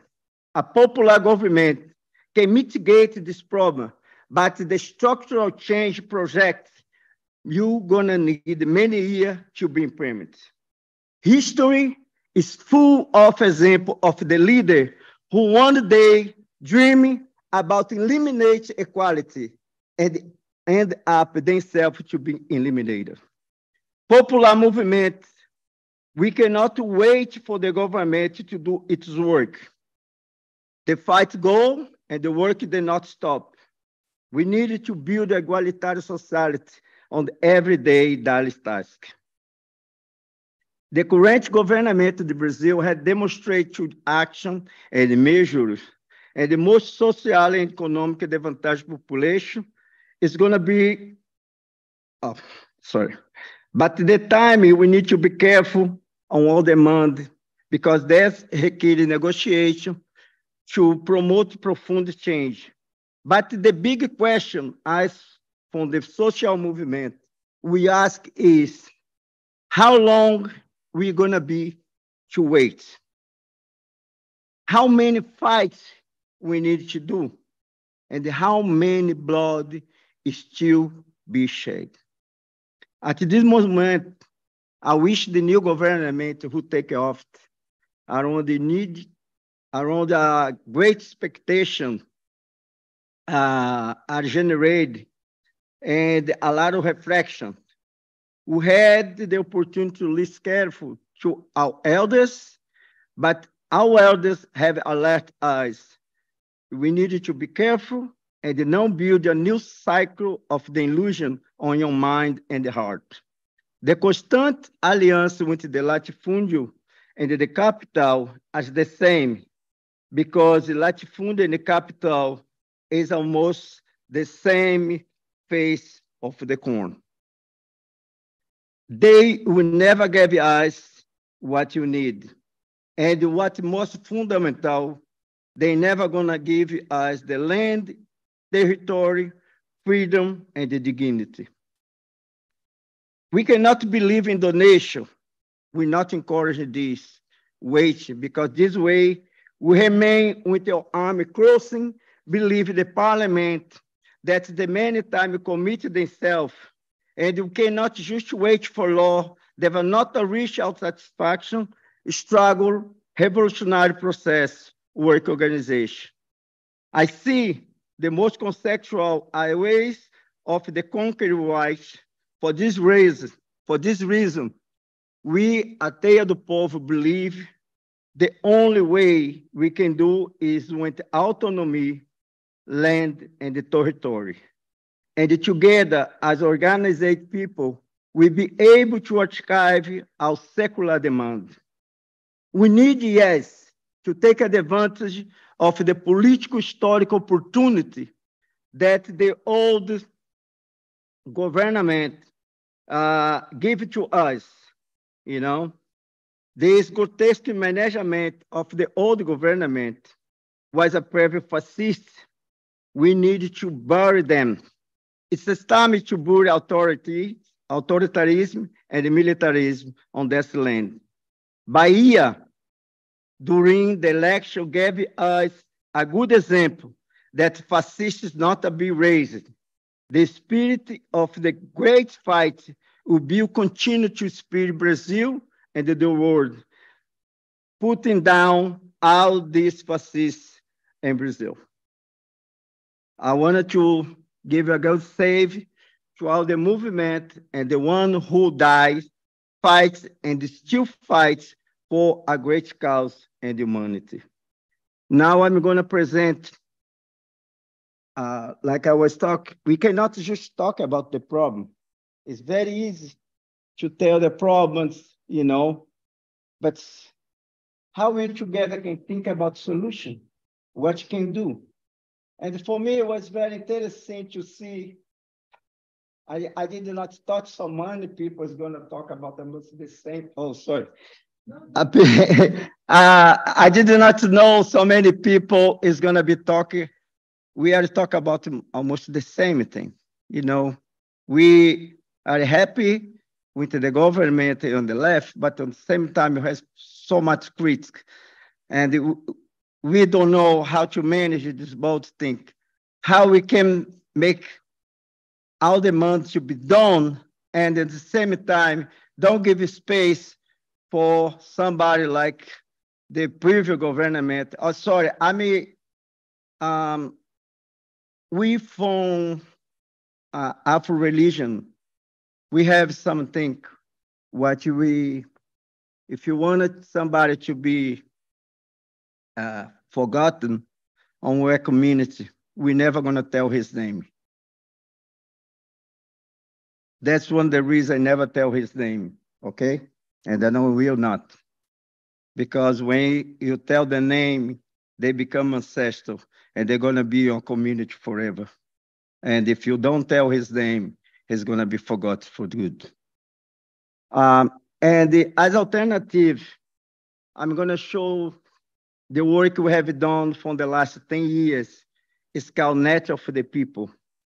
It's a small movement, what we start in Bahia, but now on the last five to six years, they have been grown.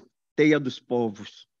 And it's something what I'm a 63 year old and I still believe the world can be changed, even with the, all deception I have done. But anyway, that's the movement. It's nothing new.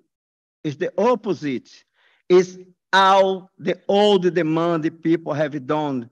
But for the first time, we took all the demand together in one group because in Brazil, the indigenous demand, the black movement demand, the Quilombo demand, and the, the landless people demand have be each one working outside.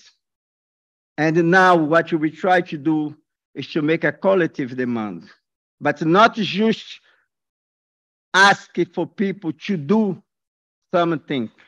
Our question is what we can do for us, what we collectively can do. Of course, we will still ask for the government to do their part, but besides that, what our part?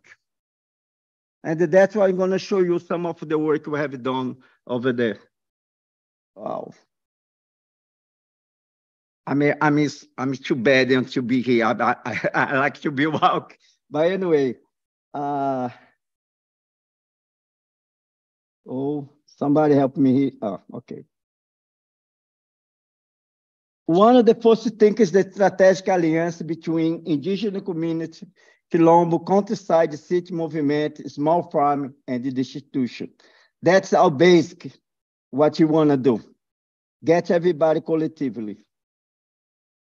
Oh, somebody help me because I, I'm not passing. Okay. We seek the construction of a unified path for our struggle design annual action agenda that assists the development, empowerment, and emancipation of the integrated community. Oh, oh man. So I'm old fashioned. okay. Uh, the other thing is we have is try to have articulate base nuclear movement, you know, we try to get everybody on the same path. And this big alliance, you know, between Black, Indigenous, and the popular movement, like the landless people, and now we decided because this movement started on the countryside, but we saw the countryside is not enough. We need to go to the favela, to the slum and be together with them because they have something what we don't have and we have something what they need. And we can do a strong alliance. We write our principles to fight in defense of the land and the territory to build a strong network between people uh, that's what my friend was talking, you know, uh, the brigada. you know, um, and they have this strong brigada. What the net is principle, one is we as a net, and if you touch one part of the net, you're gonna shake the whole net. And if you shake the whole net, you're gonna have a problem because everybody is for one.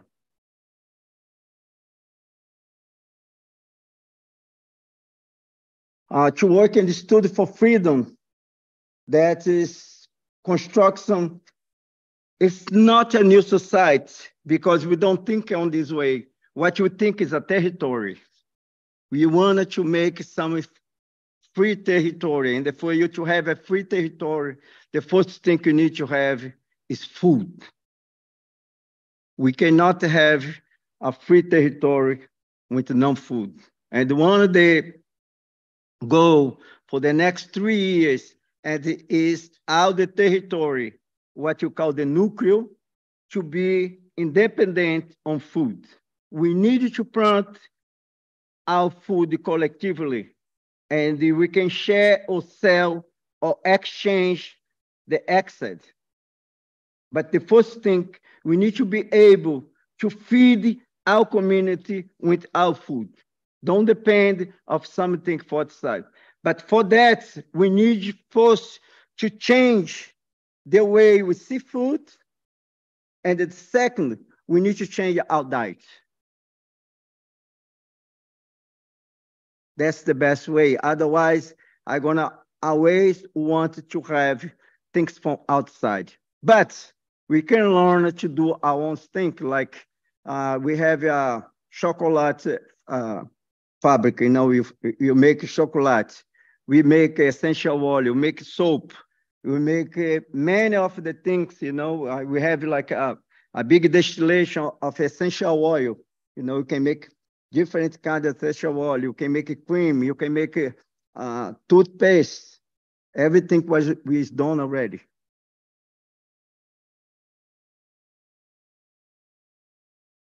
To reaffirm the ancestral look and the identification of time contributes to our form.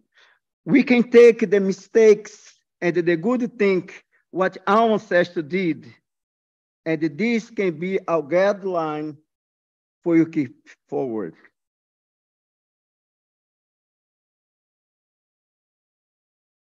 One of the way we use to plant is the agroecology with the agroforest, you know, and the permaculture. We use everything what is, we don't want to destroy the land. It's not about to be agronegócio. It's not about to be a new big farm, what is going to produce enough. No, we wanted to produce enough for us. That's what they say. The first thing is not to sell our food, it's to feed ourselves. Because that was one of the big mistakes some of the MST and landless people did. They started to produce to sell. And when you produce to sell, you become a slave of the system. You need to do the opposite. You need to feed yourself. Because if you can feed yourself, you're not hungry for the things for outside. Wave the herb.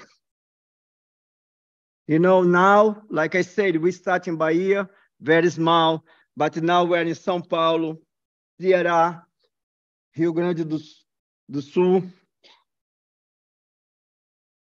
uh, Pernambuco, you know.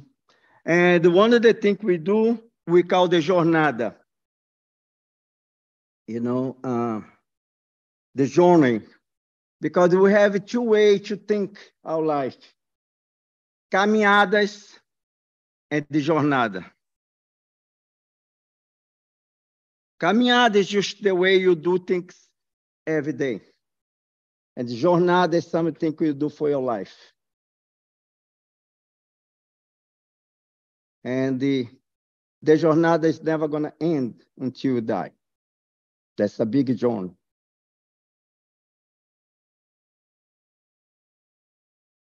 And I think what we do is a special seed network and the pre-agroecology journey. What is this? The pre-agroecology is we get a territory. What you call territory is someone who already have a land or a community who already have a land. And we go there.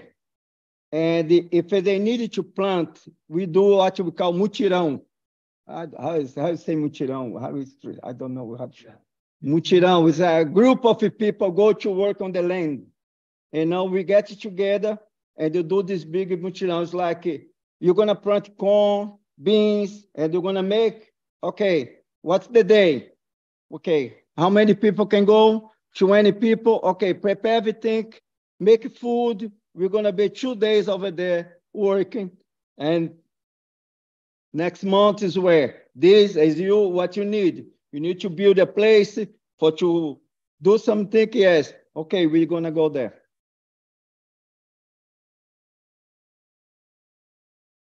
That's some of the communication, you know, uh, because Bahia is so a land for rich for you plant cacao. That's have been our base, you know, but we don't want it to be just on that. We know you plant uh, so many other things, you know, especially fruits. But till now, like we have a friendship, you know, as a part of our network is Maranhão. Maranhão produces a lot of rice, and we can produce bean and exchange for rice. That's the kind of exchange. And one of the things exchange seeds. seeds have been one of the big problems because we work with what we call the criollo seeds. You know, the seed what have been kept on your community for many, many years. You know, and Monsanto, some other one wanted to take that over, but we we try to exchange the seed between yourself to keep the best seeds. That's what we call the mutirões. Uh, that's the native seeds, you know, we exchanged. And we have what you call the, seed, the seed keepers, you know, guardião da semente. Uh, there's some community, and the most is the ladies, you know, uh, they are the one who you take the best seeds and give it to them for they to take care of. And after they're gonna distribute that seed for the people. And there's one, uh, one story about the seeds. I think is is interesting because we tell that story why you give the best seed to the other people. You know, uh, there's this guy who go to the the market every day or every week, and every time he go, he bring his best seed and give it to everybody. And one capitalist came and say, whoa, you giving the best seed of your corn to the people. But look, in few years, everybody is gonna have the best corn, and you're not gonna be the only one to sell the best corn on the market. And he say, do you know how the corn is pollinized? If I give them my worst seeds, the wind is going to blow to my good seeds. And at the end, I going to have the worst seed. But if I give it to them my best seeds, the wind is going to blow to me the best seeds and my seed is going to get better, better, and better. And I think that's one of the things the capitalists never understand. If you give them best seed, it's going to grow to you better seed too. That's how the seed we keep.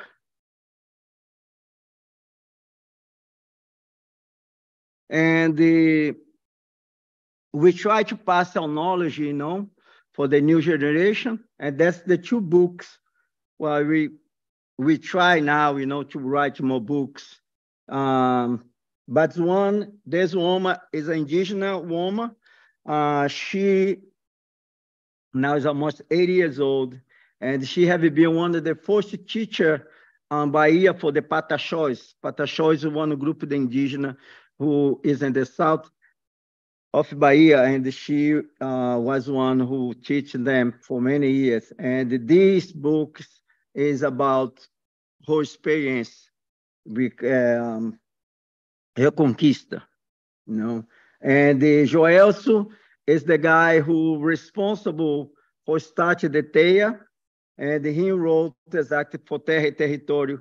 Is a book what he tell about his experience. He was from the MST, but after like all the movement, there's something what you decide you cannot go anymore, and you know you you try to make better.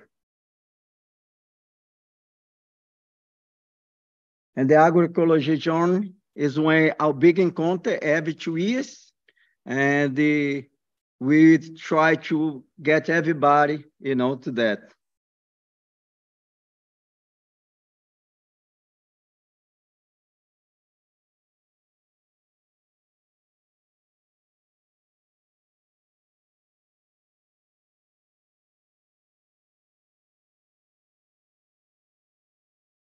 That is the one you do before, you know, like you do small in each community and they have to do a big one on the big communities.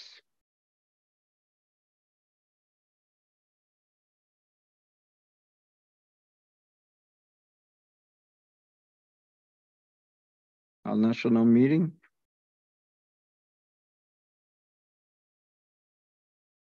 Thank you very much.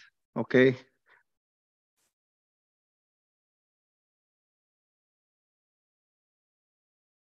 What you need us is great, the small thing that separates us. Okay? Thank you. What? Ah.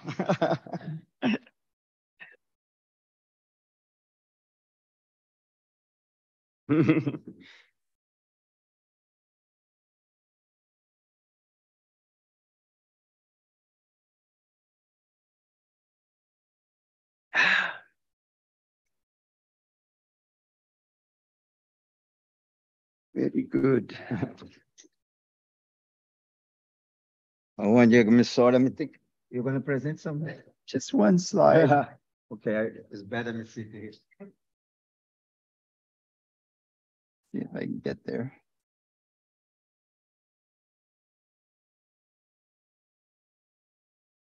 Yeah, you can help. It's a little different program than I'm familiar with. Yeah. Thank you.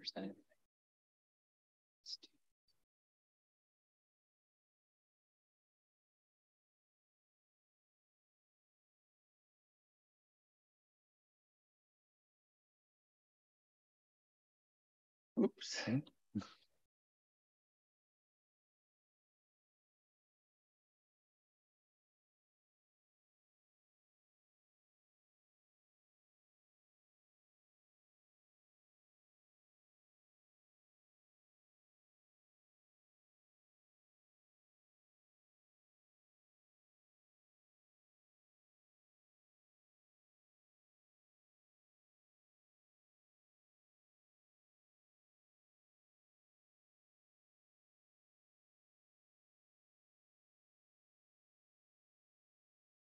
It's worth all this. He just projected. You want to start speaking? Yeah. So uh, my name's Cliff Welch, and I'm happy to be here, and uh, happy to have the opportunity to. I- I'd like to thank uh, the organizers and everybody, all of you, for being here, and the organizers for organizing this and inviting me. And um, and it's been really great. I didn't know the Mestre Cobra Mansa until yesterday. Hadn't met him, so he's a great guy. I've been having a good time chatting with him. Um, as uh, Juan Diego said, I teach uh, in Brazil. I've been uh, a student of Brazil since uh, the 1980s and been going there for over 30 years. And about 20 years ago, I started working there. I moved my career from the United States to Brazil uh, with the intention of contributing to the movement that Lula was uh, a representative of. And I thought that my uh, what I could offer there might be more meaningful than it was at the institution I was uh, professor at in, in Michigan. Um, and it's been a great journey and a, a really good experience in which I've uh, I my most of my work is about agrarian history, and so I, my studies have uh, dealt with uh, rural workers and the countryside in diverse ways. And I finally uh, part of that has been studying the MST, the that um, Mestre mentioned, and you probably all of you have heard of that landless uh, workers movement. And for the last most of the last 20 years, I've worked with the MST mostly in an education capacity, uh, organizing their archive and also teaching uh, uh, activists at the graduate and uh, at the graduate level and undergraduate level. Uh, and some programs that I helped create with, uh, with a lot of help and all led by Brazilian people. I'm not a Brazilian, I'm from San Francisco. that's why my accent's not very thick. um, and so I wanted to, uh, in the last, or one of the, the, I think it was the presentation about Mexico, um, they mentioned the importance of inequality and understanding inequality. And I think actually, so I went and found a graph for Brazil because we didn't have that. And I thought maybe this really excellent internal view from a movement that the Mestre represented maybe needed some help with context or might be useful to have a little more context about the situation in Brazil for you guys. And this um, is so small, isn't it? it's not the best image for for the sh- for the stage. But uh, what it's showing is a distribution of wealth, and it's showing that uh, the top one percent have about 50% of the wealth among them. Okay, so that's the this enormous inequality, but it gets worse.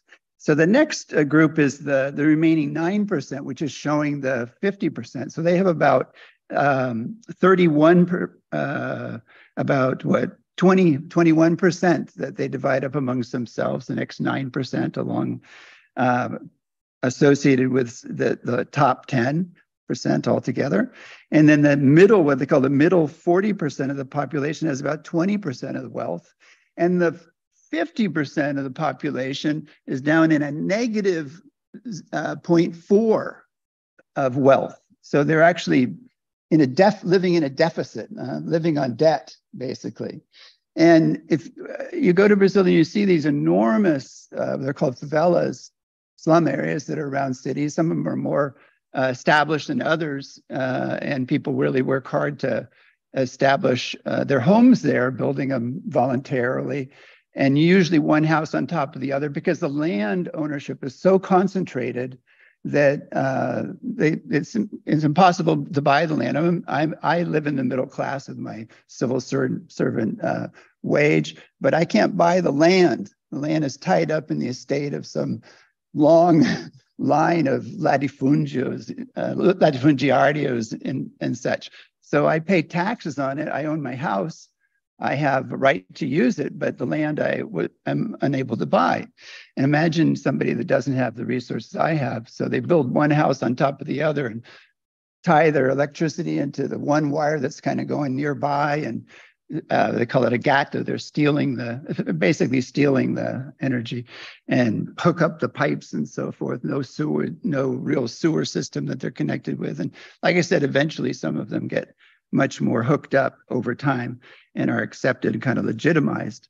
But at any rate, that's, um, I think that's important because uh, I think something very different in our in the talk that um, uh, Mestre offered is the whole question of struggle for the land that we didn't see much in the other experiences. And this is a, a way, uh, this, this, this very difficult situation that a, a, such a large portion of the population is involved with has made uh, the idea of uh, retaking the land or settling on the land uh, a, a source of a new, another source of wealth, uh, a, a, way to build up wealth uh, and stay alive, basically, and get out of debt. So it's taking that that natural resource and turning it into a base of building uh, a more sustainable life. And so it's so it's pretty basic struggle, and a lot of um, what Mestre is involved with, a lot of what I study has to do with that, has to do with that struggle and that um, kind of re, re, we think of it as he territorializando or re-territorializing, awkward word, uh, the land uh, after being uh, from families that in the most for the most part have been pushed off the land or exploited on the land in some form, form or other and have run from it they see many people see the land as a possibility for uh, sustenance for their for them for their families and and future growth. So um, this uh, this is a, a, way I think of, of con- trying to contribute a little bit to the talk uh, that a Cobra Mansa Deo uh, that he gave, and um, I didn't have the slides that he just showed, but that was very interesting that Teya Dupovo we talked about a little bit beautiful slides. And um, and he did make reference to the text that uh, I read. And I'd just like to talk about maybe one or two other points because I know the time has gone by. Um, he, he mentioned the anachronism, uh, uh, used the word anachronism a couple of times in his text. And one of them is about left and right. And I think we're all you know, really dealing with that whole question of redefining what those are, or th- throwing them out and whatnot. But it is interesting to think about uh, the origins of those words in the French Revolution. And the right was one that um, defended the monarchy and the left was the one that defended a republic.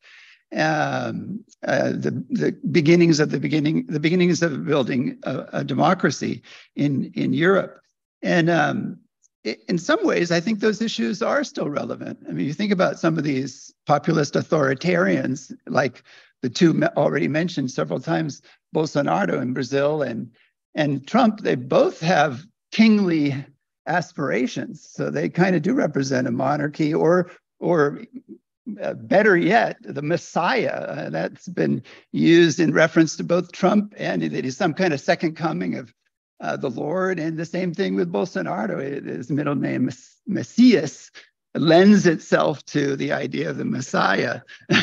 and he's played with that a little bit. And, and, and the left um, is uh, defending defending democracy. I think uh, interesting the presentation on Chile, which demonstrates that you know the loss of faith in, in, that. And we can we can see it but to see it in in the numbers uh, and in how many countries that's happening was really interesting. But the um, i think that defending democracy defending the state as one of the only institutions that can confront concentrated capital that seems to have that possibility right of doing having the strength and possibility to do that. And so i think that i uh, i can identify with that left um, I can I think that's a, a, a left to defend. Um, and then you get another point that um, in the talk that I wanted to uh, uh, underline was the idea of the structural need for structural change and the importance of the what what you you know probably all have dealt with the the idea the concept of the re he reprimarização. There's some concepts that I just have in my head in Portuguese, but the bringing things back to the uh, natural resources, primary source exportation model. Huh? And this is really present in Brazil. It's interesting with Lula's recent election, for example, you, you, you might have seen expected a bunch of strikes to take place, workers going out on strike to demand higher wages after a long time of being repressed, suppressed their demand for wages in the previous uh, government. This happened after the end of the dictatorship. The workers mobilized. But who mobilized? The, the peasants mobilized with 33 land occupations in the early part of this year. And um, a, a, lot of mobilization in the countryside. That's where the cutting edge of the uh, popular movements are in Brazil, at any rate. And um, and that has a lot to do with this agro extractivism, uh, this uh, search for minerals, the government um, opening its borders up to, to all kinds of land grabs. The, the, the chief land, land grabbers really are the grileiros, the, the internal uh, uh, uh, financial backers of land thieves, thieves.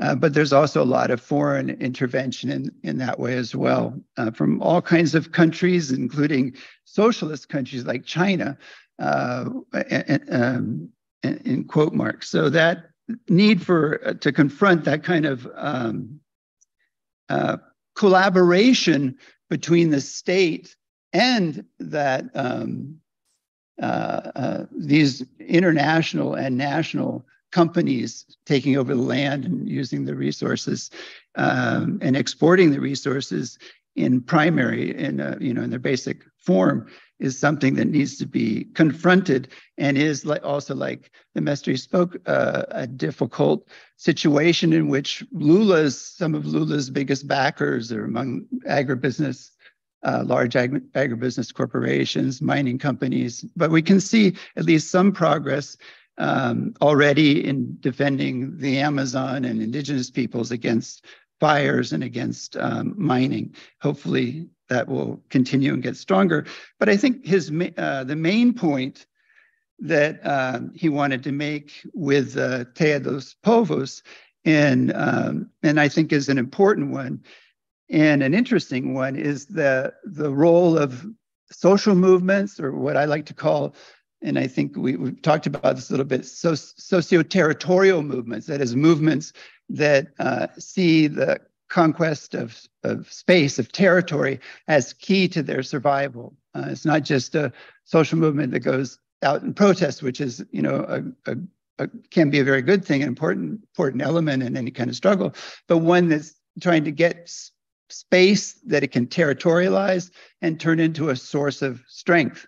And that's one of the things that's allowed the MST to is coming to come into its 40th anniversary uh, and the growth of more, uh, more than 9,000 agrarian reform settlements in the country, serving uh, over uh, 5 million people, right? Um, and, and so that need, the, the need then to continue to mobilize and not count on the government, even a leftist government, to resolve the questions that you have, the needs that you have and um, and to keep the pressure on that government. And in the case of Brazil, it's interesting that the federal constitution of 1988 is called the People's Constitution. And we had an example of a constitution mentioned in the Chilean case. Um, this was a process that did involve a lot of the population. My very own uh, father-in-law was involved in the uh, for, uh, in reforming the healthcare aspects of the Constitution eh, from a mobilization standpoint, not from an actual writer of it, but went to put pressure on in Brasilia during in 1988, pressure on those writing it. But many civil society groups were brought into that process, and the Constitution has a lot of really good things in it, including uh, the first uh, agrarian reform uh, demand within the Constitution says the government has to uh, create agrarian reform when people violate labor laws, environmental laws, or don't develop their land. The problem is implementing it. Huh? So working to implement these. If Lula would just defend the Constitution, which also has great, um, quite a few good uh, uh, um, articles in relation to um, quilombos or the quilombolas and um, uh, indigenous people, that would be a, a great step forward. Uh, just defending that those uh, those articles of the Constitution relevant to that those questions. So um, I guess that's uh, also one Diego's reminding me of the time. So that's what I had to say for now. Thank you.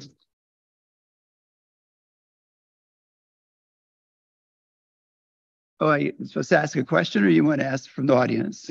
As, yeah, so, so we have uh, a whole bunch of things coming up. So we have the, the discussion here, which uh, let's hope is not too long. I mean, there's a lot to discuss. This is very interesting, but we have also a capoeira performance coming up for which we need to do a little bit of a setup here.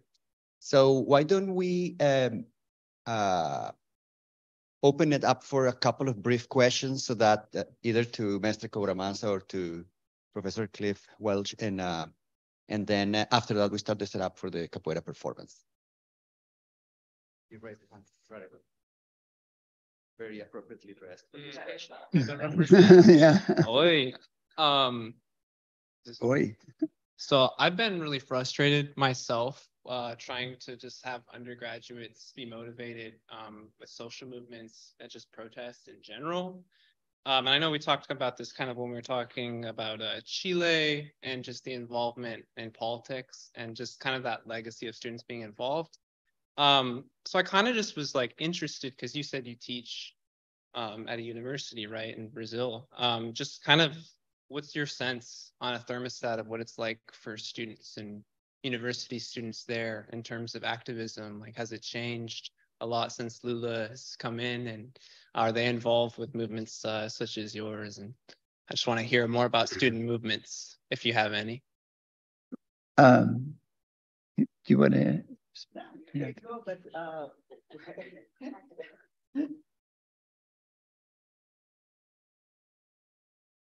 Uh, but it's an interesting question because, like I say, um, during the time of the right government, sometime for us as a student, it's more easy to make a protest.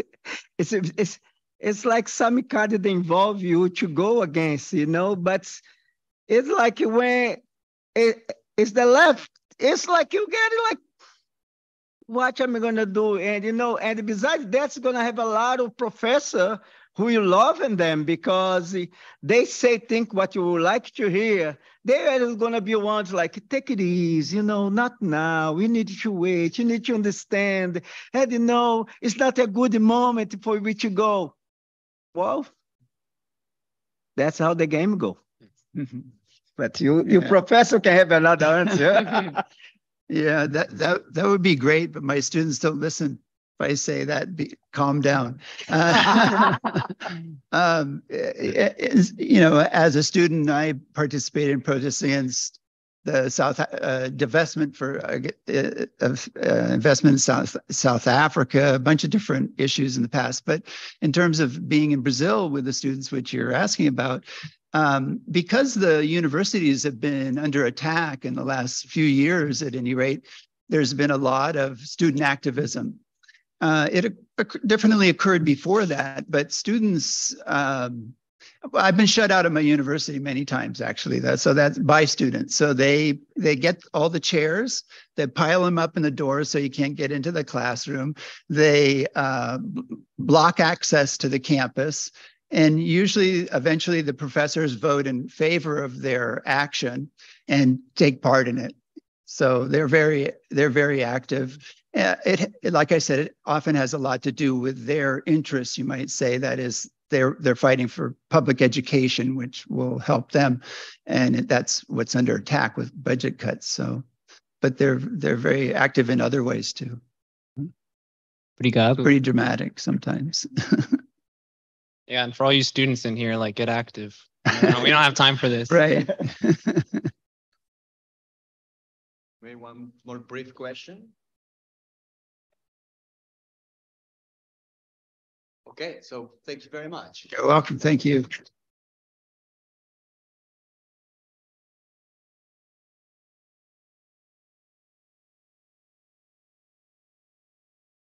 Let's oh. go.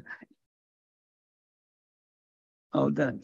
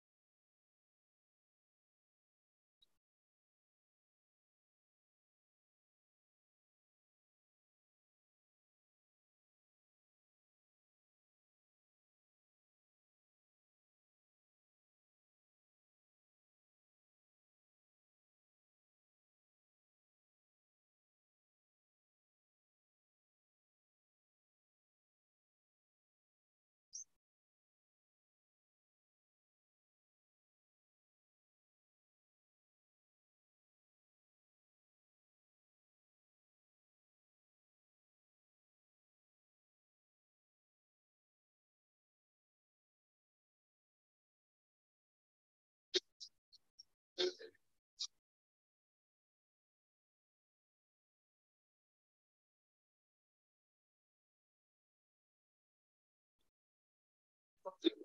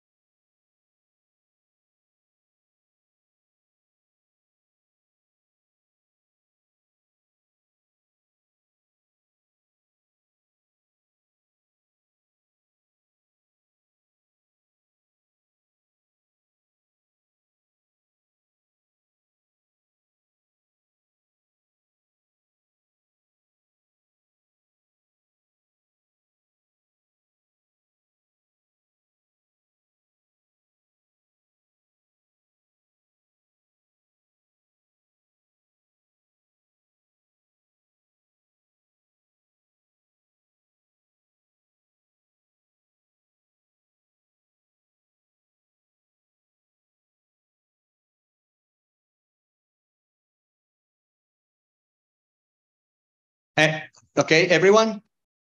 So we're ready here. So the next part, the next part of the of the program is um is a mini capoeira performance. Uh, the name of this kind of performance is roda, which means circle in Portuguese. And uh, uh, the reason why we, we are excited to, to to share this aspect of our practice with you is that capoeira is, is an art that is uh, born from uh, liberation in Brazil and is and is linked to is deeply linked to to social movements, is deeply linked to the construction of community, and not only in Brazil but in many parts of the world, including our community here. So we have our own capoeira community in Davis, and uh, many members here that I'm very very happy to see friends who who we have made over over the years through the practice of capoeira.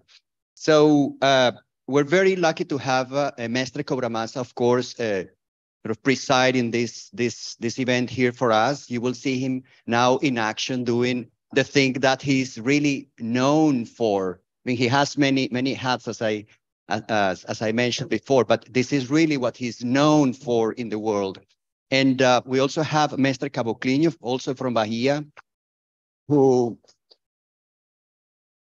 who is how is an um, old uh, time friend of, of Mestre Cobra Mansa, also a, a Capoeira Angola practitioner.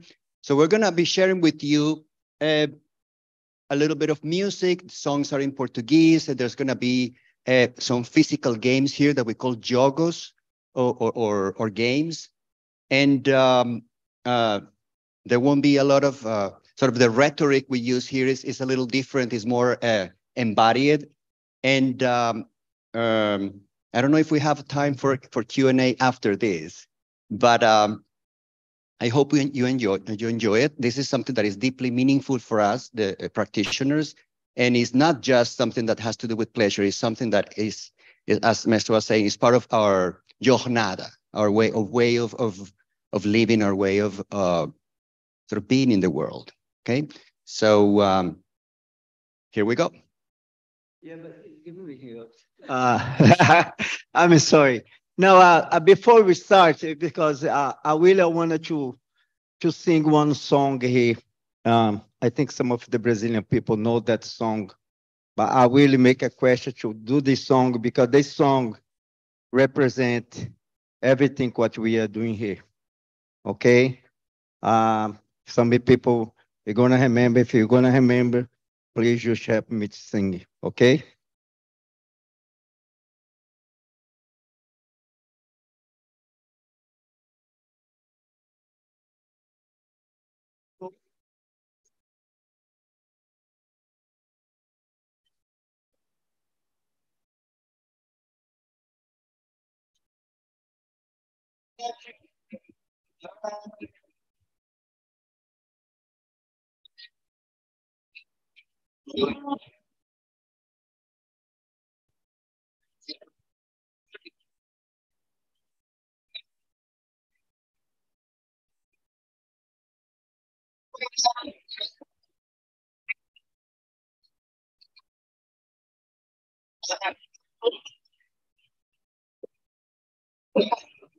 はい。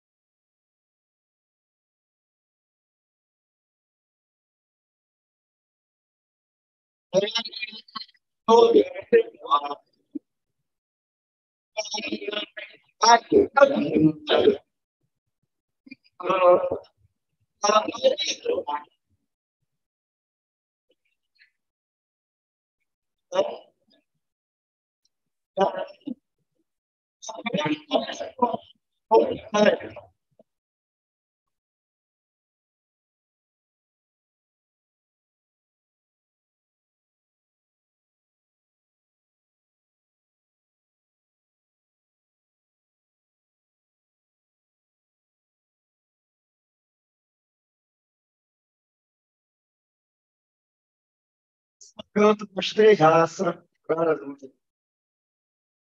Ele que você já está inserido.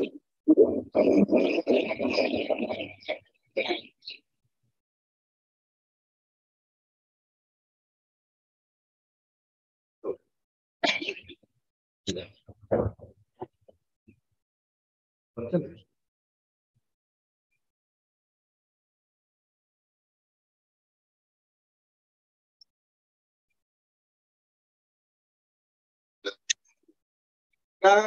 Vamos separá-lo. Quem é que vai jogar? Precisa de dois. Dona.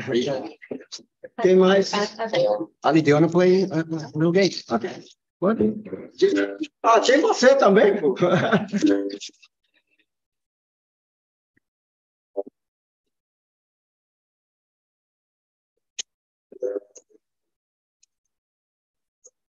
Beleza.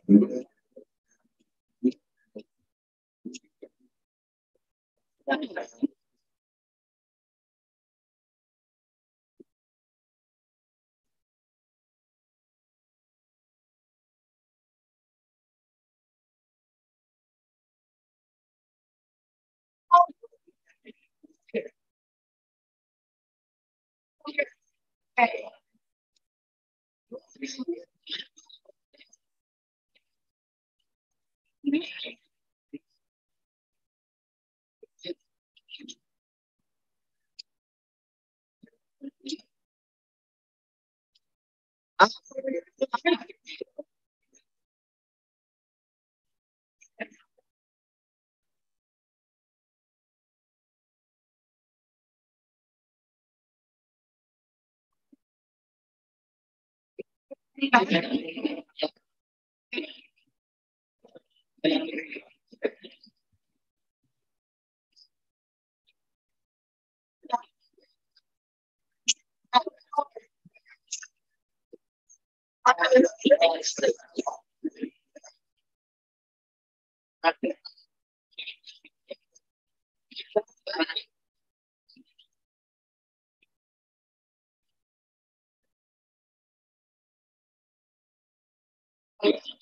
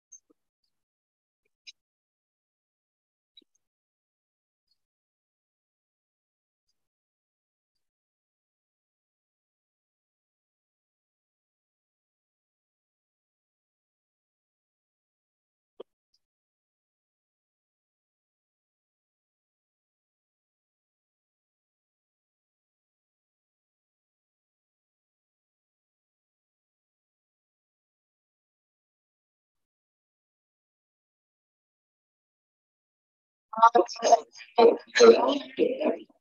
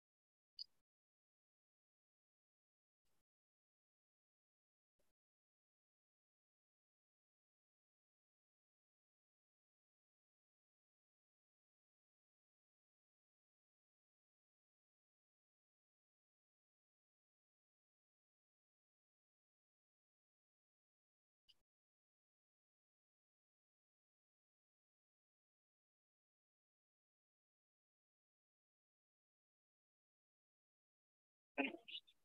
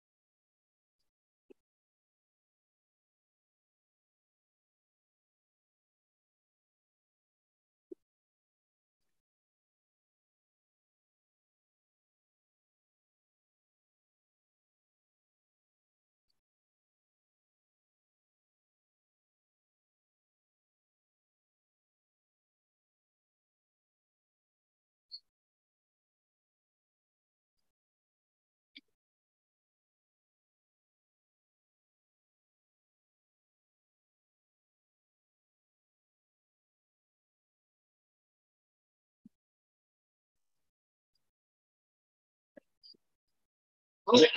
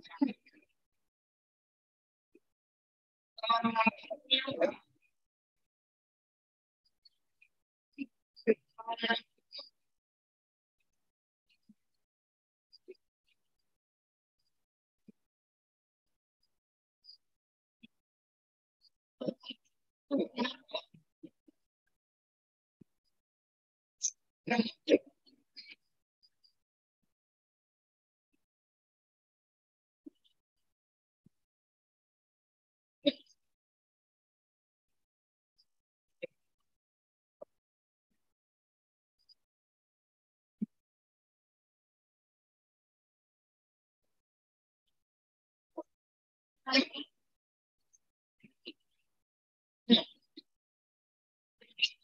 you.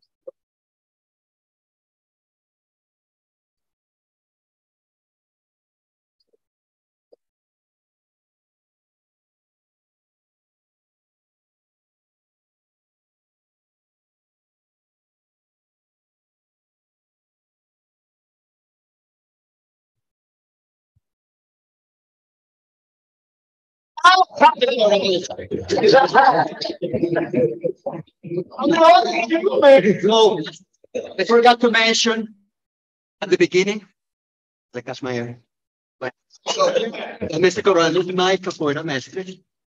So everything I know about capoeira, he has taught me, as you could see. Very special. This is the second time we have him uh, in campus, so he's teaching us this beautiful art. We have a small, uh, well, a capoeira group here at UC Davis, a study group. And uh, so students can uh, registered for credit, and he is teaching us classes. so Monday and uh, this is actually uh, open to the public.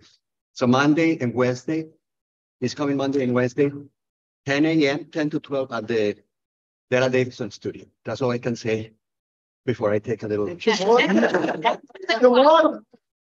Yes. So and, and tomorrow, I can just. so tomorrow we have a, a performance at six.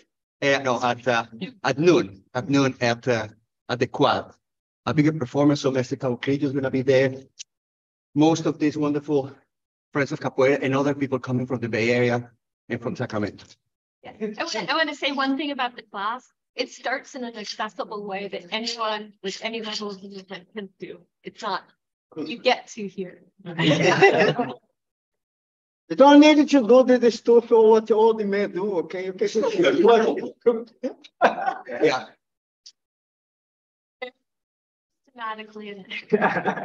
so so uh, we're gonna we still have a very exciting part of the the event coming up. So we have the the closing uh, roundtable. So for that, we need to do again a little bit of a setup. So let's take five while we organize the chair. Thank you.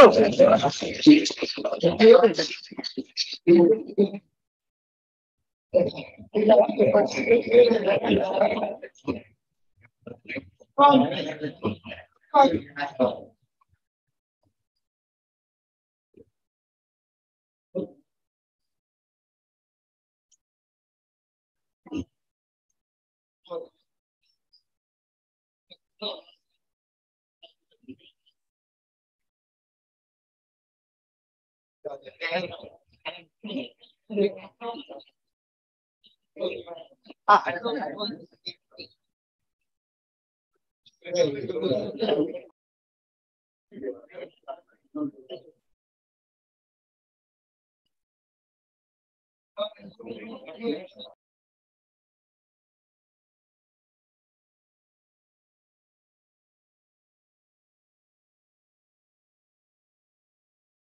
Hello, hello, hello. Yes.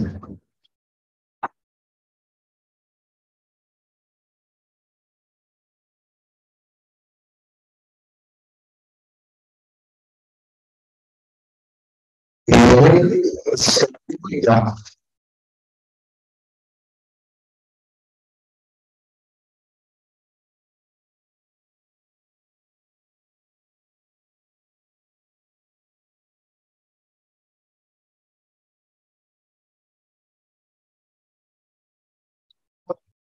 Yeah, thanks, guys.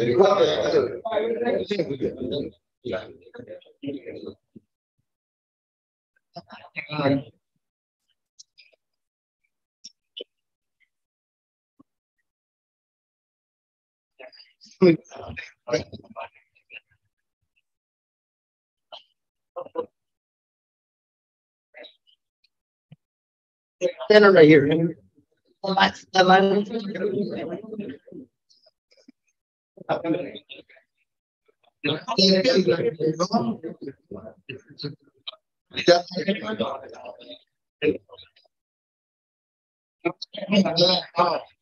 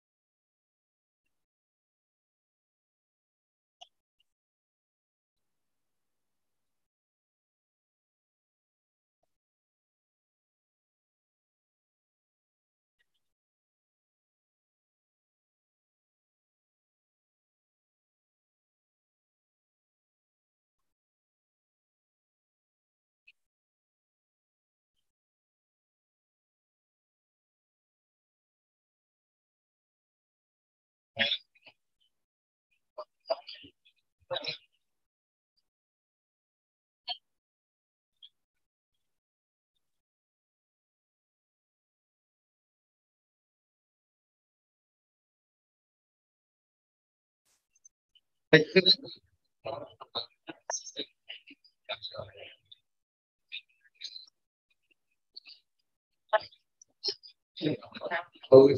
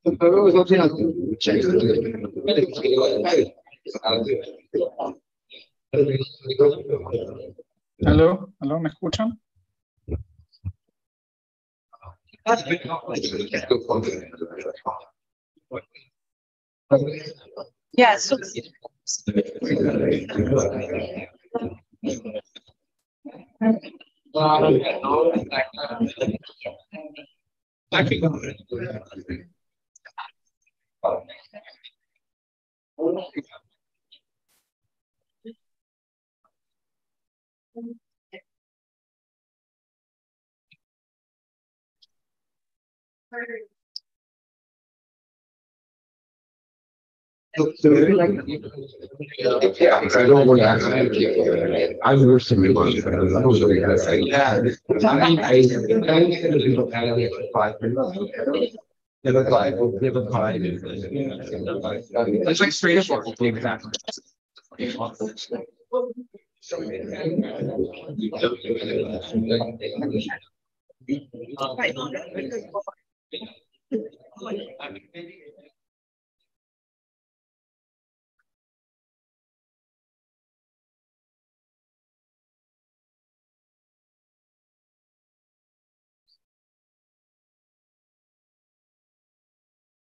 of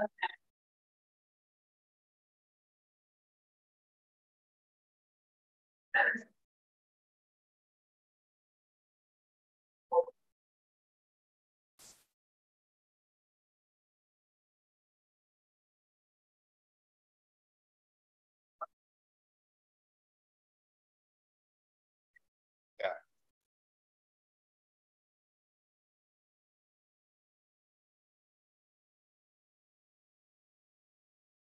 Well,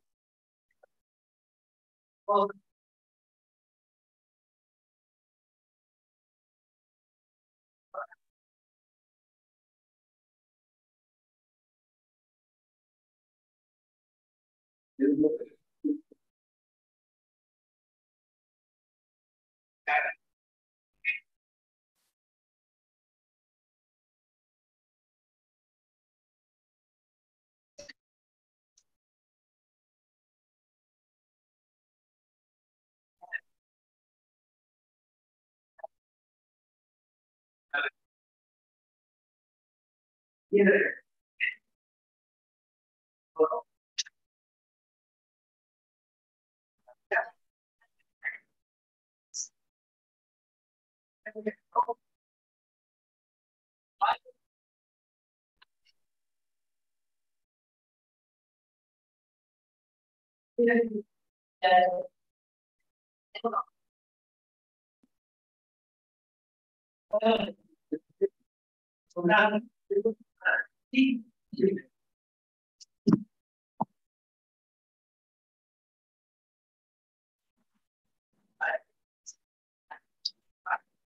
Odio la derecha mucho y hasta ahora lo La de la izquierda, izquierda. izquierda, sí. No, es complicadísimo. Cuando me piden a mí cosas de Perú, yo les digo lo siento, pero no, yo no puedo dar opinión sobre. Yo, yo, me- yo estuve. Ah, ok. Uy, ok. Menos mal. Open mic. ¿Qué, qué decías sobre tu Sí, sí. That's your speaking.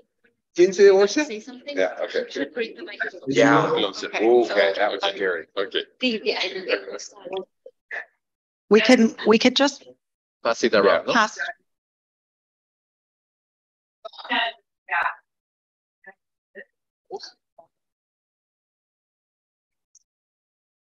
Aló, aló. Ah, Sí, that's okay. Okay. Yeah. Okay. Oh. Okay, wonderful. Okay.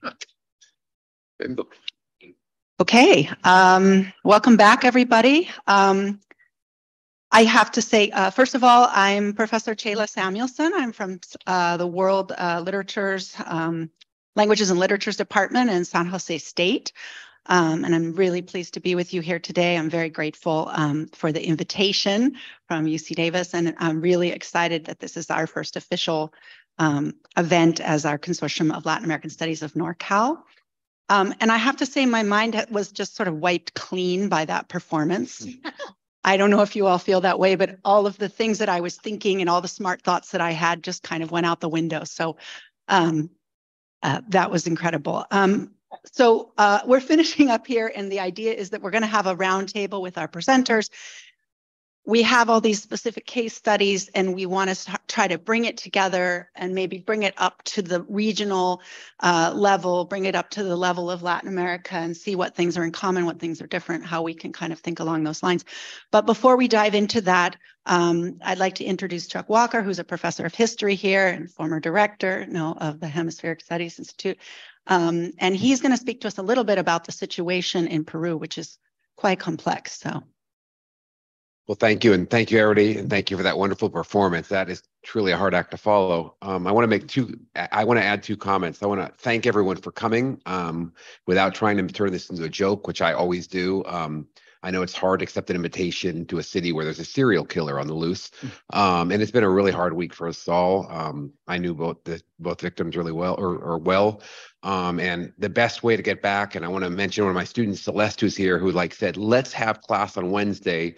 Let's not let that. I won't repeat the word you used. Uh, get in our minds." And you know, so eh, the best way for us in Davis is to get back and have this, you know, have this activity, see our friends, and you know, and this love. One of our pride and joys is the Mondavi Center in this place. I want to really thank you, and for me, it's a great honor and also just because you know I've had long ties with Stanford and the Bolivar House. My and I, I know San Jose State very well. People in my family graduated from there. I've spent my myself spent time there, so it's just a wonderful and it's been a great day. Um, I also just want to make a comment. One of the things that I, I liked about today, and I'll see if Viri and Alberto and, and our other friends, Juan Pablo, agree with me. I sometimes feel like I, I come from history that there are it's sort of decade by decade, there's acercamiento y alejamiento. I mean, there are times when I go to a politólogo talk and I don't understand a word. About a decade ago, it was all looking for Viri to see if she, okay, they are, um, you know, numbers. And I, you know, once an historian sees a formula or an alpha sign or an infinity, we leave the room because we don't know what they're talking about. And I feel like right now, and, I, and a lot of this is from Peru, where there's a, we were gossiping before in his live mic. Fortunately, I didn't say anything too inappropriate but the politólogos in Peru are really the people to follow right now. There's some really good people. So I just want to say that I thought it was nice today, this sort of approximation of multiple discipline, undergrads, grad students, professors from different disciplines. I also want to mention literature. So I have the task of talking about Peru, and I probably take a couple more minutes. Other people, because I'm going to give. I, I, don't like to do assumed knowledge, but I think everybody in the room knows it's it's really complicated um, right now. And I really like Viridiana, Viridiana's approach about mentioning how the foreign press approaches it. I become, I won't, I don't get quoted, but I'm a fact checker for AP and Al Jazeera, two very different lines because they they run art uh, ideas by me. There's sort of a sensationalist approach to Peru because it's it's extremely peculiar. Peculiar. They have five ex-presidents in jail right now. Now, a lot of us say hear that, and we have a couple, or at least one, we'd really like to see in jail, and I know Brazil does as well. But it really is, and and so I, I you know, and and the, and the, sixth one, Alan Garcia, uh, committed suicide to avoid jail. So it, it's it's a really really peculiar um, situation. The, the the there's another thing that some politólogo needs to really study that the two interim presidents, Presidente interinos in Peru, have been fabulous in 20, 21st century. Paniagua, who's no longer with us, and um, Sagasti, who took over a couple years ago, was a, uh, things like that. But um, I, I just sort of want to run through what's happening and try to move beyond this incredibly odd situation to make some parallels to talk about the discussion today about the left, the situation, the the um, the the difficulties and, and challenges ahead. So, as most of you know, some of you know, Pedro Castillo was uh, elected president and was then deposed in de- in December. Um, how people view him varies greatly but um, he tried an autogolpe, that is, he tried to close Congress, and he didn't get away with it. And, and as they you know said in Peru, he was president in the morning, dictator at lunch, and in jail at dinner that day. On um, and he disgraced himself, um, prisoner immediately. The irony is the people who imprisoned him and have been forcing this are all are generally Fujimoristas, and Fujimori was the master of the autogolpe because that's how he took power. So there, there's just lots of um, ironies and, and, horrible things here. And then there was a, a gobierno interino who won't go away. Dina Boluarte is the president. Um, this sparked protest immediately. Almost immediately, people said elections now. This was so for defenders of Castillo, and there's a small percentage too. This was a coup to take power from him, and for la derecha, broadly defined as the term used, the Fujimoristas, to to stay in power, and that's sort of proving true. Um, it sparked six months of protests uh, very creative ones, very broad ones. They wane, they've come back. They're also just treated brutally. And this is when I was there in December, in, no, excuse me, in January. Um, we, we now have studies um, that, for example, in Ayacucho, uh, those those killed were executed. We seven or eight protesters um, were shot in the same place above the heart. In other words, this wasn't a random bala perdida. It wasn't even. It wasn't. Um, in what was very chaotic, these were efforts to kill people. They were. It was much more brutal outside of Lima because once again, impunity is much easier outside the capital in the glare of the press. They were also brutally um, repressed in San Marcos University and elsewhere in Lima. Um, the the the sort of absurdity of it right now is the Congress. Part of it is, is uh, in part as a constitution imposed here echoes of Chile. Um, the Fujimoris have sort of a superpower and they're staying in power. Part of it is very venal, just to get the the sueldo and things like that. Three days ago, these things you can't make up. They they they it's been come out that all of the majority of congresistas are charging a cupo to their empleados. The people working for them have to pay cut, uh, well in the United kickbacks exactly. And so the, the, solution is to raise their salaries so there's no scandal. So it's so it's it is a wretched. You can see why there's a sort of simplification or an absurdity of it. Going back to Castillo though. Um, you talked about, uh, you know, uh, we talked about um, Mexico being very, you know, ambi- ambitious was the word you came up with, and Castillo was the opposite. He was unambitious and incredible disappointment. One of the first sort of the question we we all receive is like, how was he? You know, what did he do? And and and and you know, the answer is not very much. He really didn't know how to how to govern. And this was it's a very difficult train because all the classism and even racism. He's a man, a, a rural teacher from northern Cajamarca, from northern Peru, with, with he has a strong northern Andean accent, and of course, of course, the right wing or conservatives made fun of this, that no sabe hablar, this very classist term, and things like that. But the truth, the truth of the matter is, it was incredibly, a crushingly disappointing government.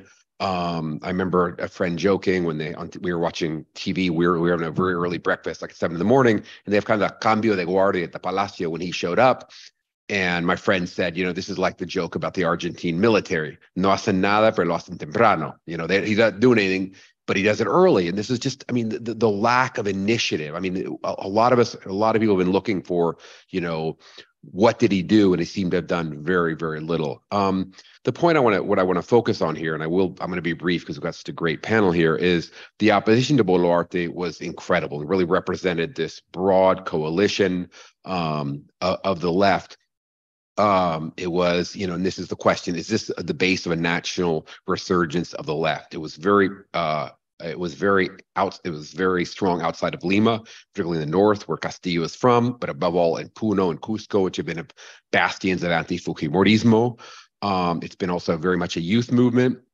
Um, it broadly brought together what we call just anti-neoliberal groups, groups that could define that the, the, the milagro peruano, which I, I, you know, if we had graphs here, I think in the last 20 years, fastest growing GDP, uh, largest increase in export income, these sort of things who are questioning this. Um, but it, it, this was quickly, and this is something that the, the foreign press asked about and was pushing is this the new zapatistas i was asked that by uh, by ap and this coalition has incredible divergences and differences that i do think are, are, are beyond sort of just well any coalition has these. The groups in the south for example prove to be extremely socially conservative. Um, they are have a very strong uh, this weird homophobic element in their protests there's a sort of anti-modernity to them um, about this um, there were also illegal, there were uh, illegal miners from the Amazon joining in. There were some contraband groups, etc. And, and again, this sounds like Chuck Walker has bought into the you know right wing propaganda against this, but I I I I think I'm sincere or right saying that you know you it's hard to over romanticize this group, and this is the sort of the the, the great difficulty of the Peruvian left right now. Um, when Castillo won, a lot of people expected Veronica Mendoza would be. She was the candidate of the left. She would have been. The, um, she was seen as a stronger candidate, and she's um, but her support for for uh, including LGBT rights, uh, legalization of marijuana, abortion rights, all these things cost her greatly. And this is a debate within Peru. It's you know social conservatism within the opposition is very very strong. She part of this was casting her as that you know candidata caviar, the champagne socialist. She's elitist. She was bashed because her father is French and she's she has a sin of speaking French. Um, and one one particularly obnoxious Aldo Mariátegui, journalist, greeted her in really bad French, and she she brilliantly responded in Quechua, which she speaks. Um, but this is within the spectrum of the left. I think that this debate in, in Peru comes up that I think every country has. We really this this this coalition of the old left which really, if Castillo had a base, it was the old left, somewhat close to the Shining Path. I don't, I, they weren't part of the Shining Path, which were, you know, it's mo, it's going to, it's it's attacking capital, which they didn't do. These other things are uh, BS, bourgeois uh, passions, and things like that. Um, and and these are the tensions um, there. The elephant in the room in Peru, or the the other the other factor, is a shining path, which was defeated, still extremely uh, unpopular, um, has a teeny political presence, but that the right wing knows brilliantly how to use up terruqueo, which is used personally to get people in trouble. If your defensive terrorism is still a, is still a crime in Peru, but it is still used quite well by conservative groups and others to say the left they're Maoistas. They had car bombs and this association of what were very bad years. So, um, the left is again, you know, in the situation of can and and, and I and I've you know on Zoom, follow these conversations. Can we rebuild this coalition? Uh, they are, if anything, their most defining point is how anti-Fujimori they are. They proudly have defeated Keiko. Keiko Fujimori has lost the president election by very close margin three times. And what you've had are mal menores, where you know the the the, the, the this broad electorate I'm I'm calling leftist, progressive, etc., ended up voting for Humala, PPK, and Castillo. And so conservatives would hear this and say, and you were right. I mean, you know, et cetera. Um, you know, what's wrong here? Why, why have you done this? All three of them are in jail, as is Fujimori. Um, and, and Keiko Fujimori very likely could be in jail at some point. So, um, this so there is sort of the, the, the, news of well this this broad coalition against Dina Boluarte is very enlightening. On the other hand, mayor elections, the, the midterm elections last year were three right-wing candidates vied to win Lima, the worst one in my mind. Well, not the worst, the second worst one. Uh, um, was Victorious Lopez Aliaga, who has taken it. He's sort of trying to out Bolsonaro and out Trump them. He uh, is a member of the Opus Dei. Uh, he's immediately fought, picked fights with Memory Museum. He's closed um, health organizations that help um, street kids. I just, it's an astonishingly uh, rigid and um, reactionary government or mayoral and again lima is you know uh, more than a third of the country. It's where the power is centered and it's a very great fear that he'll be a strong candidate for president down the road. Um, so anyway to close one of the debates i think beyond all this beyond these sort of you know electoral politics is neoliberalism. Uh, there's a lot of neoliberalism bashing which there should be um, but there's also in many you, you often hear debates about this but people particularly voters, middle class, lower class, poor will say, we now have a house we didn't before. There is an acceptance of the boom in Peru, which I think the left often overlooks. And again, this is a very complex topic. I'm oversimplifying um, in a sense here, but it is one. What, what do we mean by anti? What do we mean by neoliberalism? It's a debate to have. What do we mean by this privatization, et cetera? Um, the COVID, however, showed the incredible absence of healthcare. Peru suffered one of the worst countries, a country that was very proud of itself. This was culinary nationalism. If you go to Peru, the first thing any taxi driver will say, "We have the best food in the world," and you know, the, you know, and and Gaston Acurio and things like that. And also, people will still brag about the new buildings and, and et cetera, et cetera. And COVID just showed how just there's the absolute lack of public health, which meant one of the highest mortality rates in the world. Um, So, you know, these are the debates that come up. I come back to, um, uh, I know Alberto brought up you know, some of the traits of the left. I wanted to sort of push some of these because I thought they, they would go well in debate. Um, and again, we have to meet again next year or the year after, 18 months, something. I think the right deserves, uh, you know, more attention. I, I, I know a couple of people brought up evangelicals, that that variable, and these other things. So again, that was a very quick overview, um, um, and I'm, I hope it prompted dialogue and discussion among all of us here present. Thanks again for the opportunity, and thank you for being here. Mm-hmm. Thank you so much, Chuck. That was great. Uh, I really think that you did touch on a lot of the main themes that I hope will open up uh, more largely in this um, in this roundtable. So um, I would like to say uh, what I plan to do here is to kind of touch on the main points that I gathered from these different tables, these different mesas, um, and the kind of like questions that they brought up for me. And I hope that's kind of like a jumping off point and also some main themes. Um, but first of all, I want to say that I'm in literature. I'm not a social scientist or an economist. Um, uh, and thinking about the left and what the left is when I'm trying to teach, um, the next generation of students have no idea what that is. Um, they don't know what the Cold War was.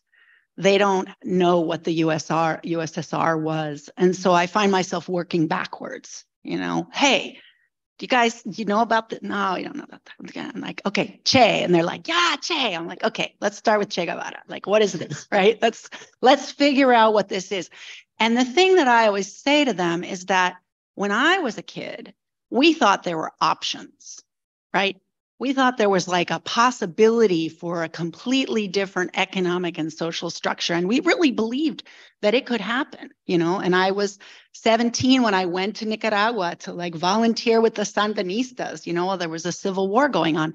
And I was raised up in a family that I really thought, you know, there's an alternative structure here and we can pursue it. Um, whereas with my students now, I feel like, you know, sorry guys, capitalism won you know, like on a global scale. So now what do we do?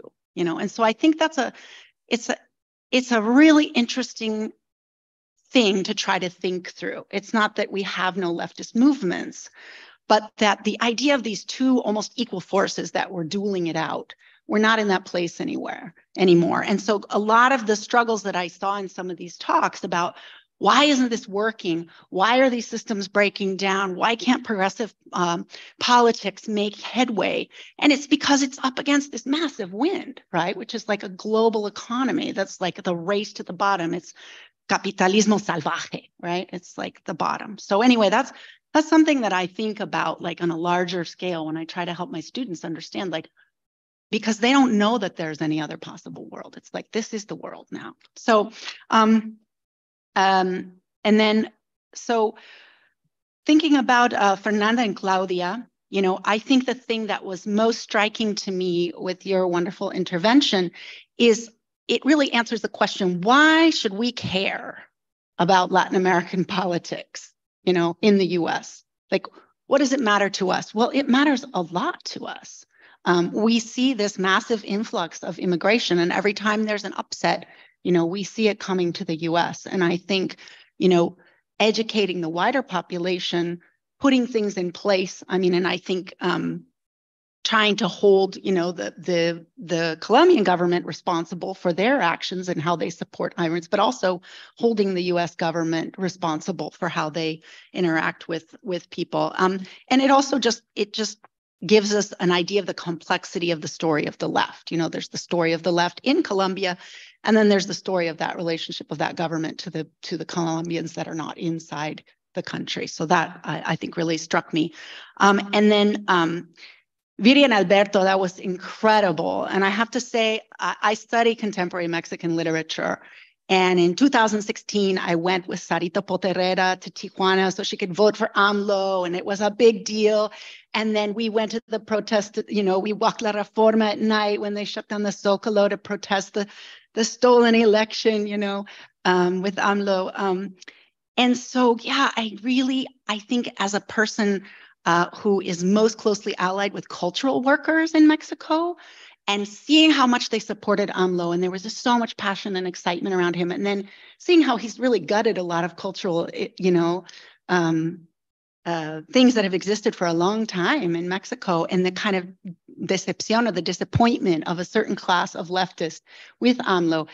And and Viri, you really gave me the thing that I was missing, which was numbers. Mm. You know, um, I think that like uh, and my students and I, we talk about narrative, right? Like there's narrative and then there's numbers. And so to having those numbers, having that kind of concrete thing of like, look at this. And, you know, you see why when you listen to the Mañanera and you see all the comments like, mi presidente, like people love him, you know, and, and it's really important to understand those real numbers behind it instead of getting on these kind of like, oh, he tried to sell the plane and that was just a, you know, he was just showing off or whatever. So thank you so much for that. Um, that was wonderful. Um, and the other thing that I wanted to say about numbers is that it goes both ways. Um, in our class, we read uh, Yolanda Segura's Serie de Circunstancias Posibles en torno a una mujer mexicana de clase trabajadora, which is a poemario. It's a long poem. And it's it's Yolanda Segura's attempt to like think through her grandmother's experience in Mexico through numbers. So like how much money did she make in such in this year and how much did it buy? What percentage of her ingresos went towards food or cigarettes in this year and then how much in this year? So like there's a cross cross pollination. And I also this is a moment for me to recognize my students that came all the way from San Jose State and I'm really really grateful for them to be here. Um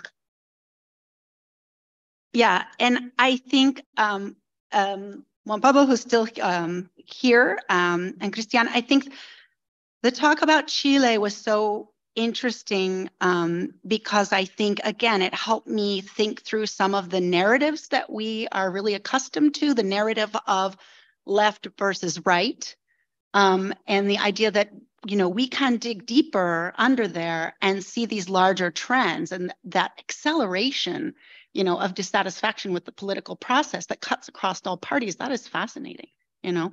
So um, um, it's interesting, but then I loved the two talks because there's this concern and this acceleration of some kind of crisis that seems ongoing. But then there's also this very hopeful narrative, which is like young people organizing, you know, and how does that, how is, could we short circuit that, you know, that unhappy or concerning narrative with that? Um, and then finally, um, Maestra Cobra Mansa, like, again, you wiped my mind clean with all of that. Um, but uh, in terms of your talk, I, I think that the thing that is most inspiring is, yeah, what is left and right, right? And to know that like left and right comes from a European tradition, right? And so uh, maybe what we need to talk about is more indigenous, more Afro-descendant ways of knowledge and practice. Um, and what I'm super interested in is how can we scale that up? And I think that's a little bit of what you're talking about because you're like, we're taking care of communities, we take care of ourselves, but it doesn't mean we're not engaging with the larger system. We're asking them to rethink, you know, what that structure looks like and what it could look like, and how can we go back to not necessarily go back, but go forward with structures that come from before or with models of community that come from before. And that was just, to me, that was just gorgeous. Um, and again, Cliff, um, thank you for providing some of the some of the numbers underneath of that, you know, because it's it's so good. I think it comes to ideas and numbers. Um, so I just talked a lot, um, but I'm really excited to hear what you guys have to say about the role of narrative. We didn't talk about media and WhatsApp and Brazil. Um, but that's really, you know, like um, he who shall not be named uh, le- leveraged that kind of thing. And so we talk about the splintering of political parties and and the ability to gather to people under a big tent. And part of it is the splintering of media um, and where people get their information. So how can we deal with that? Um, again, the economy. I really, you know, this the give and take between this global economy that really is. If you don't want to make our stuff cheap, we'll move you know, somewhere else, you know. Um, and how to create alliances. I mean, I definitely see the alliance in Mexico breaking down between this kind of cultural elite that is leftist, and then you have, you know, the working class. So, you know, what is, what can we do about that? What are the implications, et cetera, et cetera. Um, and then finally, the role of education. I'm a professor, so for me, that is so important. What is our role in the universities? Um, what are we trying to help our students, you know, learn and go forward and, and be good citizens, activists. Okay, thank you. Um, is there anybody- I, we don't have a particular order, so yeah. Um, so thank you, thank you for that summary. Um, just one correction is Patricia, not Claudia. Patricia. Anyway, uh, that's okay. Um, no, I mean, I think it's really important to answer that first question that um, you asked about why should we care about what's happening in um, Latin America, and um, and I think it's it's thinking historically too. Um, I feel that with my presentation, I spoke about the Nixon uh, war on drugs and the fact that we had um, this intervention from the United States in our democracies over years, and the fact that during the 1980s uh, we had this war in Colombia where we were um, being bombed and kidnapped and killed. And um, and then we have this neoliberal agenda that has created, uh, you know, this accumulation of uh, wealth in a very very uh, small group of people who um, are not distributing that wealth. First of all, and second, uh, where you know, with the presentation from all the um, the statistics about how much do people are getting uh, as a minimum wage is always declining. So the answer is is because everything here is connected and the fact that these people are coming here is because of years and years of policies that the United States have affected in Latin America. So when you see waves of immigrants coming to here not only from Latin America, from, from Africa, from the Caribbean is because all these policies have created this um, very difficult spaces where we live, where there is no jobs, there are no jobs, the um, there is exploitation not only of labor but of the natural resources.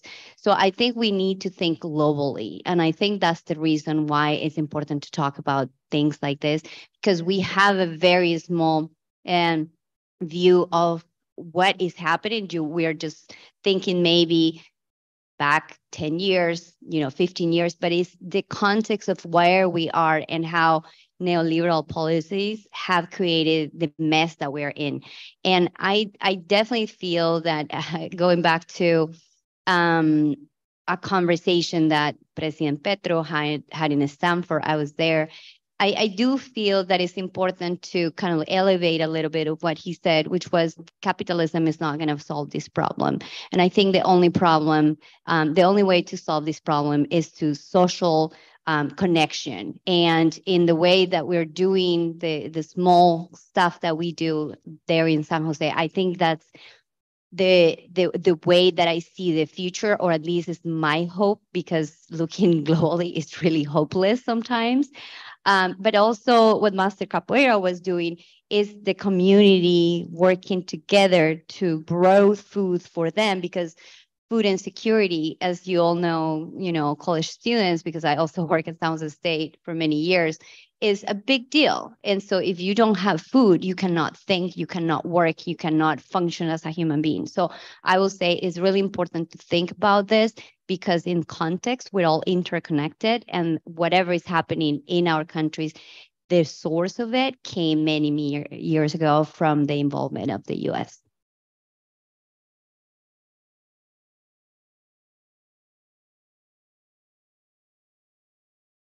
Uh, well, so many things were said, so I'm just gonna uh, focus on one single topic, which is um, how do we move forward, right? Like how, in in a world where we understand that neoliberalism was here for a very long time, and where it neoliberalism hasn't left, and it's very unclear when it is gonna leave, right? Uh, so then, how do we move forward? And I think that one important way to move forward is to start thinking about what are the constraints that the US is creating on the bilateral relationship between Mexico and the US for Mexico to reduce its inequality, right? Because uh, if we think, for example, about how the USMCA uh, has limited the capacity of Mexico to conduct industrial policy, to, uh, you know, for example, even simple things like uh, charge for water, right? Like currently, for example, Mexico does not charge the full price of water for agro industries. And this is, you know, this comes from like a long tradition that, you know, after the revolution, uh, the land was supposed to be given to the people and with the land water should come. And and that was kind of like a good idea back in the time where where we were thinking about creating uh, you know land redistribution and agriculture.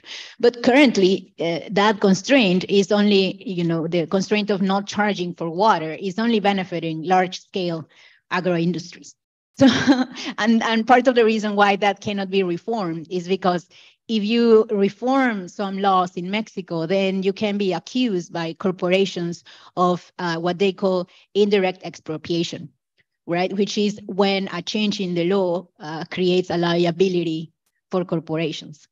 Well, that that that, that problem, you know, has inhibited uh, law uh, change in many ways for Mex- from Mexico, right? Another one, for example, is the drug war, the, the, the drug war and how that is affecting the capacity of Mexico to properly create uh, a system that you know has uh, a, a, more safe and, and less criminal environment and so on. I'm not gonna I'm not gonna continue because it's a long way, but I feel that when we and to close, uh, when, when we think about Mexico, we think about three problems, which is migration, uh, violence, right, and trade. Those are kind of like the three things that we think about. And I feel that we need to change that. And we need to start thinking about redistribution, income inequality, fiscal policies, and competition. Because when they tell me in Mexico that the problem is capitalism, I'm like, what? What capitalism? We have never had that. Our, our, our, our economy is just monopoly economy. And it has always been. So, you know, we need to even try that because we, we haven't really tried capitalism yet. That's a wonderful point. Thank you. Um, I'm wondering if if Juan Pablo, would you like to um, contribute? Can you hear us? We'd love to hear uh, if you have some comments. Yes, uh, thanks so much. And uh, it's a lot to comment on. Um, I I think well, like to me, I mean the the central issue has to do with how uh, neoliberalism challenges democracy, right? By by inducing an inability of politics to to change things that that matter to people, right? Um, and that are central to to people's life, like uh, privilege, inequality, the distribution of goods and services in society, security, the ability of governing, right? Like by uh, suppressing conflict, uh, like uh, establish the rule of law, etc. Uh, so I, I, think that, again, to reiterate something that we discussed with Cristián uh, during the presentation, is the, the, the problem is that neoliberalism also introduces this trap uh, by which it's very difficult to leverage uh, societal interests that uh, eventually would benefit from a structural change uh, to make that change uh, possible in through through democratic means, right? And and and that's I think the trap we we we are we are in. something that hasn't been mentioned that I would like to bring to the table as well is uh, state weakness, right? We we this is a very long-term trait of Latin American states. We have patrimonial, corrupt, powerless state vis-a-vis other actors that locally are, are better able to, to impose conditions uh, on the ground and to and to therefore like uh, uh, draw the conditions in which uh, the life people takes place.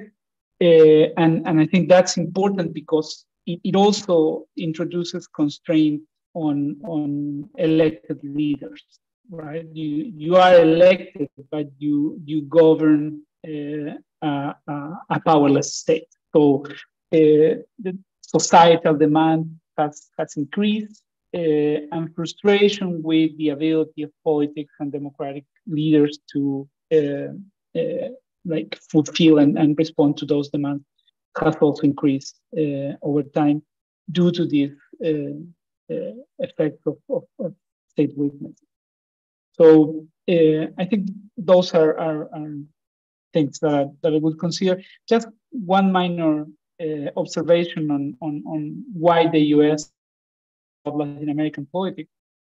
Um, and and uh, I'm, I'm not like necessarily trying to be provocative here, but I think it, it, it's uh, important to acknowledge too that US uh, politics today uh, resembles in American politics more than it used to do in the past, right? And, and I would say that advanced capitalist societies uh, and the US uh, and, and politics in those societies have, have become more, more like similar in the last two decades uh, to dynamics we have seen in the region for, for a long time.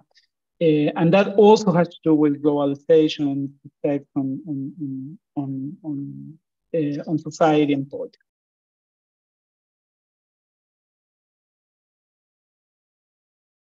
Wonderful. I'm I'm sort of going in order, but not really. Uh, would uh, yeah, Thank you. Um, I just wanted to bring a point that we haven't touched on yet, and it's another effect of multi, um, of neoliberalism, which is the multicultural state, uh, and also um, to call attention to all the effects that neoliberalism has on social and cultural uh, levels, right? We've been talking a lot, a lot about the macro, uh, macro relationships, but um, we know that uh, micro relationships, the everyday relationships, the encounters we have every single day, right? Those uh, have the power to perpetuate the inequalities. So things happen at this level too. So uh, in Colombia specifically, um, with the new constitution of 1991, which was uh, an attempt, right? One of one of the attempts of the government to address the escalation of violence that was happening at the time. So in one of the things that was done in this new constitution was to declare the Colombian state a multicultural, uh, pluricultural uh, state, while, you know, for centuries it had been considered a mestizo uh, state, just like has been in many places in Latin America. Um, so the idea of multiculturalism, in a way, um, generated a lot of change, and some positive, some not so much, right? So uh, Afro-Colombian groups, Afro-Colombians were um, were recognized as a, a, people, right? Not this idea now we're all Colombians, um, indigenous people. So um, gradually, a lot of um, statutes were passed, and these groups were able to to have access to re, re, um, to compensations, to of course, it also created a lot of problems, um, and this in a way. Um, at the at the cultural level, right? Multiculturalism has this effect of it's kind of like the Benetton diversity, right? Uh, it it glosses over um, the the the real inequalities, right? So it, it brings some people to visibility while not really providing real material change, right? So this is something that we've seen in, in across Latin America in places that have um, have gone through this path of multiculturalism. Um, a large a large portion of people who have been most affected by war, and we know Afro-Colombians and indigenous peoples because of the territories that they inhabit that have been exactly the territories that have been coveted um, by drug traffickers in, in, in, the middle of the forest, um, and then extractivist uh, corporations, right, that have been able to operate uh, really without much uh, oversight, right? So that has created all kinds of problems. So these communities have been able to access uh, resources, but at the same time, no protections against all this, right? So it's it's very lopsided in a in a way. Uh, these communities gain visibility uh, and it's oh great now everybody's recognized in Colombia while it's really glossing over much larger um, issues. And another large proportion of the population that cannot identify as Afro-Colombia or indigenous is really left um, in a totally marginal position, which is the majority of peasants in Colombia. So the peasant outcry, uh, you know, and there were many marches of cocaleros, peasant cocaleros who had been really um, stigmatized as guerrilla supporters, as uh, drug traffickers, when many of them have to plant coca leaves because that's the only way, uh, the only mode of subsistence that, that they have. So it, it creates this imbalance. And the narratives that are created about all these people that do not fit into the very narrow modes of multiculturalism um, and, and this is at the everyday level, right? People uh, are consistently stigmatized socially, economically, and etc. So that's one effect. And then um, talking about um, cultural policy, not in bringing it to, to Petro now. So one of the positive effects that multiculturalism had was the creation of a Ministry of Culture in Colombia, and that happened uh, years later in, in 2011, which was also dubbed as the, the Ministry of Peace, because the rationale is that, okay, we're going to promote uh, culture, like all kinds of, you know, expressive culture manifestations, support Afro-Colombian art, create all these music festivals, and have really uh, support for that. So there was a large program that that uh, was funded by the government uh, something that we don't have in the US. So we had um, uh, very robust, in a way, um, resources put into that.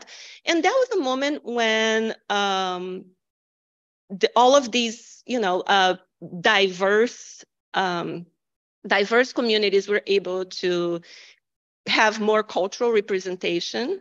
Of course, that also brings problems because it marginalized many others. Uh, so that was a good outcome. So there were actual government-sponsored programs that were that were offered uh, classes for children, and this was a, a, national project actually that happened in Colombia called Batuta. Um, now, uh, with the new the, the Petro administration, um, the Ministry of Culture um, came with a proposal to to create a model of national uh, music education. And I'm talking specifically about music because that's mostly my field, but this have this has happened, you know, in a in a diverse in a broad broad way in Colombia.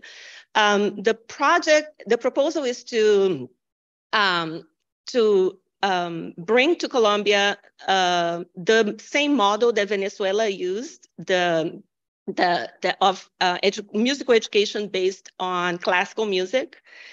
And uh, of course, Gustavo Dudamel, the very, very famous Venezuelan conductor, came out of that program. So there are all of these, um, this um, facade of something great that happened in, in, in, Venezuela with this, with this project.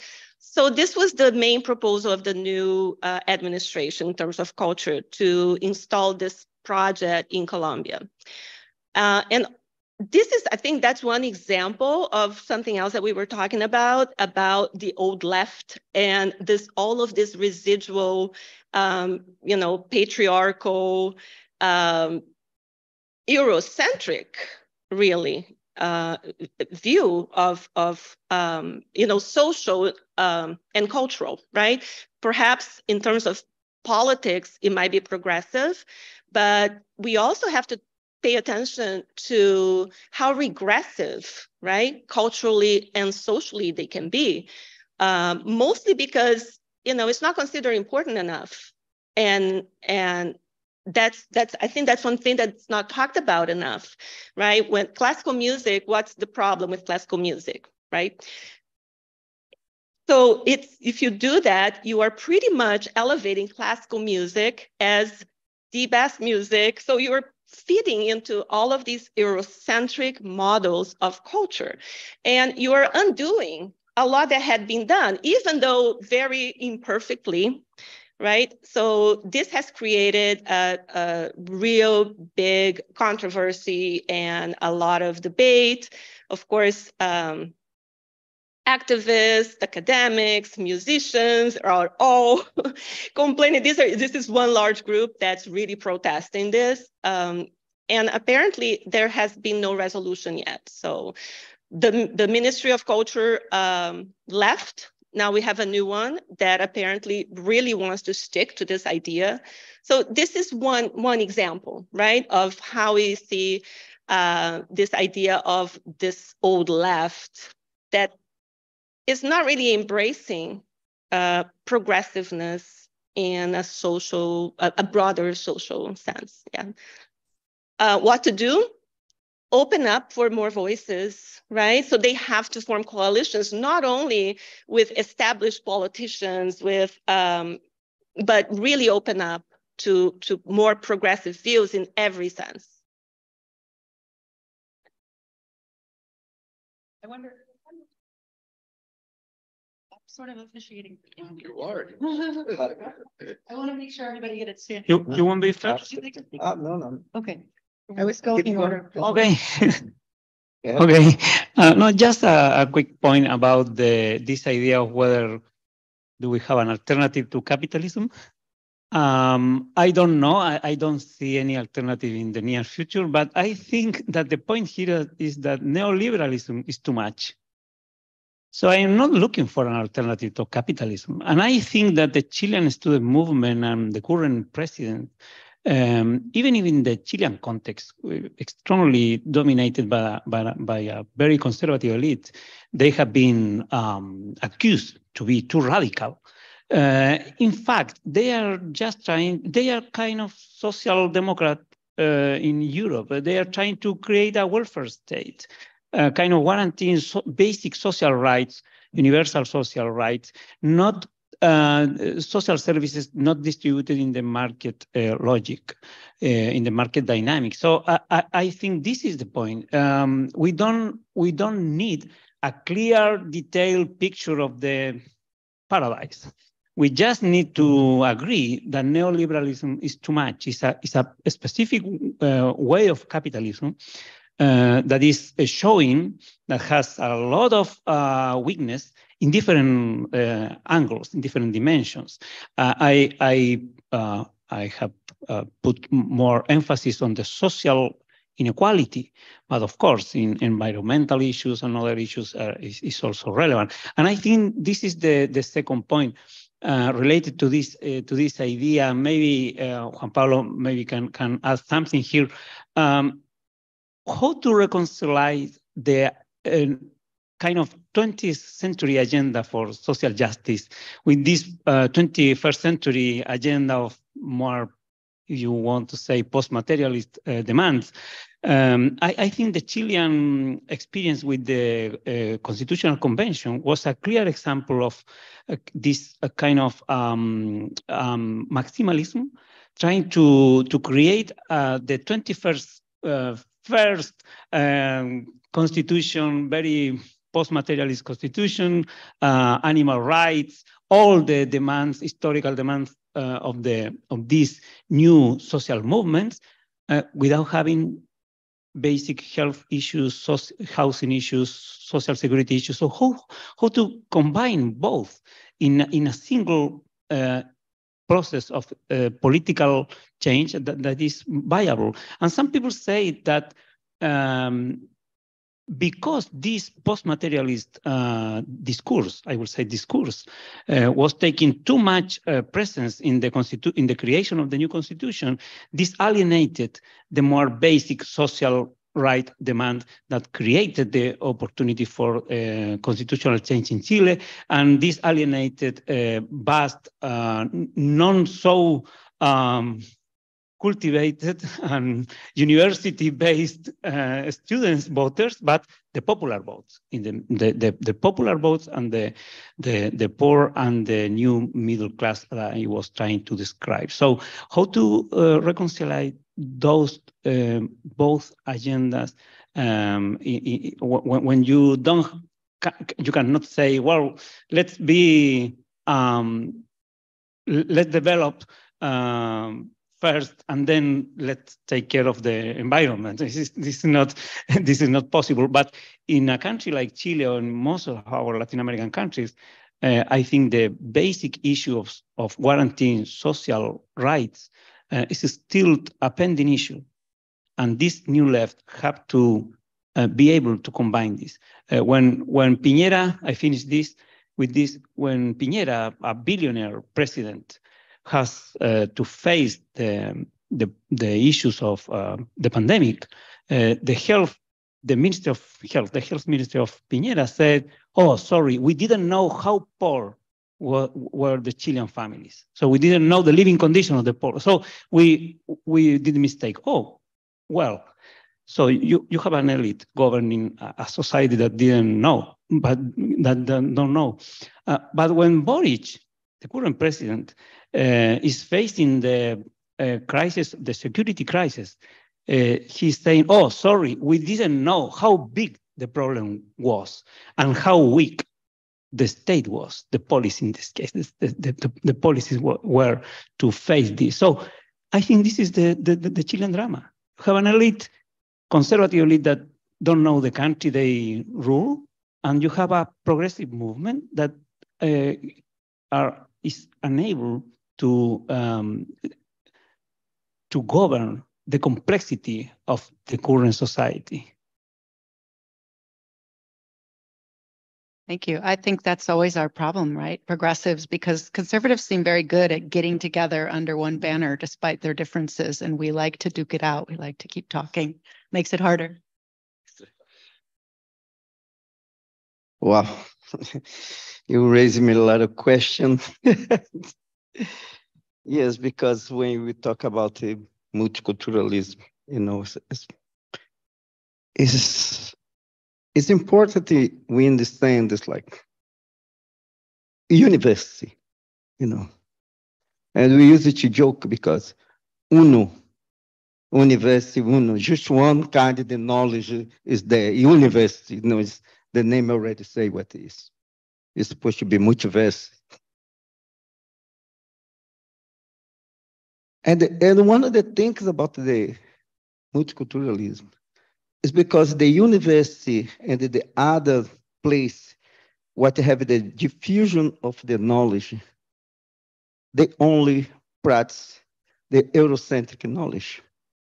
All the other kind of the knowledge and the other way of passing the knowledge is not respected. The indigenous, the Afrocentric knowledge they don't have no respect over there. And when I say respect, is to put out at the same level. Do I need to have a doctor degree to be here? Ou just a minha capoeira be here? Because I have been practicing capoeira for 50 years. I don't know how many doctor degree I could do in that during this time. But uh, a Yalorixá, mãe de santo, she spent like whole life there.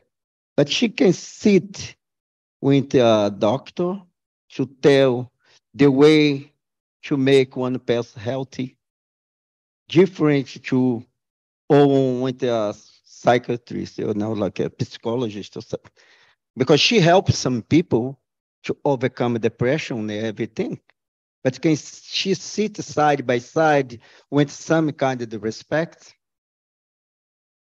That's raising me all the questions. It's like because if the place what the food our what I call the university, if they don't open up for other kind of knowledge to come together on the same level and be discussed and passing this for the students, how are we going to change?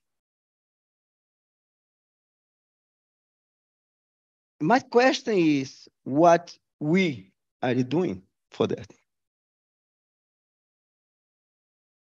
Or you just sit down on this comfortable place, what sometimes we are afraid to, raise some question inside and don't, I don't know the word in is, não ser bem visto.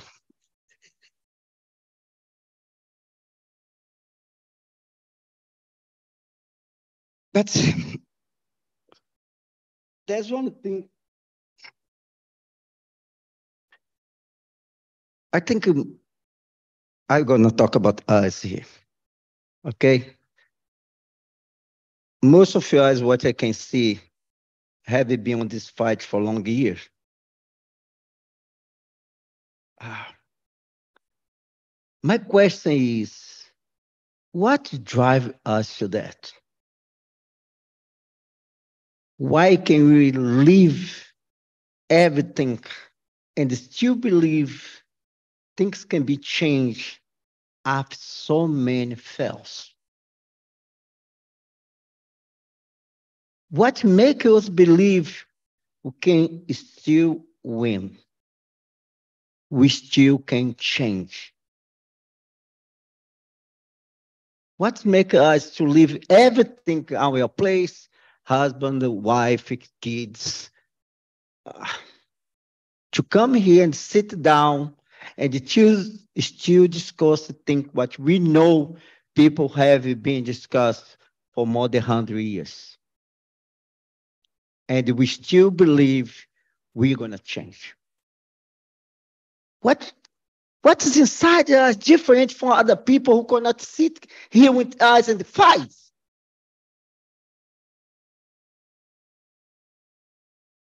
That's the question. I could answer the faith. We have so much faith. We're going to win. We're going to change. And we can make everything for that. We can be night, we're not sleeping. Like you say, you travel, you know, go for the front, you know. Uh, this year, I got myself in front of a protest, you know, with the police and like, and after I look and say, God damn, you are not much 20 years old, man. You were 16 years old man. You was like, what are you doing there? It's, it's supposed to be there on the back. but at the same time, I was there because if the young people see me there, they're going to be encouraged to fight because they're going to look and see if he's there, I need to be there. And can answer me other question? If you ask me why I'm still fighting, I'm going to tell you, my people have been fighting for more than 500 years. And they did not give it up. The reason what they did not give up the proof is I'm here. And I believe if I fight at least more, I don't know, 10 years, five years, I'm going to bring some other people with me. But my question is still for you guys. What drive you in this fight? Thank you.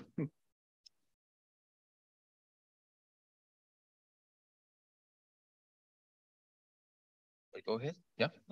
Yeah. Okay. Uh, so uh, it's it's it's uh, it's hard to to to say something uh, meaningful after some of the things we just heard, but I, I, did want to share with you a couple of thoughts. So so one is um, something about the things I learned, and um, and I want to mention a couple of things that I think I learned in in, in the sessions. Uh, so one is this uh, question of the neoliberal trap.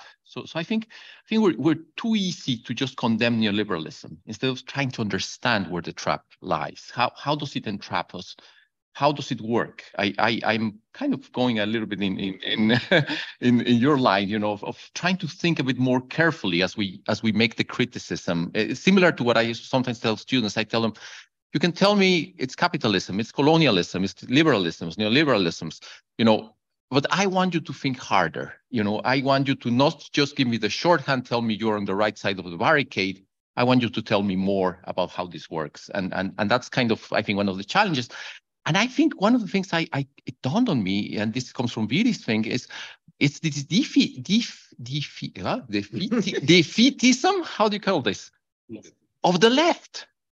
It's almost like the left has given up, and, and and that's very troubling. You know, when when at least from the Mexican perspective, it's like if the left gives up, then then what's left? You know. Then then the next question is a little bit about this thing that I think it was it was Juan Pablo who mentioned it. This empty citizenship. If I'm a citizen, I'm supposed to live in a democracy. I'm supposed to be empowered you know, why has this citizenship become so empty? And that's something that, you know, Guillermo O'Donnell, you know, talked a lot about this in, in his later work about this, uh, you know, low intensity citizenship that the transition to democracy brought us. Um, a third thing I learned, and I'm sorry, I'm going to contradict you here, but Galeano's book of Las Venas Abiertas is not the best book on Latin America. Uh, but La Memoria del Fuego is the kind of book that would connect us to our ancestry in a very different way. It's in this more sensorial way. I mean, Galeano himself, we have this discussion in Bolivar House about, about what we need our students to read before they come to get a master's. Mm -hmm. And of course, the immediate candidate is Las Venas Abiertas. My preference is on the Memoria, Memoria de Fuego because it is about that connection with our ancestry and, and to make, make sense of this walk and this journey and also make sense of these immigration mirrors as, as we think about kind of the US. But anyway, that's that's a little bit some of the things I learned. I, I do want to share with you a little bit what I also think, reflecting throughout the day, on what's what's the kind of left I would like to see. and I would like to see a left that does something we have not been able to discuss enough, I think. But it's a left that is completely rejects and intolerant of authoritarianism. So this is a very complicated problem because you mentioned this about, you know, what do you do when you have a president on the left? You also have to protest and you also have to show them your grievances. We have a very serious problem in Latin America because we are always having trouble with what do we do with the Ortegas? What do we do with the Chavezes? What do we do? I'm sorry, with the Castros. And, you know, how do we deal with the left that is authoritarian. We have no problem saying there was an authoritarian left governing Russia, uh, Russia, the Soviet Union under Stalin. We don't have a problem with that one, but we have a problem when we have to say there is an authoritarian left uh, in Latin America. So I would like a left which is democratic, that is completely committed to democratic values. Uh, the second one is this idea, I, I think I like a lot more how Christian phrases it, it's not about markets, it's not about capitalism, it's about a left that chooses to decommodify, you can see I'm tired, but that chooses to decommodify some realms of our life. We, as a world, as a global society, vaccine access became decommodified. There was like a general agreement that something as important as getting a vaccine was not going to go first to the rich and then to the poor, although it did go first to the rich and then to the poor. But you know, regardless of this, at least there was this agreement that we could decommodify. The companies did make millions of dollars. You know, we're still not there, but we have this sense. I mean, the left. One of the legacies of the left to us from the fights of the 20th century was to tell us there's some things that we don't leave to the market you, you get schooling to every kid, and that's not going to be done by the market. We give basic public health to every person so that kids don't die prematurely. We, we just think that's something that is not up to the market. Uh, so, so I think we, we have to move the terms a little bit about that, what, what, what, was, what, what the content of our criticism to neoliberalism is. And, and the last one is, I, I would say that the big, big thing, and this is really you know, resonated with some of the things you told us in, in this panel, is, is the treatment of humans with dignity. Uh, so, so how does how does that happen? That happens when we have the capoeira mm-hmm. performance going on, and at least I can share with you what I felt. I felt I could connect with thinking, okay, this is an Angolan legacy that I can see coming through Africa, coming to a kind of a, a, new way of doing it because it's not necessarily the way somebody would have done it in the 12th century or in the 15th century or in the 17th century. But here we are, and we have this sensory connection to that basic human dignity uh, that that that is not about classical music is first and foremost the best music. Uh, but that's one of the things the left always stood for. You know, this sense of, you know, a worker is just as valuable as as, as any human being. And, and and and we seem the left has lost kind of that basic idea. We have reparations to come for enslavement. We have these are serious questions that the left is not dealing with, as far as I can tell. So sorry.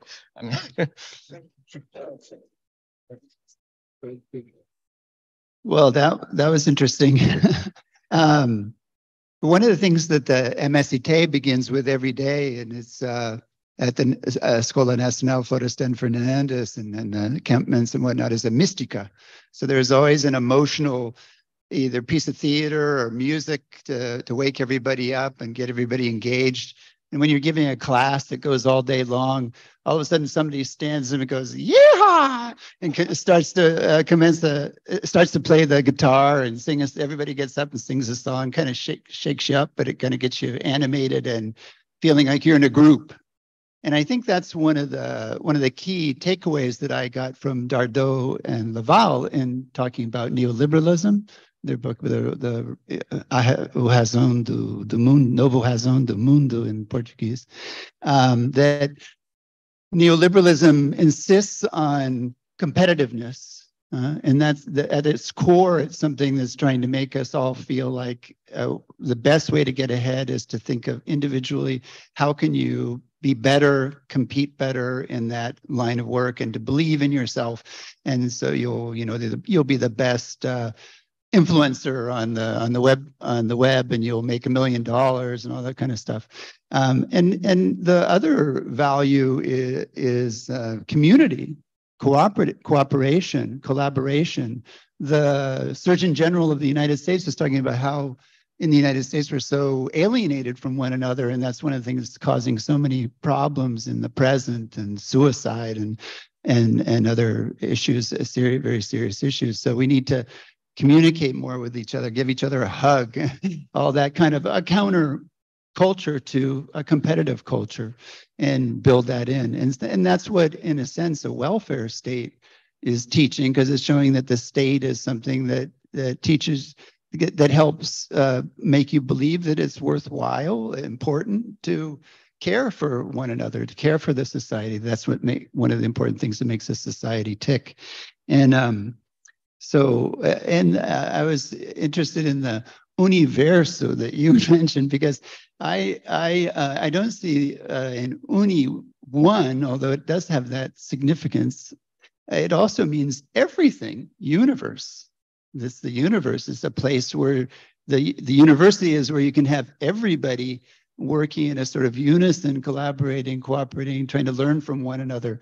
So that's the universe that I think about. should be, yeah, should be. Uh, um, and I think, and um, and about the left, uh, I think it's important to remember. Well, I, I think history is important to to keep in mind. And I loved what you started with, and I forget your name, Chela. Um, and that's the alternatives you know that we used to think they're alternatives and they're bad alternatives because it was this you know the the the the, the Guerra Fria, the Cold War, and there, that was the enemy over here. But it was also really an alternative. And I grew up in San Francisco with communists going down to help out in the um, sugarcane harvest in in uh, Cuba. When the uh, as a as a kid of the labor the longshoremen's labor labor union worked on the waterfront too, and um, uh, so that that sense of um, the the left is uh, of alternatives is important, and that left uh, the, the communist left left that was dominated by domi- uh, communist parties in diverse countries uh, linked to the Soviet Union uh, was one that uh, had the argument that you had to build cap- capitalism, so that that in many ways supported the capitalism in diverse countries. Uh, it'd be the national bourgeoisie. You wouldn't want it to be so linked to imperialism because that was helping the United States.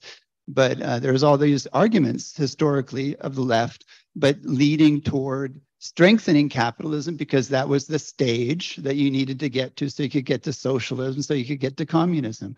So uh, there's nothing um, uh, alien about the idea of the left supporting capitalism, at least historically speaking. and I and I think that's probably uh, the best option that we can think about. A real capitalism, like uh, Viri is talking about not having that in Mexico, building capital, just getting capitalism there that was really functional and not monopolistic and had a, a social uh, uh, infrastructure uh, would be a, a real plus. So anyway, some some of my observations today.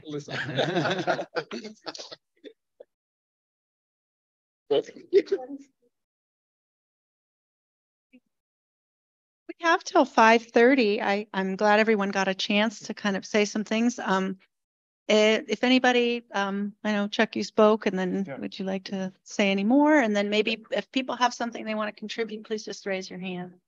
And you're also, as an old professor, you learn ending early is never, you're never punished. The, the, the Pueblo will not throw any rocks if we, we don't have to go to fire. No, I just want to say, I mean, I want to thank everyone and and and, and congratulate. There are a lot of discussions. Obviously, these discussions are going on around on the ground. I mean, I've been in meetings in Peru with the old left and the new left, and you know, there's a lot more commonalities. There's a lot of there's also a lot of respect. I think I, I think so.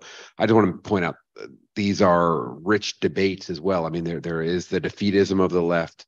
Um, yet there are you know many great we, we learned today about micro projects local projects La Red things like that and so um, I don't know. I mean, there's lots to be done, but I also see a lot of positive signs, including these discussions that are reflecting broader discussions in the in in academic circles, but above all in, in community circles and in politics, etc. So.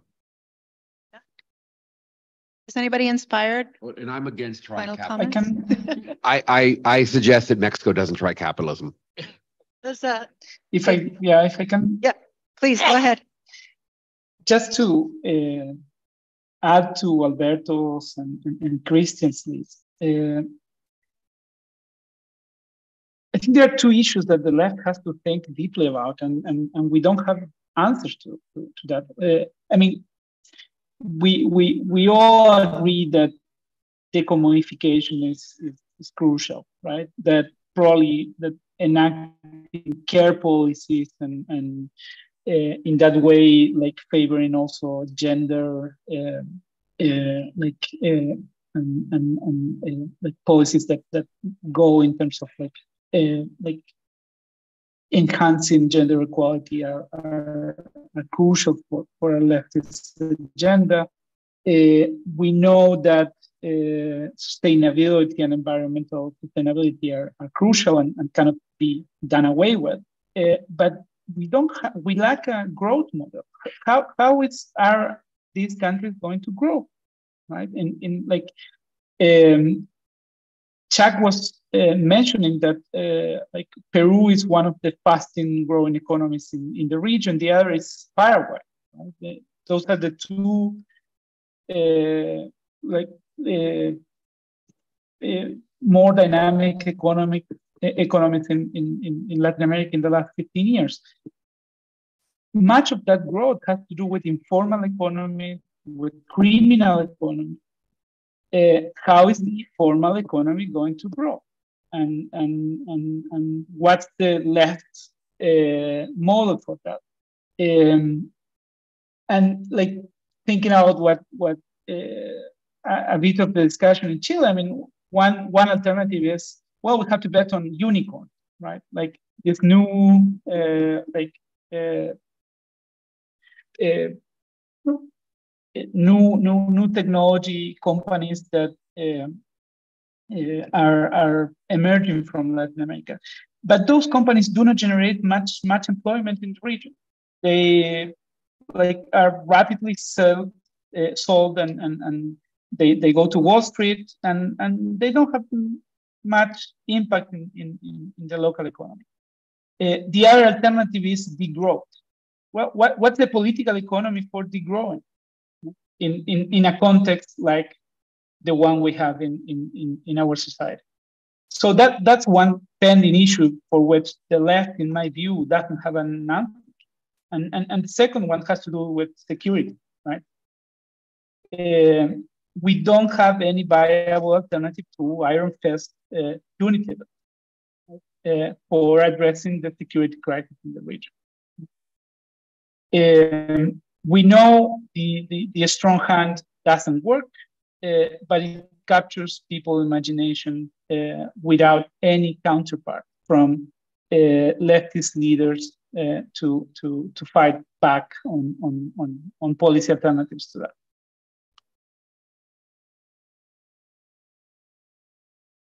Great, thank you very much. Um, is there any other uh, inspired?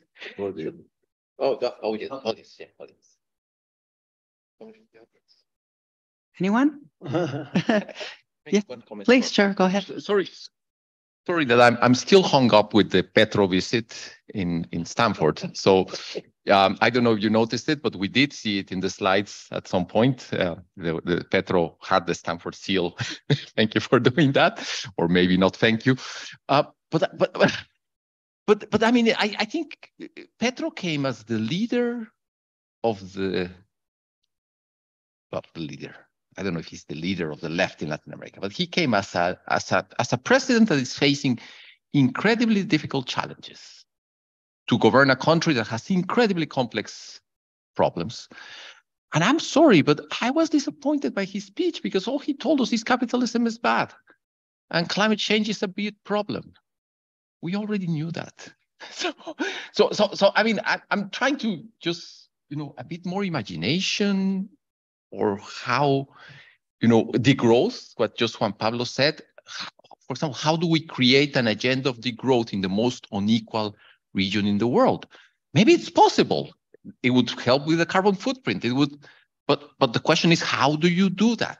You know, because you need to think about how you redistribute. Because the reason why growth is so attractive is because you think, oh well, the poor will somehow live a little better. No, uh, but but but I think Juan Pablo is pointing out a thing about, okay, we decide it's not capitalism, we decide it's not um, growth, then we have to figure out how you do the growth. And, and maybe you have some answers. I...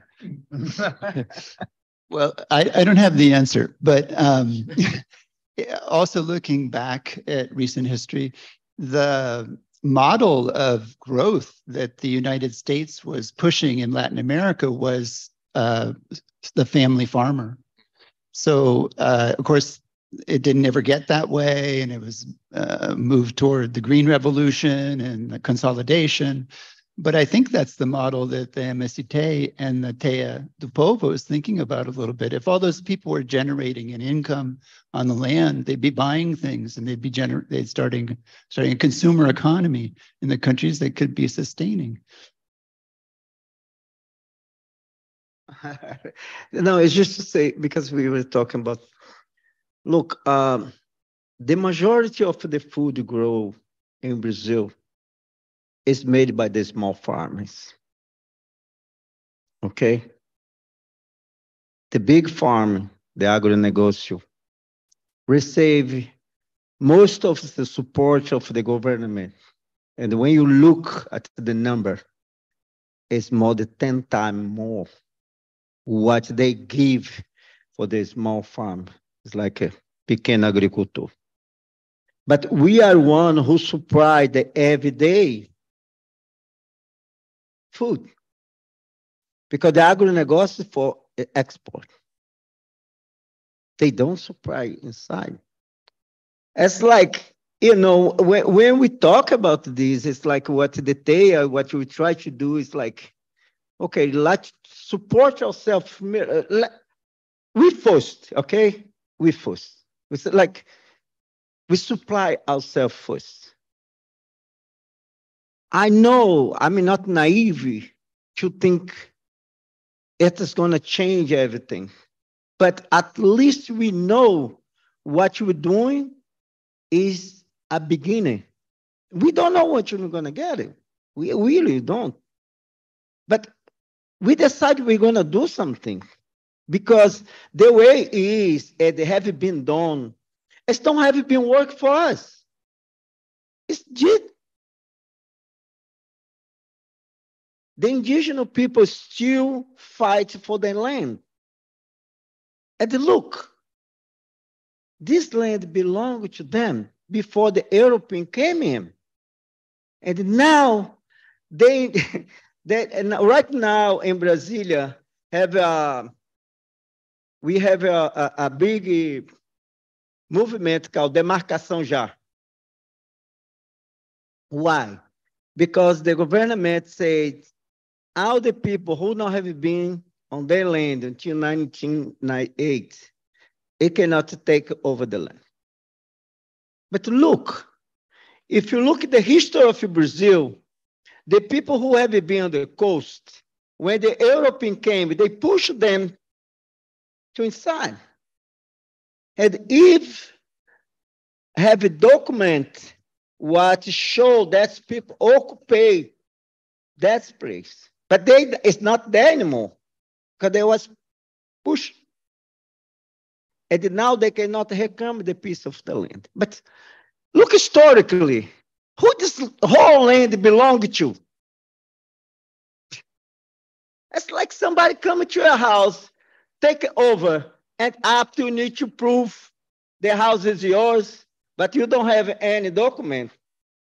And we, last time we was joking because uh, some of the people, the evangelical people, really support this kind of thing. I'm sorry, someone evangel- I don't want to get on the religion of anyone, but if you are evangelical, that's fine. I know I have nothing against. But you know what? What I'm telling you, you will believe in God. No, you believe God creates the earth. He is one who creates everything on this earth. Okay? And he owns the earth. Okay? But now I wanted to know who have some people signed by God to tell you bought this piece of land for him. And now have the rights to occupy this place. Why you have the right and some other people who have been here is cannot have it. They was here before. And like us, Afro-descendant, my ancestors did not ask to come to Brazil. We was forced to be there. And decided to be there, now we want to stay. Don't think about some people go back to Africa. No. I did not ask you to bring me here. And now you're going to tolerate me here. And I want my peace because my ancestors worked so hard to make this land good. And now I have my peace. And that, that, that's the whole thing, you know, because historically, and we stood about that, but when we started to put in practice this thing, it don't work. That's what the net of the people, Teia dos Povos, we decide we're going to get our territory and you're going to make our territory work. And space by space, you're going to support other people who have the territory. You know, I don't know how long it's going to stay. We don't know if really, if it started to be too big, people are to crush us. That's possible. You have seen other examples in other countries. But at least we believe we're to try to learn from the mistake what other people did and not try to do the same thing.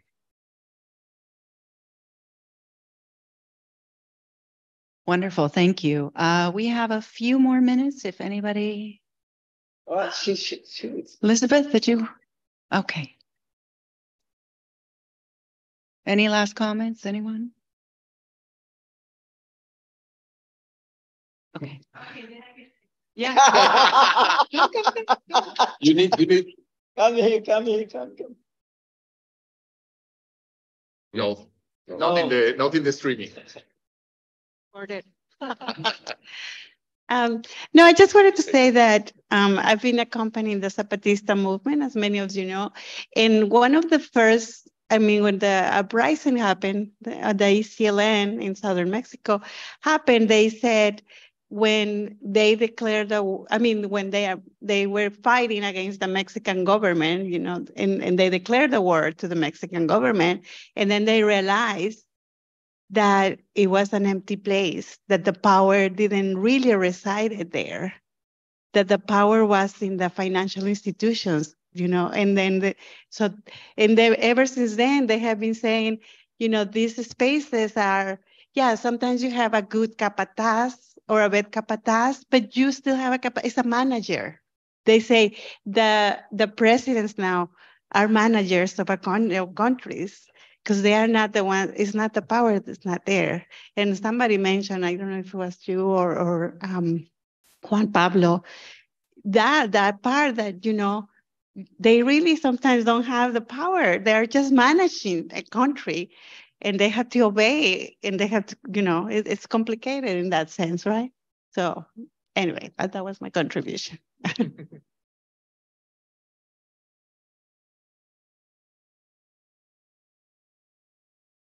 Up there's another one. Sorry. Can do it. Here.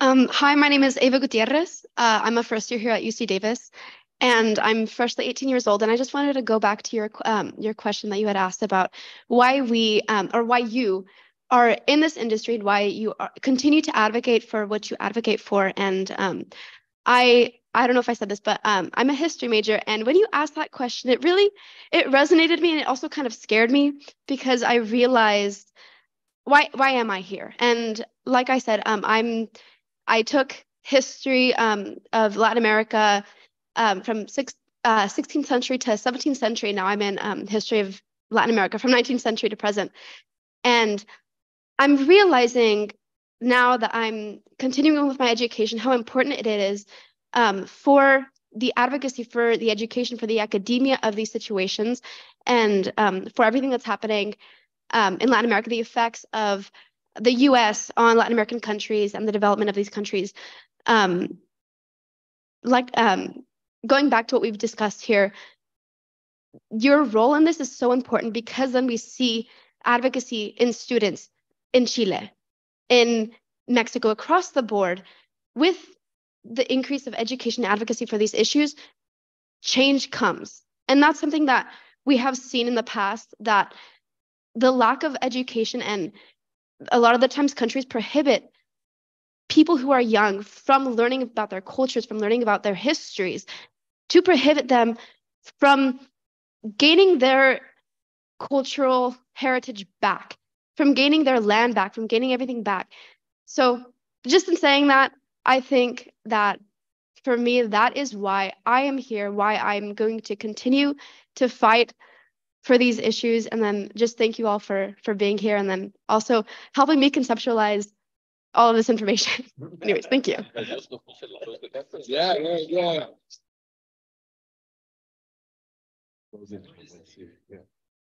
Um, Well, well, I I, I want to say that the, the the student movement in Chile, at least the the interest rate decreased a lot. Banks are out of the student loans, and free universities now a reality for 80% of the students. So this is all because of the student movement. Yeah, and, and in Brazil, I was mentioning how important the student movement has been to preserve the federal university.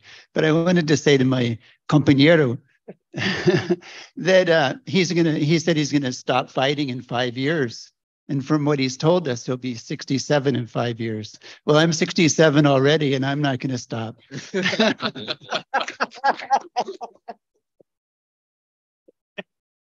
Maybe you gave us the answer here to some of our questions. You know, what can the the left do? Invest in the youth, that's which is lacking all of our countries. Yeah, wonderful. Thank you so much. And I think that question really took my closing comments and just wrapped them up beautifully. I absolutely agree answering the question that Maestra Cobra uh, Mansa offered to us. What are we doing? Why do we do this? Um, you know, I personally continue to fight for the humanities in the university. It's under attack and um, you know, I'm there to defend my students' right. Uh, many of them are learning about their own cultures. Many of them are first generation immigrants to this country and they're coming to our department, the Spanish section, to, to dive back into that, to recapture their language and their culture. So um, that's just a wonderful way to end it. You know, definitely the youngsters, the, the youth, where are the are the future. So um, I would like to close. Um, oh, there's another question. Oh my goodness. Okay, the youth the youth are getting excited at the very end. You're still awake. It's amazing. Uh, I just wanted to add for a lot of people like me. Um, so I'm not from Latin America. I don't have a lot of links to Latin America. My dad's from Ireland. My, you know, mom is just a white American, basically. Um, and I just wanted to add that it's also extremely valuable for someone like me. Things like the, things like these events like today, um, the people here today speaking the ways they do, um, to realize that like if someone like me who comes from a small conservative town and has really ugly roots, to be honest. Um, to recognize that and to place myself in history and to change that and to beautifully personally grow out of it as well. Um, and Davis has given me that. And yeah, it's just, it has a big impact on people like me as well, um, which I think we all need to make this a better place and to accept our roles and our legacies, right? So just thank you very much for being here today.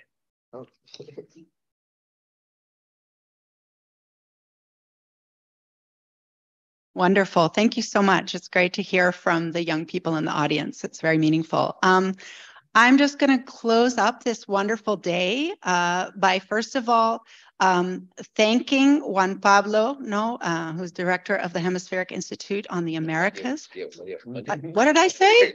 I am tired. Oh, I wrote Juan Pablo. I don't know. Juan Diego. Juan Diego, I know you very well. I am so sorry. Auto auto golpe over here. Um, Yes. Um, and also, Amanda, thank you very much for your help um, with the Hemispheric Institute on the Americas as well, helping us out. UC Davis, thank you for having us here. Um, I also want to thank the Center for Latin American Studies at Stanford, Alberto and Elizabeth and Sara, and all their wonderful work on this event as well. Um, want to thank the San Jose State students for coming up. And um, finally, I just would really love to thank Maestre Cobra Mansa for and the entire group for their incredible performance. I feel like when conferences have performance it elevates it to a different level and i think it brought us all back into our bodies and and made us think about everything that we talked about today in a different way so thank you everyone thank you it was a, a wonderful day and leaves us with lots to think and talk about in the future yes I, I, I mean, there's a lot of people helped here. I want to uh, th- hats off to the Mondavi staff. Set they were great. This is a lot of work. So thank you all so much. I had a good job. Thank you. That's it. Well, let's take a photo of other panelists. Take a photo of oh, everybody. So Diego, Diego, you have to be in the, you have to be in the picture.